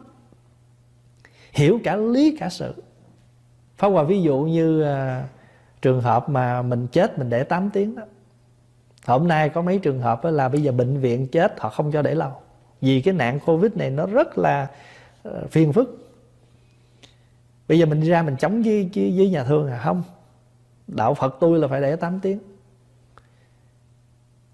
Thì như vậy mình đâu phải là đạo phật. Các vị gọi qua nói qua nói tùy bệnh viện người ta. Người ta cho mình được bao nhiêu mình nhận bao nhiêu. Rồi có nhiều vị nói con dặn rồi đó khi mà nhà con cư gia đình, con mà có người mất rồi bác sĩ không được đụng vô. Nó nói vậy đâu có được. Người ta phải đụng vô để người ta khám nghiệm, tử thi, coi xác định người này chết chưa mà cho đi làm đám chứ. Và không cho ta đụng đâu được. Phải nói là quý vị có làm gì, quý vị nhẹ nhàng giùm tôi. Tại vì mình muốn tôn trọng cái người mất khi họ vừa mất thôi. Đừng có nói ba cái chuyện là họ đau quá rồi nhăn mặt, họ phiền não. Mình nói cái đó. Tôn trọng để cho người đi được thanh thản nhẹ nhàng. Chúng ta không sốc, không làm những cái điều mà nó nó nó nó nó mạnh ở trên cơ thể. Chứ phải cho người ta làm việc chứ. Mình mình nói như vậy cái người ta nói, trời ơi, cái đạo này nó ngộ quá ha. Thành ra mình mình biến cái cái cái cái đạo Phật mình cho người ta nhìn một cách rất là lệch lạc mà thực tế đạo Phật không phải như vậy. Sự vãng sanh của một con người không phải định ở trong 8 tiếng đồng hồ đó thật ra là mình nói một hồi cái là người ta có cảm tưởng như là người chết có được siêu hay không là do lúc 8 tiếng đó đó. Còn suốt đời này chẳng cần làm gì cả. Mình mình nói như vậy là mình không có một cái cái cái cái hiểu sâu sắc về Phật giáo. Cho nên trường hợp này bây giờ là cái gì? Đúng là tùy duyên bất biến và tinh thần mình là bất biến, nhưng chúng ta phải tùy duyên. Hôm nay Pháp Hòa mới đi cái đám tang hồi trưa nè. Cái đám tang này chỉ vỏn vẹn có 30 phút thôi. Không phải anh thống cho nhiều Nhưng mà Người ta yêu cầu mình là Xong sớm nào tốt này. Bây giờ họ nói là bây giờ đám tang á, Gia đình chỉ được có bốn người thôi. Mà hãy mà thầy mà bước vô cái người ta cho có ba. Rồi nói vậy thôi để tôi, tôi đứng ở ngoài tôi đứng ngoài tôi tụng cho để người thân vô được bốn người người thân mới quan trọng hơn. Còn mình đứng ngoài mình phóng tâm vô mình tụng kinh cũng được chứ có sao đâu. Cho nên Pháp Hòa đứng ngoài Đứng ngoài cửa nhà lò thiêu Để cho người thân bốn người vô, Vì người thân cần có mặt Cho cha mẹ người ta. Còn mình đứng ở đâu Mình cũng chú tâm cho người đó được hết. Thứ sáu này cũng vậy, Thứ sáu sắp tới đây cũng có một đám rồi họ nói là thầy tới mà nói, được, một mình qua tới rồi hễ chùa đi đông nào thì người thân ta phải bớt chừng đó. Thôi để em hy sinh. Sao không cho trong chùa đi? Nó thôi, để có gì mình đi cho nó lẹ. Thì ở đây pháp hòa chỉ thưa như thế này. Căn cứ trên cái việc đó đó, thì pháp hòa chỉ muốn thưa với đại chúng là mình là người học phật. Chữ phật là tỉnh thức giác ngộ. Hôm nay quý vị ngồi đây với Pháp Hòa, Quý vị chỉ mới Phật học thôi nha. Mà mình mới Phật học thôi, Nghĩa là mình mình học giáo lý, Học Phật gọi là học giáo lý. Thí dụ như là trường Phật học Học Phật Phật học. Mình là Phật học thôi.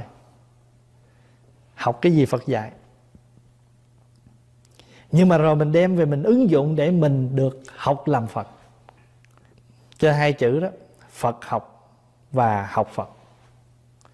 Phật học là học giáo lý, còn học Phật là học làm Phật. Những gì chúng ta nói nó là văn tự thôi. Quý vị đem về, quý vị ứng dụng quán chiếu tư duy. Hôm qua mình học cái bài tứ pháp đại thừa nó có cái gọi là giáo lý vô tận đó, nhớ không? Kho tàng giáo lý đó. Một khi chúng ta đã có kho tàng giáo lý rồi Bất cứ việc gì chúng ta đều thổi vào đó Được một cái ánh sáng của giáo lý hết. Ê không được chụp hình ba người nghe. Tại sao? Ba người xui. Tại sao xui? Tôi thổi vào đó cái, cái vô tận giáo lý cho. Ba là Phật Pháp Tăng Tam Bảo. Ba là Tam Tự Quy Y. Phải không? Ba là Tam Vô Lậu Học Giới Định Tuệ tại sao không được? Di đà quan âm thế chí cũng có ba. Thích ca văn thù, ba. Dược sư, nhật quan bồ tát, nguyệt quan bồ tát cũng ba. Nhang thấp, ba cây. Lại phật, lại ba lại. Chị em gặp nhau, chị quẩn không? Ngồi để ăn ba hột chơi. Mặc dù ăn nguyên chén, kêu ăn ba hột mà. Cơm cũng ba chén trà rót ba chung. Việc gì chúng ta tụng, ba biến. Thế thì tại sao chúng ta cử ba? Cho anh, tại vì cái đầu anh, nó chỉ không có cái khác, toàn là cái xui không à. Cho anh sợ số ba, tôi toàn là hên không, tôi thổi vô đó. Mình có vô tận giáo pháp rồi, cái gì mình cũng thổi phật pháp vô được hết. Cho mình đi tới đâu? Người ta nói, ồ, đạo phật dễ thương quá sao sống cũng được hết. Cho nên ngài ngài hám sơn đó, đi tới đâu ta cũng sống nhẹ nhàng hồng trần bạch lãng lưỡng thương mang. Nhẫn nhục nhu hòa thị diệu phan.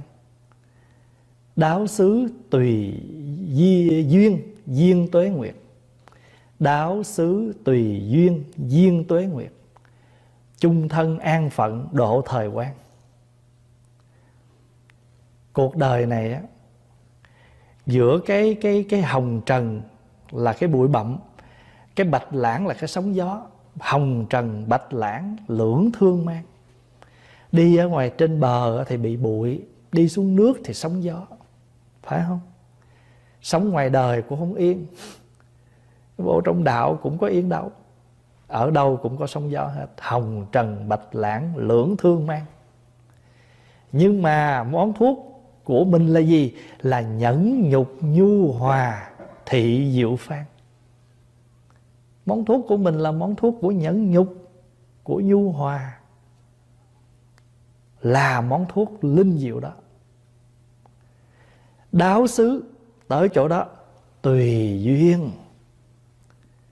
Đi tới đâu, ta biết tùy duyên tới đó, thì duyên tuế nguyệt. Ta cho sống lâu lạng hoạn ta trảm. Thậm chí ta nói thẳng luôn, ở đây không có welcome anh. Anh đi về sớm giùm tôi. Đó làm tao nói thẳng nha, còn ta lịch sự ta đuổi khéo. Mình sống được vậy rồi thì đáo xứ tùy duyên duyên tuế nguyệt. Chữ duyên là dài ra. Tuế là năm, nguyệt là tháng mình làm cho nó tăng trưởng cái tháng năm ra là tượng trưng cho cái sự sống lâu ở lâu ở đó. Chung thân an phận. Hết cuộc đời này mình vẫn an phận. Độ thời quan là gì? Qua được từng ngày từng giờ từng phút từng giây. Đó là bí quyết sống. Cho nên trong kinh tứ, tứ, tứ đại thừa tứ pháp đó, một vị bồ tát có những cái kho tàng vô tận. Trong đó có cái gọi là giáo pháp, kho tàng giáo pháp vô tận. Cái gì mình cũng thổi vào đó, hồn phật pháp được hết. Pháp Hòa nhớ có một thi sĩ, Không nhớ ông gì, hình như Nếu họ nhớ không lầm là Nhà thơ trụ vũ. Làm sao phổ được phiến hùng tâm? Của Phật vào trong khúc nhạc trầm. Chỉ độc quyền kia dù một sợi Mà vang lên thành hải triều âm Đó là cái đàn gì của Việt Nam? Độc khuyên cầm One string guitar. Cái độc huyền cầm đó, một giây thôi mà nó đánh được tất cả các bản nhạc. Phải không? Làm sao phổ được phiến hùng tâm? Của Phật vào trong khúc nhạc trầm. Để một để đọc để đọc huyền kia dù một sợi, mà vang lên thành hải triều âm. Chúng ta nắm được cái sống của cái áo rồi, treo cái áo nào ngay cái đó. Phải không? Máng áo lên, máng ngay cái sống áo. Áo nào lệch được? Cầm cái áo nào lên xếp, nắm ngay cái sống áo, hai tay nó gập vô liền. Nắm cái sống này, kéo hai cái tay này ra rồi là vũ được cái áo, vô khuôn hết. Cho nên chúng ta chỉ cần nắm được cái cái cái then chốt của Phật pháp, phổ được tất cả những khúc nhạc. Bài thơ rất hay vọn vẹn có bốn câu. Làm sao phổ được khúc hùng tâm của Phật. Cái bài pháp đó nó hay lắm. Cho nên ngài thiền sư Việt Nam mình hình như là ngài Trần Thái Tông, một tiếng một tiếng sấm xuân à, một tiếng sấm mà vừa trỗi dậy, khắp nơi cây cối nảy mầm xuân cho nên à, hòa thượng à, lần mai chú giải cái bài kinh người bắt rắn im lặng sấm sét silence of understone. Cho có những cái mình làm rất đơn giản nhưng mà nó rất hùng hồn. Có những cái mình im lặng nhưng mà cái im lặng đó nó nói lên được một bài pháp tuyệt vời. Cho nên mình có một thiền sư tên là vô ngôn thông. Không có một lời nào hết mà chuyện gì cũng thông đâu phải mình nói cả ngày mới gọi là thông. Có những cái im lặng đi là thông hết à. Tại vì những lúc đó cần được làm một thiền sư vô ngôn thông. Hết giờ rồi. Hai tiếng rồi. Xin à, cảm ơn đại chúng đã cho Pháp Hòa cơ hội chia sẻ với quý vị trong cái buổi à, vấn đáp tối hôm nay. Thì à, nếu có điều gì sơ sót mong đại chúng hoan hỷ bỏ qua cho à, chúc đại chúng có một giấc ngủ an lành ngày mai chúng ta lại gặp nhau 10 giờ sáng để tụng kinh. À, sẵn đây pháp hòa cũng thông báo ngắn thôi chắc có lẽ thôi để ngày mai đi giờ thêm giờ nữa của đại chúng. Thì à, trong cái mùa an cư hàng năm của tu viện thì sẽ có những chương trình. Rồi ờ, thì à, lúc đó pháp hòa sẽ thông báo chương trình an cư thường lệ của tu viện. Rồi quý vị cũng à, tùy nghi tham dự. Nếu mà tới ngày ăn cư mà chúng ta vẫn còn ở nhà thì à, những chương trình sinh hoạt của tu viện cũng sẽ được trực tiếp à, chia sẻ với quý vị. À, bây giờ à, chúng ta hồi hướng. Chúc quý vị nào ở nơi đó là tối thì an lành nơi đó là ban ngày thì có một ngày thật là bình an. Nguyện đem công đức này hướng à, về à, khắp à, tất cả đệ tử. Và chúng sanh đều trọn thành Phật đạo.